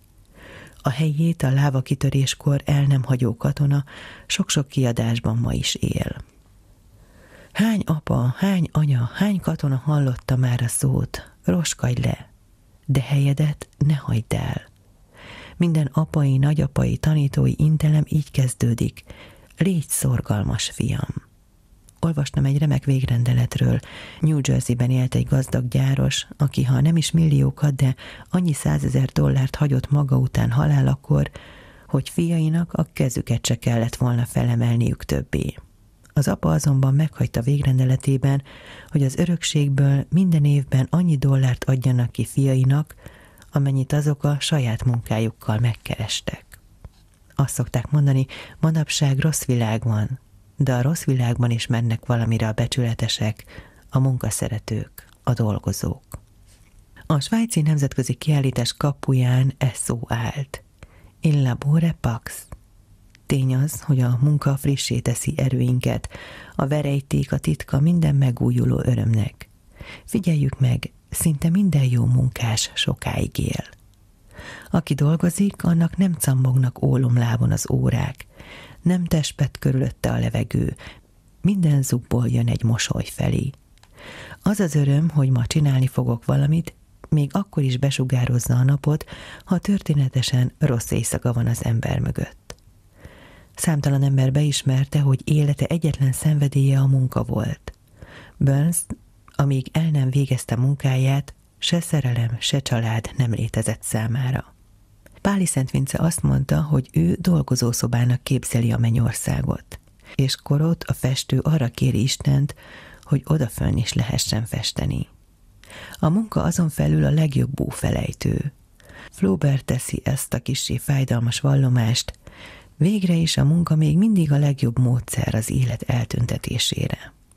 Bizonyos, hogy az anyák, kinek kisfia sírhantjánál eszébe jut, hogy még a többi gyermeke számára főznie kell, jobban kiragadja e kötelesség gondolata a fájdalmaiból, mint a világ minden filozófusa. A munka jót tesz az emberrel, mert elvonja saját életétől. A tétlenségnél nincs szennyesebb sár, mondja Smiles. A tétlenség jobban megviseli az embert, mint a legnehezebb munka. Akinek dolga nincs, az unalmában még üresebbnek, még céltalanabbnak látja az életet, mint a szegény, aki legalább a pihenés drágai és ritka perceinek tud örülni. A rest örökké bágyadt, levert, ütődött. Pedig vannak, akik abból élnek, hogy ácsorognak, nem törődve, hogy ácsorgások jutalmául rothadt gyümölcsöt ebédelnek a szemétgödörből. A lajhár hozzájuk képest fürge állat. Vannak, akiknek tíz gyufaszáj gyújtása is túl sok munka egy nap alatt. Akik olyanok, mint Münchhausen elbeszélésének egyik embere, aki öngyilkos lett amiatt, hogy reggel minden nap begombolkozni. Este ismét kigombolkozni kell. Az ilyeneket az óraütés nem munkára hívja, hanem altató zene fülüknek, és intő szó, hogy a másik oldalukra fordulhatnak már. Ellenszolgáltatás nélkül akarják, hogy kenyeret adjanak nekik, sőt, hogy szeressék őket. Ismeretes a cigány filozófia, dolgozni bestelenség, heverni úri dolog, márpedig inkább olyan úr légy, aki annyit dolgozik, mint egy cseléd, mint olyan cseléd, aki úgy henyél, mint egy úr. De nem csak lent találunk embereket, akikre a restségnek nagy vonzereje van. Fent is szép számmal vannak a fényűző semmittevés alakjai, akik maguk munkát nem végeznek, és büszkék arra, hogy őseik évszázadok óta nem dolgoztak. Pedig még a kilencágú korona sem ment fel senkit a munkától, hiszen nincs szánalomra méltóbb ember, akinek semmi dolga nincs. Darius Perzsa királya a legendás vagyon ura, annyira kifáradt a munkátlanságban és mulatozásban, hogy ezer aranyat ígért annak, aki számára új szórakozást talál ki. Hogy is mondja a latin költő? Inkább megkopni, mint megrosdásodni. Az egyik ember él, a másik csak megöregszik. Van ember, aki átalussza az életet. Ő nem tesz semmit, vele nem történik semmi, létének sehol semmi jele nem mutatkozik olyan, mint a rossz labda, amelyet ha teljes erővel odavágnak, sem ugrik. Folyton az jár a fejében, mennyi fog ráesni az apai örökségből. Mit remélhet a dobokai gazdag nagynénitől? Az iskola éveket átúsz a protekcióval. Áll utakon felkapaszkodik az első létrafokra, de az élet csatáját előbb-utóbb mégis elveszti a bal sikereket önmaga előtt is, a világ előtt is rejtegeti. Kényelmesen belenyugszik abba, hogy ő az a bizonyos szerencsétlen flótás, akiből végül is nem lesz más, mint a jól fizetett kizsákmányoltja. A legtöbb, amit az élettől kaphat, egy nyugdíjas állás. Vannak emberek, akik, mivel nem tevékenyek, jelentéktelenek maradnak, a jelentékenység minden kellékével felszerelve is. Vannak mindig vajódó, töprengő, hamlet lelkek, akik örökké lappangó, homályba állított emberek maradnak, akik képtelenek arra, hogy összeszedjék magukat és előre törjenek. Nem csoda, hogy úgy vonzák magukhoz a balsorsot, mint mágnes a vasat. Vannak emberek, akik bizonyos látszat tevékenységben merülnek ki, és abból örlődnek fel. Évtizedekig vannak holdponton. Hasonlatosak ezek a ketrecbe zárt mókushoz, amely agyonhajszolja magát a kerék forgatásában, és egy lépéssel sem jut előre. Ezek nem tanulták meg, hogy az életben csak az egyetlen símpáron haladó akarat jut célhoz. Pedig nincs lehangolóbb, mint egy terméketlenségben elpazarolt élet látványa. Az életben a sokat végző emberek jutnak előre. Aki messzire jutott a siker országútján, arról mindig kiderült, hogy háromszor annyit dolgozott, mint mások. Nagy emberek, azok a bizonyos sikeremberek, akiknek kezében a sár is aranyá változik, mind nagy munkások voltak. Edison mondotta, a lángész 75%-ban verejték. Beethoven sem a kabátújából rázta ki szimfóniáit. Ezért mondja Dél Carnegie, ne légy csodálatos zseni, de légy csodálatosan szorgalmas, és utoléred, vagy legalábbis megközelíted a lángész eredményeit.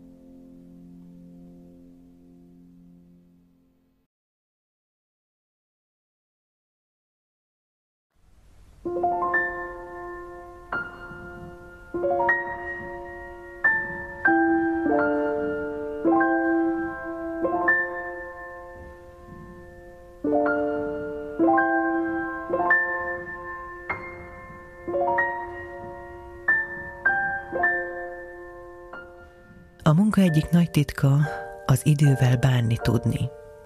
Nagy érték a forgács. Asztalos is elteszi az aranyművesnek pláne ugyanennyit ér az aranyforgács, mint maga az aranytömb. Az időnek is vannak ilyen értékes hulladékai. Ismertem egy orvost, aki kocsin járt, nem kényelemből, hanem mert ilyenkor 10-15 oldalt átnézhetett. Enélkül soha el nem olvashatta volna az orvosi szaklapokat, annyi dolga volt. Egy fiatalember elhatározta, hogy minden öltözködésnél megtanul tíz francia szót. Három év alatt tökéletesen megtanult franciául. Minden esetre jobban járt, mintha azon gondolkodott volna, mikor hozzák már a kávét. Angol utazók rendesen egész halomkönyvet szoktak magukkal vinni a vakációra, hogy így elolvassák azt, amit évközben elolvasni nem tudtak. Tanuljuk meg tehát az időforgácsokat aranyá olvasztani. Van túlmunka, van robotmunka is. Vannak emberek, akik annyi munkát vállalnak, amennyi három embernek is sok. Ezek azok, akik tíz percet nem tudnak ülve maradni. Pedig, ha a munka az egyedüli legjobb jó volna az életben, ami kitölthetné maradék nélkül az életet, a szociális törekvéseknek nem arra kellene irányulniuk, hogy a munkaidőt 8 óráról 6 órára szállítsák le, hanem hogy 6 óráról 10-re emeljék fel. De éppen ma a túlórázások korában láthatjuk, hogy ez volna az út, hogy a gép géppé fokozza le az embert. Márpedig a robot a kimerülésnek napról napra való ismétlődése annyira szétlapíthatja az ember lelkét, mint a vonat a sínekre tett ezüst pénzt. Nem lesz többé látható rajta az Isten domborművű képe. Adjatok minél több félnapot. Ez az amerikai munkások követelése. A boldogságnak szerintem is egyik lényeges feltétele, hogy bizonyos szabadidővel rendelkezzünk, amikor önmagunké lehetünk. Vagyis van okos semmit tevés is. A Dolce Far Niente művészete, az isteni vágy, hogy a napfényben heverészünk szép fák alatt, tétlenül töltsünk el egy délutánt, szánkban egy fűszállal nézzük a vonuló felhőket, amint tündérmesék király kisasszonyjá változnak. Nem elég ülni, hanyagul kell ülni. Mezitláb az üde és friss füvön. Ez a bölcsen lustálkodás tudománya, amiben Kína olyan nagy. Az üres órák, mondja egyik bölcselőjük, teszik elviselhetővé az életet. A csöndes horgászással töltött pihenőórákat éppen olyan hasznosnak kell tartanunk, mint a hivatali zöldasztalnál töltött órákat. Sanfart azt mondja, legyen olyan nap legalább kettő a hónapban, amikor semmit se csinálunk. Én is azt tanácsolom, időnként jelölj ki egy napot, és ezen a napon ne tagadj meg semmi észszerű kérést, amivel az életedet kiemelheted a hétköznapokból. Vannak, akik erejük végső határaig hajszolják magukat a pénzért. Nem akarjuk lekicsinyelni a pénz ösztökélő erejét, de az a másik véglet, amikor valaki előtt kizárólag a meggazdagodás aranyborgyúja ragyog. A vagyonféltés bolondjai szüntelen a pénzre gondolnak, amit végre el is érnek, de úgy, hogy beletörik az életük egészen. Komóban láttam egy csodaszép tóparti villát, kaszkádokkal, ciprusokkal, szökőkutakkal, márványszobrokkal. Megkérdeztem, mibe kerül. A szomszédok egyik azt felelte, a lelkébe. A mindenáron való meggazdagodás megszállottjai, üzleti gondjaikat magukkal viszik az ágyba, az éjszakába, még álmukban is tovább vesződnek az aranycsinálással. Ez már nem is szomjóság, ez már betegség. Hiszen dolgozni éppen az élet széppé tevéjésért érdemes, aki agyonhajszolja önmagát, egy ötrődések által elűszi magától azokat a javakat, amelyeknek elérésére törekedett szellemesen mondja Pitkins, egészségünk árán vagyont szerezni olyan, mintha lábunkat vágatnánk le, hogy rá egy pár finom cipőt vehessünk. Minden okos ember tudhatja, hogy ez ostoba élet.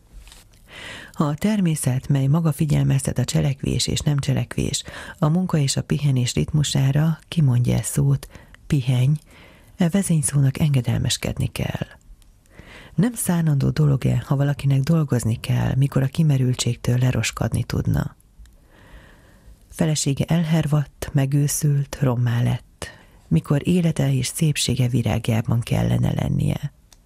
Aki túl fáradt, az már örülni se tud, sőt, pihenni sem tud. Úgy érzi, mindig tennie kell valamit.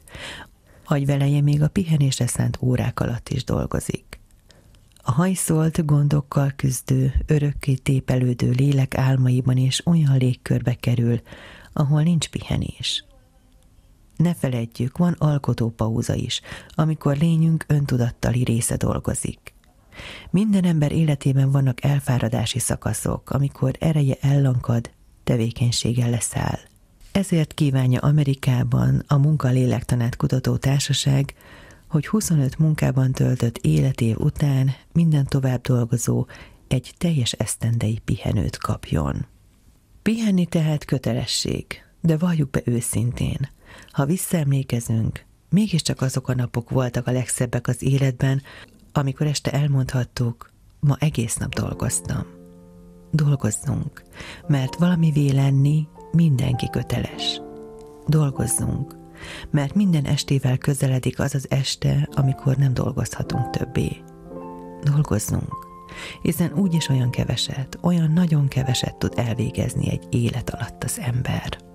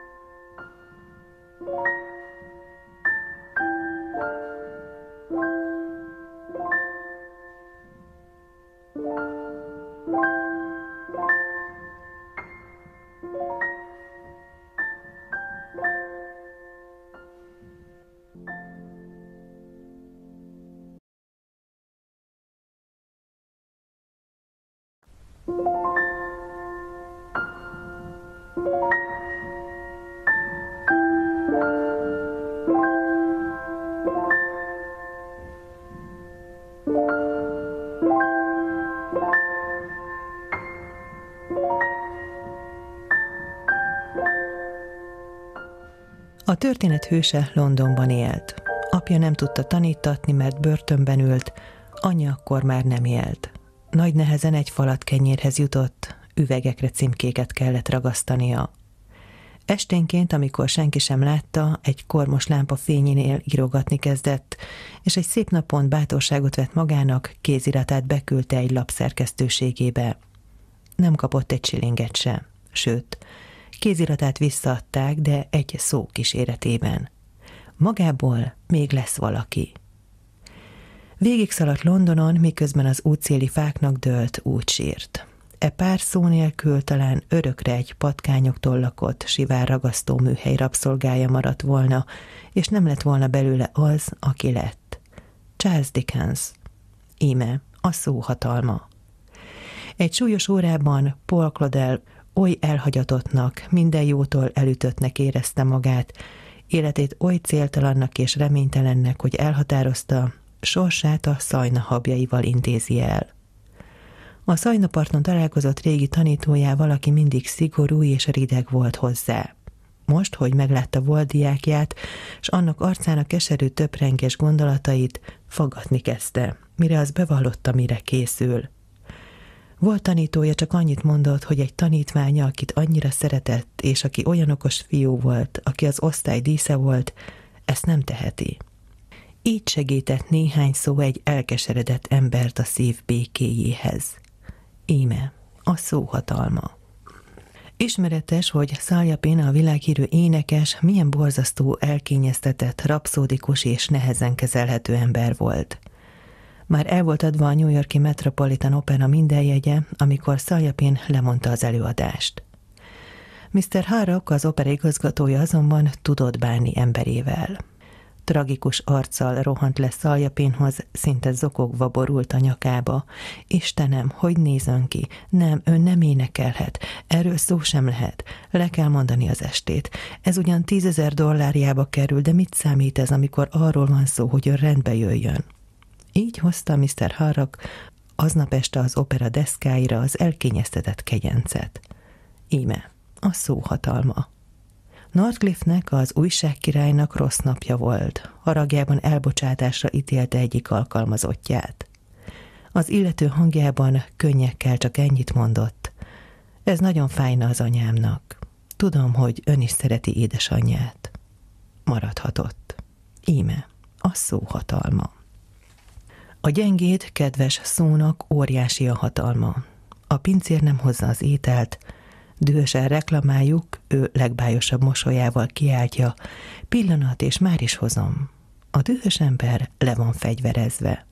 A pultnál a segéd mosolyog, szaladgál, magyaráz, bókot mond, hogy ez a nyakkendő kitűnően áll, és a fokozott szolgálatkészség mellett a vevő elveszti a csatát. Valamit vennie kell. A szigorú apa ellágyul gyermekének behízelgő hangjától, a rideg főnök is megolvad, ha alantasai hízelegve kérik kegyes elnézését.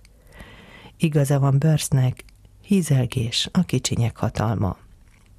Még az elutasítás sem hat leverőleg, ha finoman és gyöngéden történik. Ezért vagy jó képpel adj, vagy barátságosan tagad meg. Hallottam egy nagyvállalat főnökétől, aki midőn a kedvezőtlen konjunktúra miatt kénytelen volt alkalmazottait elbocsátani, Magához hívatta őket, és így szólt. Nagyon meg vagyok elégedve magával.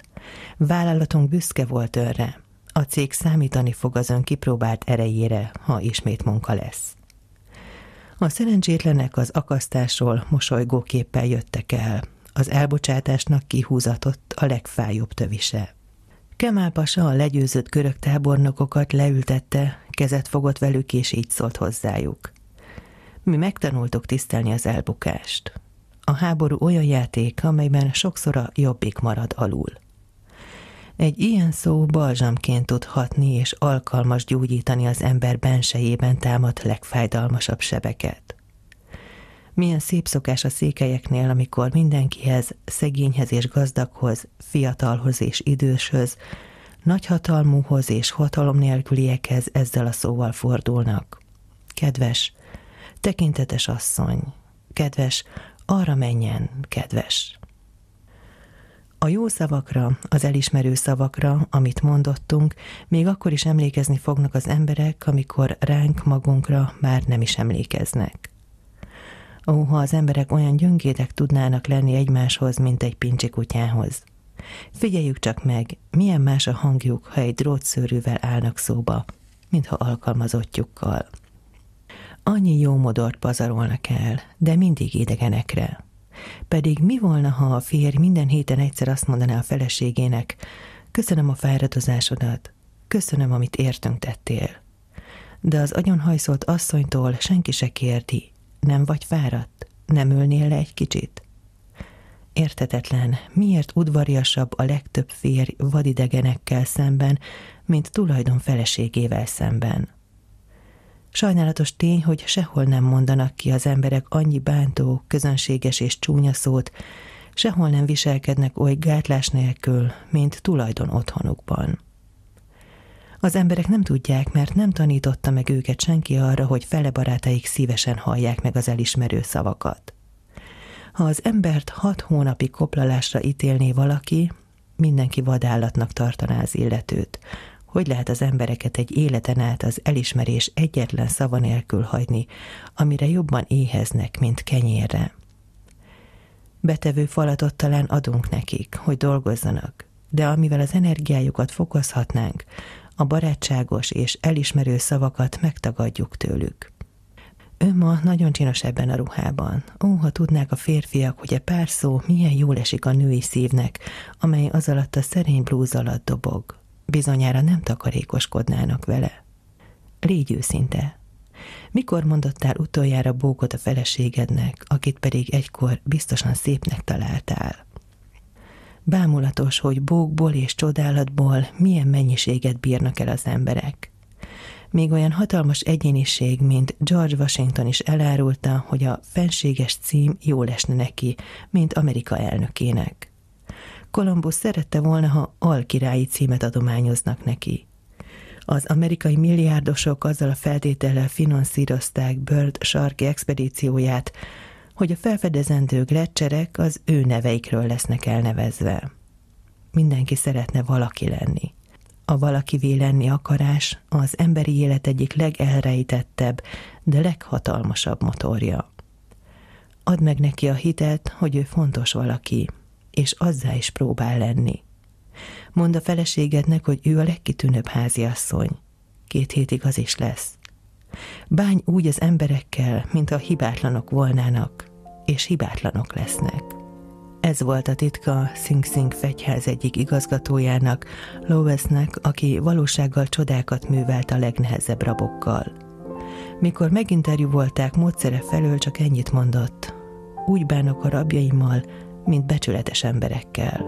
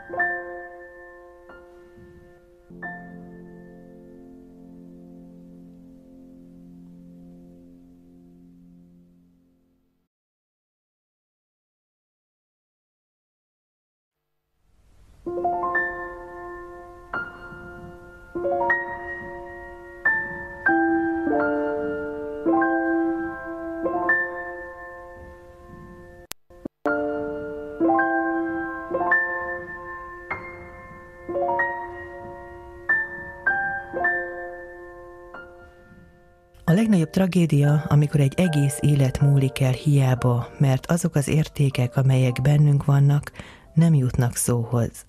Mert az ember jobbik ényéhez nem jut a napfény egyetlen sugara sem. Akire nem volt kíváncsi senki, akit nem értett meg senki, akit nem szeretett soha senki, hogy legyen abból valaki. Miről beszéljünk, ha azt akarjuk, hogy szeressenek minket? Kereskedőkkel az üzleteiről, anyákkal a gyerekeiről. Aki sokra vitte az életben, mindig szívesen beszél a kezdet hőskoráról. Engedd a szembenölőt, hogy ő magáról beszélhessen. Már is meghódítottad. Hogy valakinek a szívét rabolejtsük, nem kell egyéb, mint saját fájdalmairól és küzdelmeiről beszélni, engedni. Kit ne érdekelne jobban a saját fogfájása, mint a kisázsiai földrengés? Vannak, akik doktorért küldenek, de nem az a fontos, hogy gyógykezeltessék magukat, hanem hogy szenvedéseikről beszélhessenek. Mindenkinek kedvenc témája egy átélt operáció. Mindenkinek kedvenc témája az én. Egy világváros telefonközpontja statisztikát készített arról, melyik az a szó, amely telefonbeszélgetések során legtöbbet fordul elő. Természetesen az én volt összes variációiban. 500 telefonbeszélgetés alatt 419-ben ez szerepelt első helyen.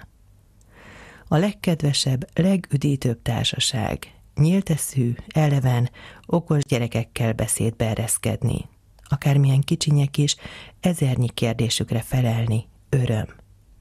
Még egy zseninek is jól esik letörpíteni gondolatait az ő bájos lényüköz, és felemelkedni lelkük mennyországáig. Beszéljünk végül minden nap Istennel. Ő a nap bármely órájában megközelíthető király.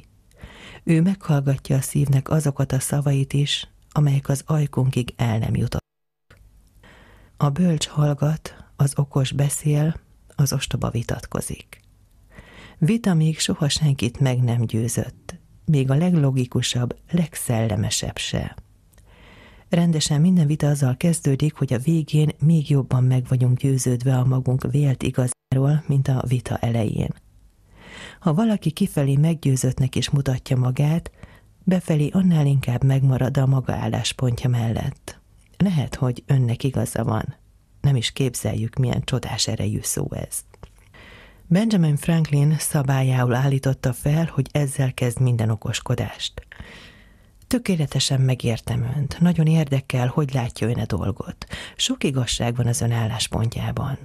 Száz az egyhez, hogy az ellentmondó engedékenyebb lesz, támadó kedve lankad.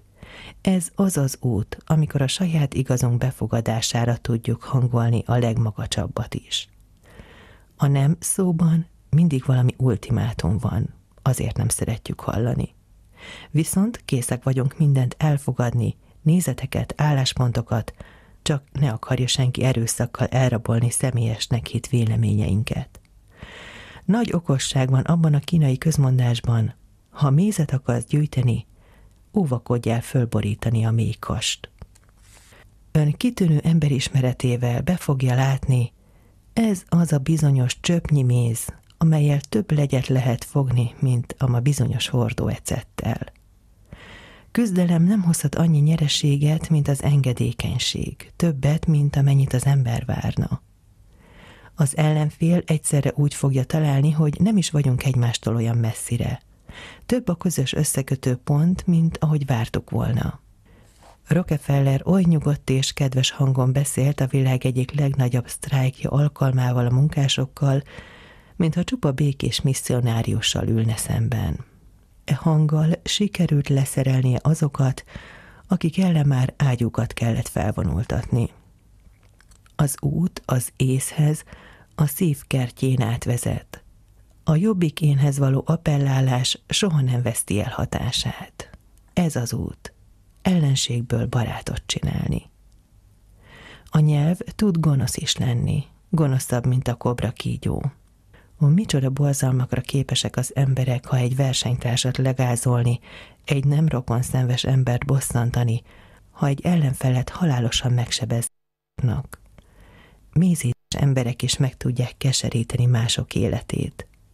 Vannak szavak a szív tábláján, amiket semmi szivacs többi el nem törölhet.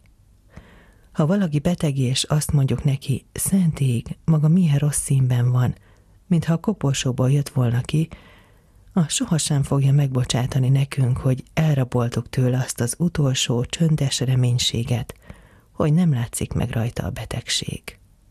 Egy színésznő az üvegajtónát meghallotta, amikor ezt mondták róla. Valahol szép volt. Ez a szó megölte. Az emberek képesek csak tréfából átszúrni egymás szívét. Mondanak ilyeneket, Ma láttam a fényképedet a kirakatban, alig ismertem rád, olyan friss és fiatal vagy, a képen. Mondd csak, édesem, kérdi az egyik asszony a másiktól, te hány éves korodban kezdtél el hízni? Mire a másik épp ilyen cukorba mártott epével felel, igazán irigyellek, csoda, hogy neked még most sincs egy őszhajszálat sem. Másnak a te korodban már régen festenie kell a haját. Ide tartoznak a világ legkellemetlenebb emberei, a jól odamondó emberek, a mindig igazat mondók, már pedig semmit se hallunk kevésbé szívesen, mint a mesztelen igazságot. Már Lessing megmondotta, a színigasság bora csak isteneknek való ital. Ide tartoznak, akik többre tartanak egy rossz viccet, mint egy barátot, akik képesek mindenre rálocsantani szellemük marulúgját, a legjobb emberek legszebb szándékaira is. Nem mondjuk, hogy az emberek ne legyenek olyan nagyon érzékenyek. Az emberek igenis érzékenyek. Az ember tudja, hogy nem érdemes a rossz szavakon rágódni, nem szabad velük törődni, nem szabad, hogy egyetlen rossz percük is legyen miattuk. És mégis fáj. Hiszen nem fáj annak a bocse, akinek a szó nem fáj. Az emberek szépet mondanak szemtől szembe, a csúnyát a hátunk mögött. Állj magasam, mondja Epiktétosz, s távolból feltekintve parányinak fognak hirdetni. Ereszkedjél le, és a sárba húznak. Tört szét láncaikat, s panaszkodni fognak, hogy megsértetted karjukat. Adj nekik igazságot, átkoznak, hogy elvetted szép csalódásaikat. Azt kívánják, hogy úgy élj, mint egy rossz regény hőse. Ó, milyen tökéletes lehetne az ember, ha oly sokat törődne a saját jellemével, mint a másokéval. Gondolj mindig arra, hogy aki a plegykát hozza, az viszi is. Aki mások hibáit közli veled, a tiédet se fogja titokban tartani.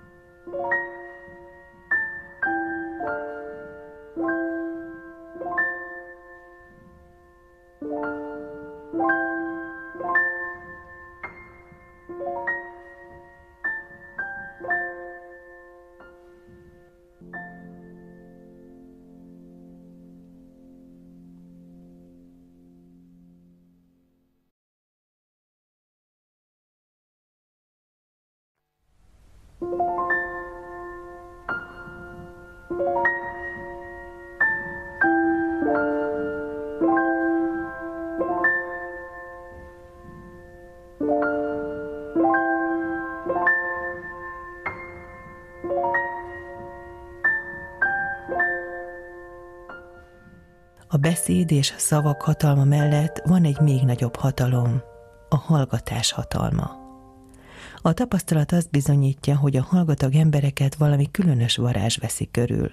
Ott, ahol egy hallgatag, zárkózott ember van a társaságban, mindenki vigyáz egy kicsit magára. Gyönyörűen mondja Máterling, még nem ismerjük egymást, mert még nem próbáltunk együtt hallgatni. Mindig veszedelmes túl sokat adni önmagunkból. Minden kimondott szó elbeszélt ötlet. Erőt von el terveinkből. A szavak, amelyek elhagyták ajkainkat, rajtunk uralkodnak. A visszatartott szavaknak mi vagyunk az urai. Amit nem mondottunk ki, az soha se lehet sértés, bár a vitában a hallgatás a legélesebb visszavágás is lehet. A középkorban a titoktartásnak és diszkréciónak virága a rózsa volt, ezért mondjuk szubróza. Azokat a nőket, akik életükben titoktartók voltak, sírkövükön, kezükben rózsával ábrázolták. Ismertem egy hölgyet, aki elmondotta, hogy soha nem ért el olyan sikert társaságban, mint amikor szótlanul ült és mosolygott. E mosolygó hallgatással nagyobb érdeklődést keltett, mint a legvidámabb és legszellemesebb beszéddel. Az indus bölcsesség szerint, aki beszél, vet, aki hallgat, arat. Az égnek talán a legnagyobb ajándéka, amiben földi életünk során részesít, hogy szeretni tudunk. Az élet fele, mégpedig a szebbik fele maradt rejtve az elől az ember elől, aki nem szeretett szenvedéllyel. Szeretet nélkül sivatag az ég is, mondja Lamartine. A mennyországot és a szeretet teszi mennyországgá. Herder szerint az emberi szótár legvarázsosabb igéje ez a szó. Te érted. A szeretet az emberből angyalt farag. A legrosszabb is, ha valaki ez jó tud lenni, levezek el valamit bűneiből. Mi tulajdonképpen a szeretet? Buszé szerint a szeretet mámor. Csak ugyan, egyetlen arc képes elfelejteni az egész világot. Egy készszorítás vagy simogatás attól, akit szeretünk, többet jelent, mint az egész emberiség dicsérete. Magam szerint a szeretet együtt hangoltság. Együtt érezni annyi, mint minden nyelven beszélni. Szenvedni annyi, mint minden nyelvet megérteni. A szenvedés testvére a gyöngétségnek. A szeretet legnagyobb hatása, hogy szemeinket bizonyos békés és gyengéd igazságok előtt megnyitja. Alkalmat ad egy emberben szeretnünk és csodálnunk azt, akit ezer más lényben se szeretni, se csodálni meg nem tanultunk. Ezért is nagy dolog az életben, ha az embert megszereti valaki, hiszen olyan kevesen vannak, akik minket önmagunkért szeretnek. A szeretet a lélek kenyere, a szív mannája, a szeretet nem vízel akkor sem, amikor a lelkek csillagokról csillagokra fognak szállni.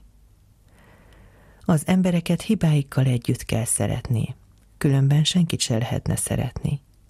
Túlságosan könnyű szeretni azokat, akik finomak, szellemesek, jók, lelkileg előkelőek, akik a világ másik végén laknak.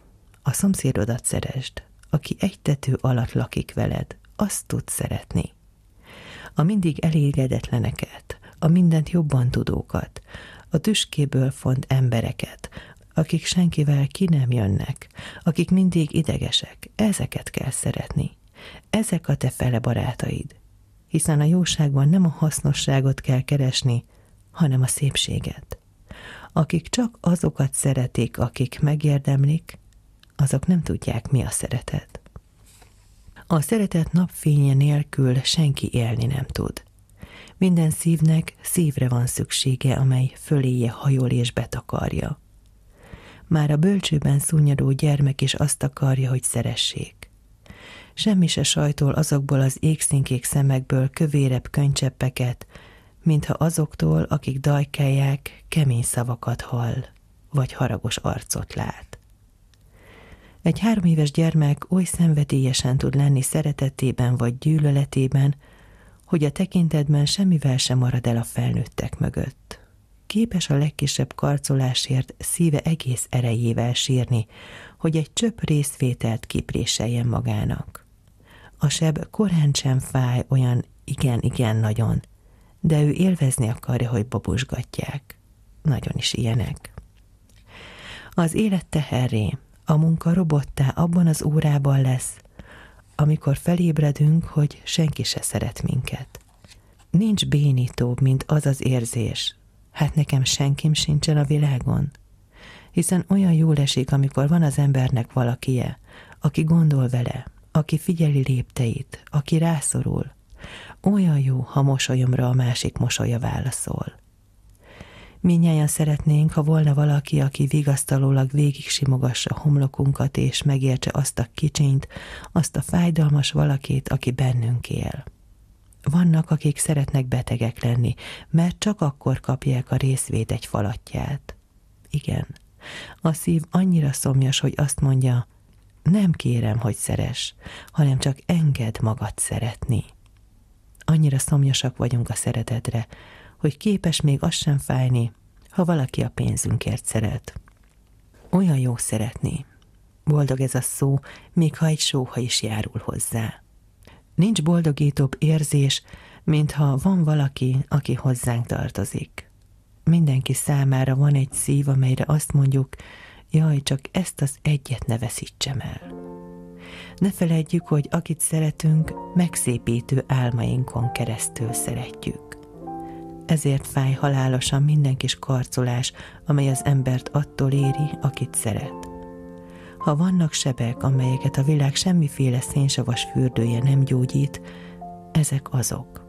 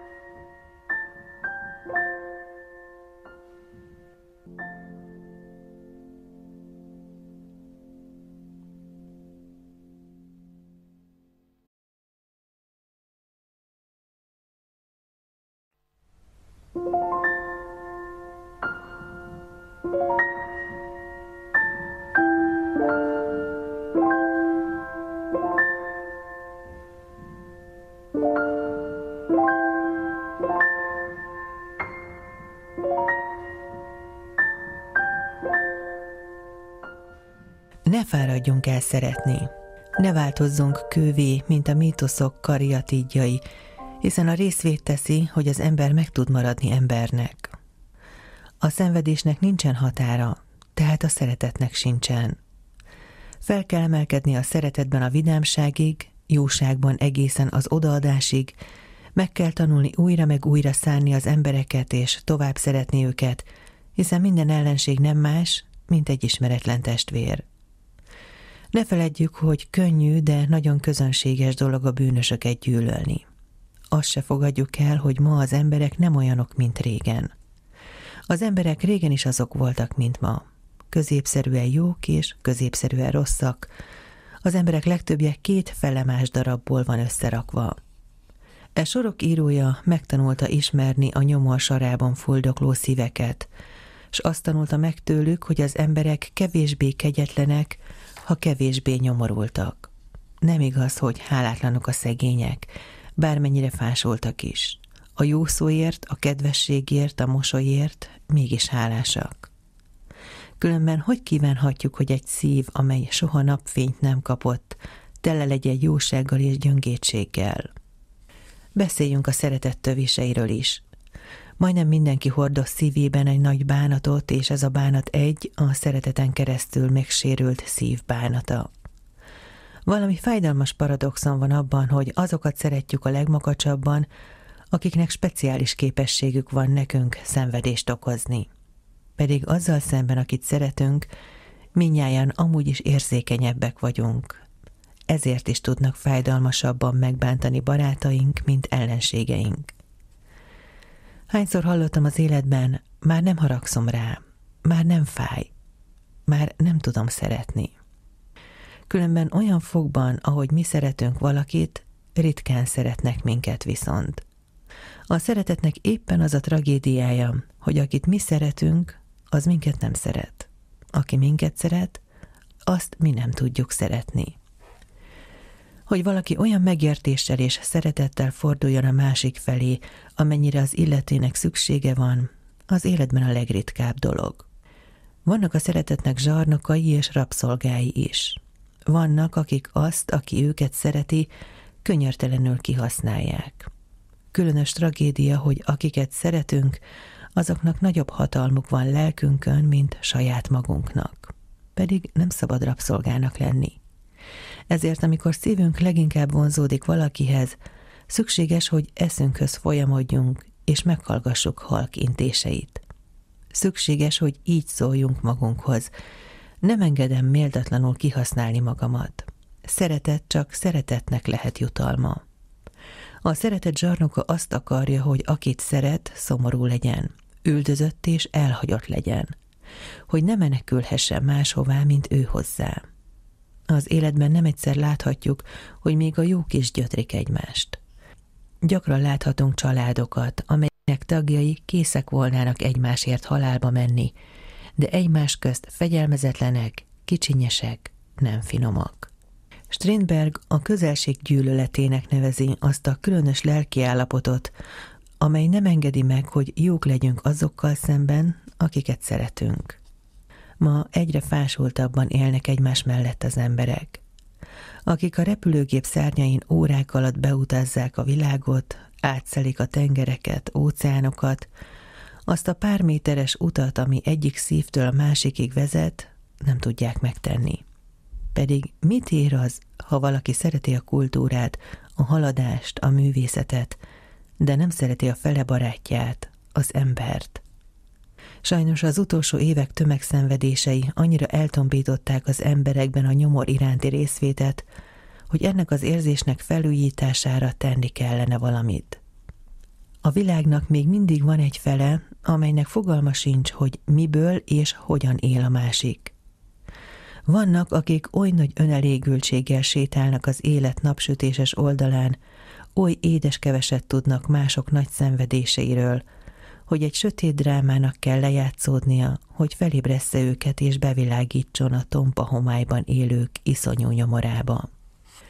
Akinek, ha nincs is idei szabású ruhája, de van ruhája, akinek, ha redukálták is, mégis van fizetése, akinek mégis ég tűz a kájhájában, ne felejtse, hogy irigylésre méltó bőségben él azok szemében, akik már évek óta nem láttak együtt százpengőt, akik nem tudják, mi a meleg szoba, akik álmodni sem mernek egy új öltönyről, akiknek Lázár vacsorája a szemétből kikapart kenyér. Ne fáradjunk el tehát a segítésben. Mindenkinek van egy nagy családja, a szegények, a kereszthordozók, az elhagyottak. Azok, akiknek élete az ingyen kenyértől az ingyen koporsóig tart, akik 40-50 év minden küzdelme árán se tudnak kitörni abból a krétakörből, amelyet a nyomor rajzolt bölcsőjük köré. Szent Vince mondotta, mindkét kezed legyen jobb kezed. A Koránban olvashatók-e szép szavak, aki egy árvának a fejét megsimogatja, egy fénysugarat fog kapni a feltámadás napján minden hajszálért, amelyhez keze ért. Lehet, hogy az emberek hálátlanok, hogy semmit se kapunk vissza a rájuk pazarolt szeretetből, és mindez mégsem érv szívünk dalszerű hangjaival szemben, amely azt mondja, ne engedd kiábrándítani magad a szeretetből. Tégy jót, és ne félj senkitől. Állj mindig a gyengébb mellé. Légy jó, vagy utánozd a jókat. Ne feledjük, hogy egy ember élet enélkül a szó nélkül, te végtelenül szegény. Ne feledjük, hogy az emberek, még a legtompábbak is szomjasak a szeretetre. Adjunk hát nekik szeretetet, még ha az ész ellenkezésének hullámhegyeivel is kellene megbirkózni. Ha mindenki egyetlen ember tenne boldoggá, boldog lenne az egész világ.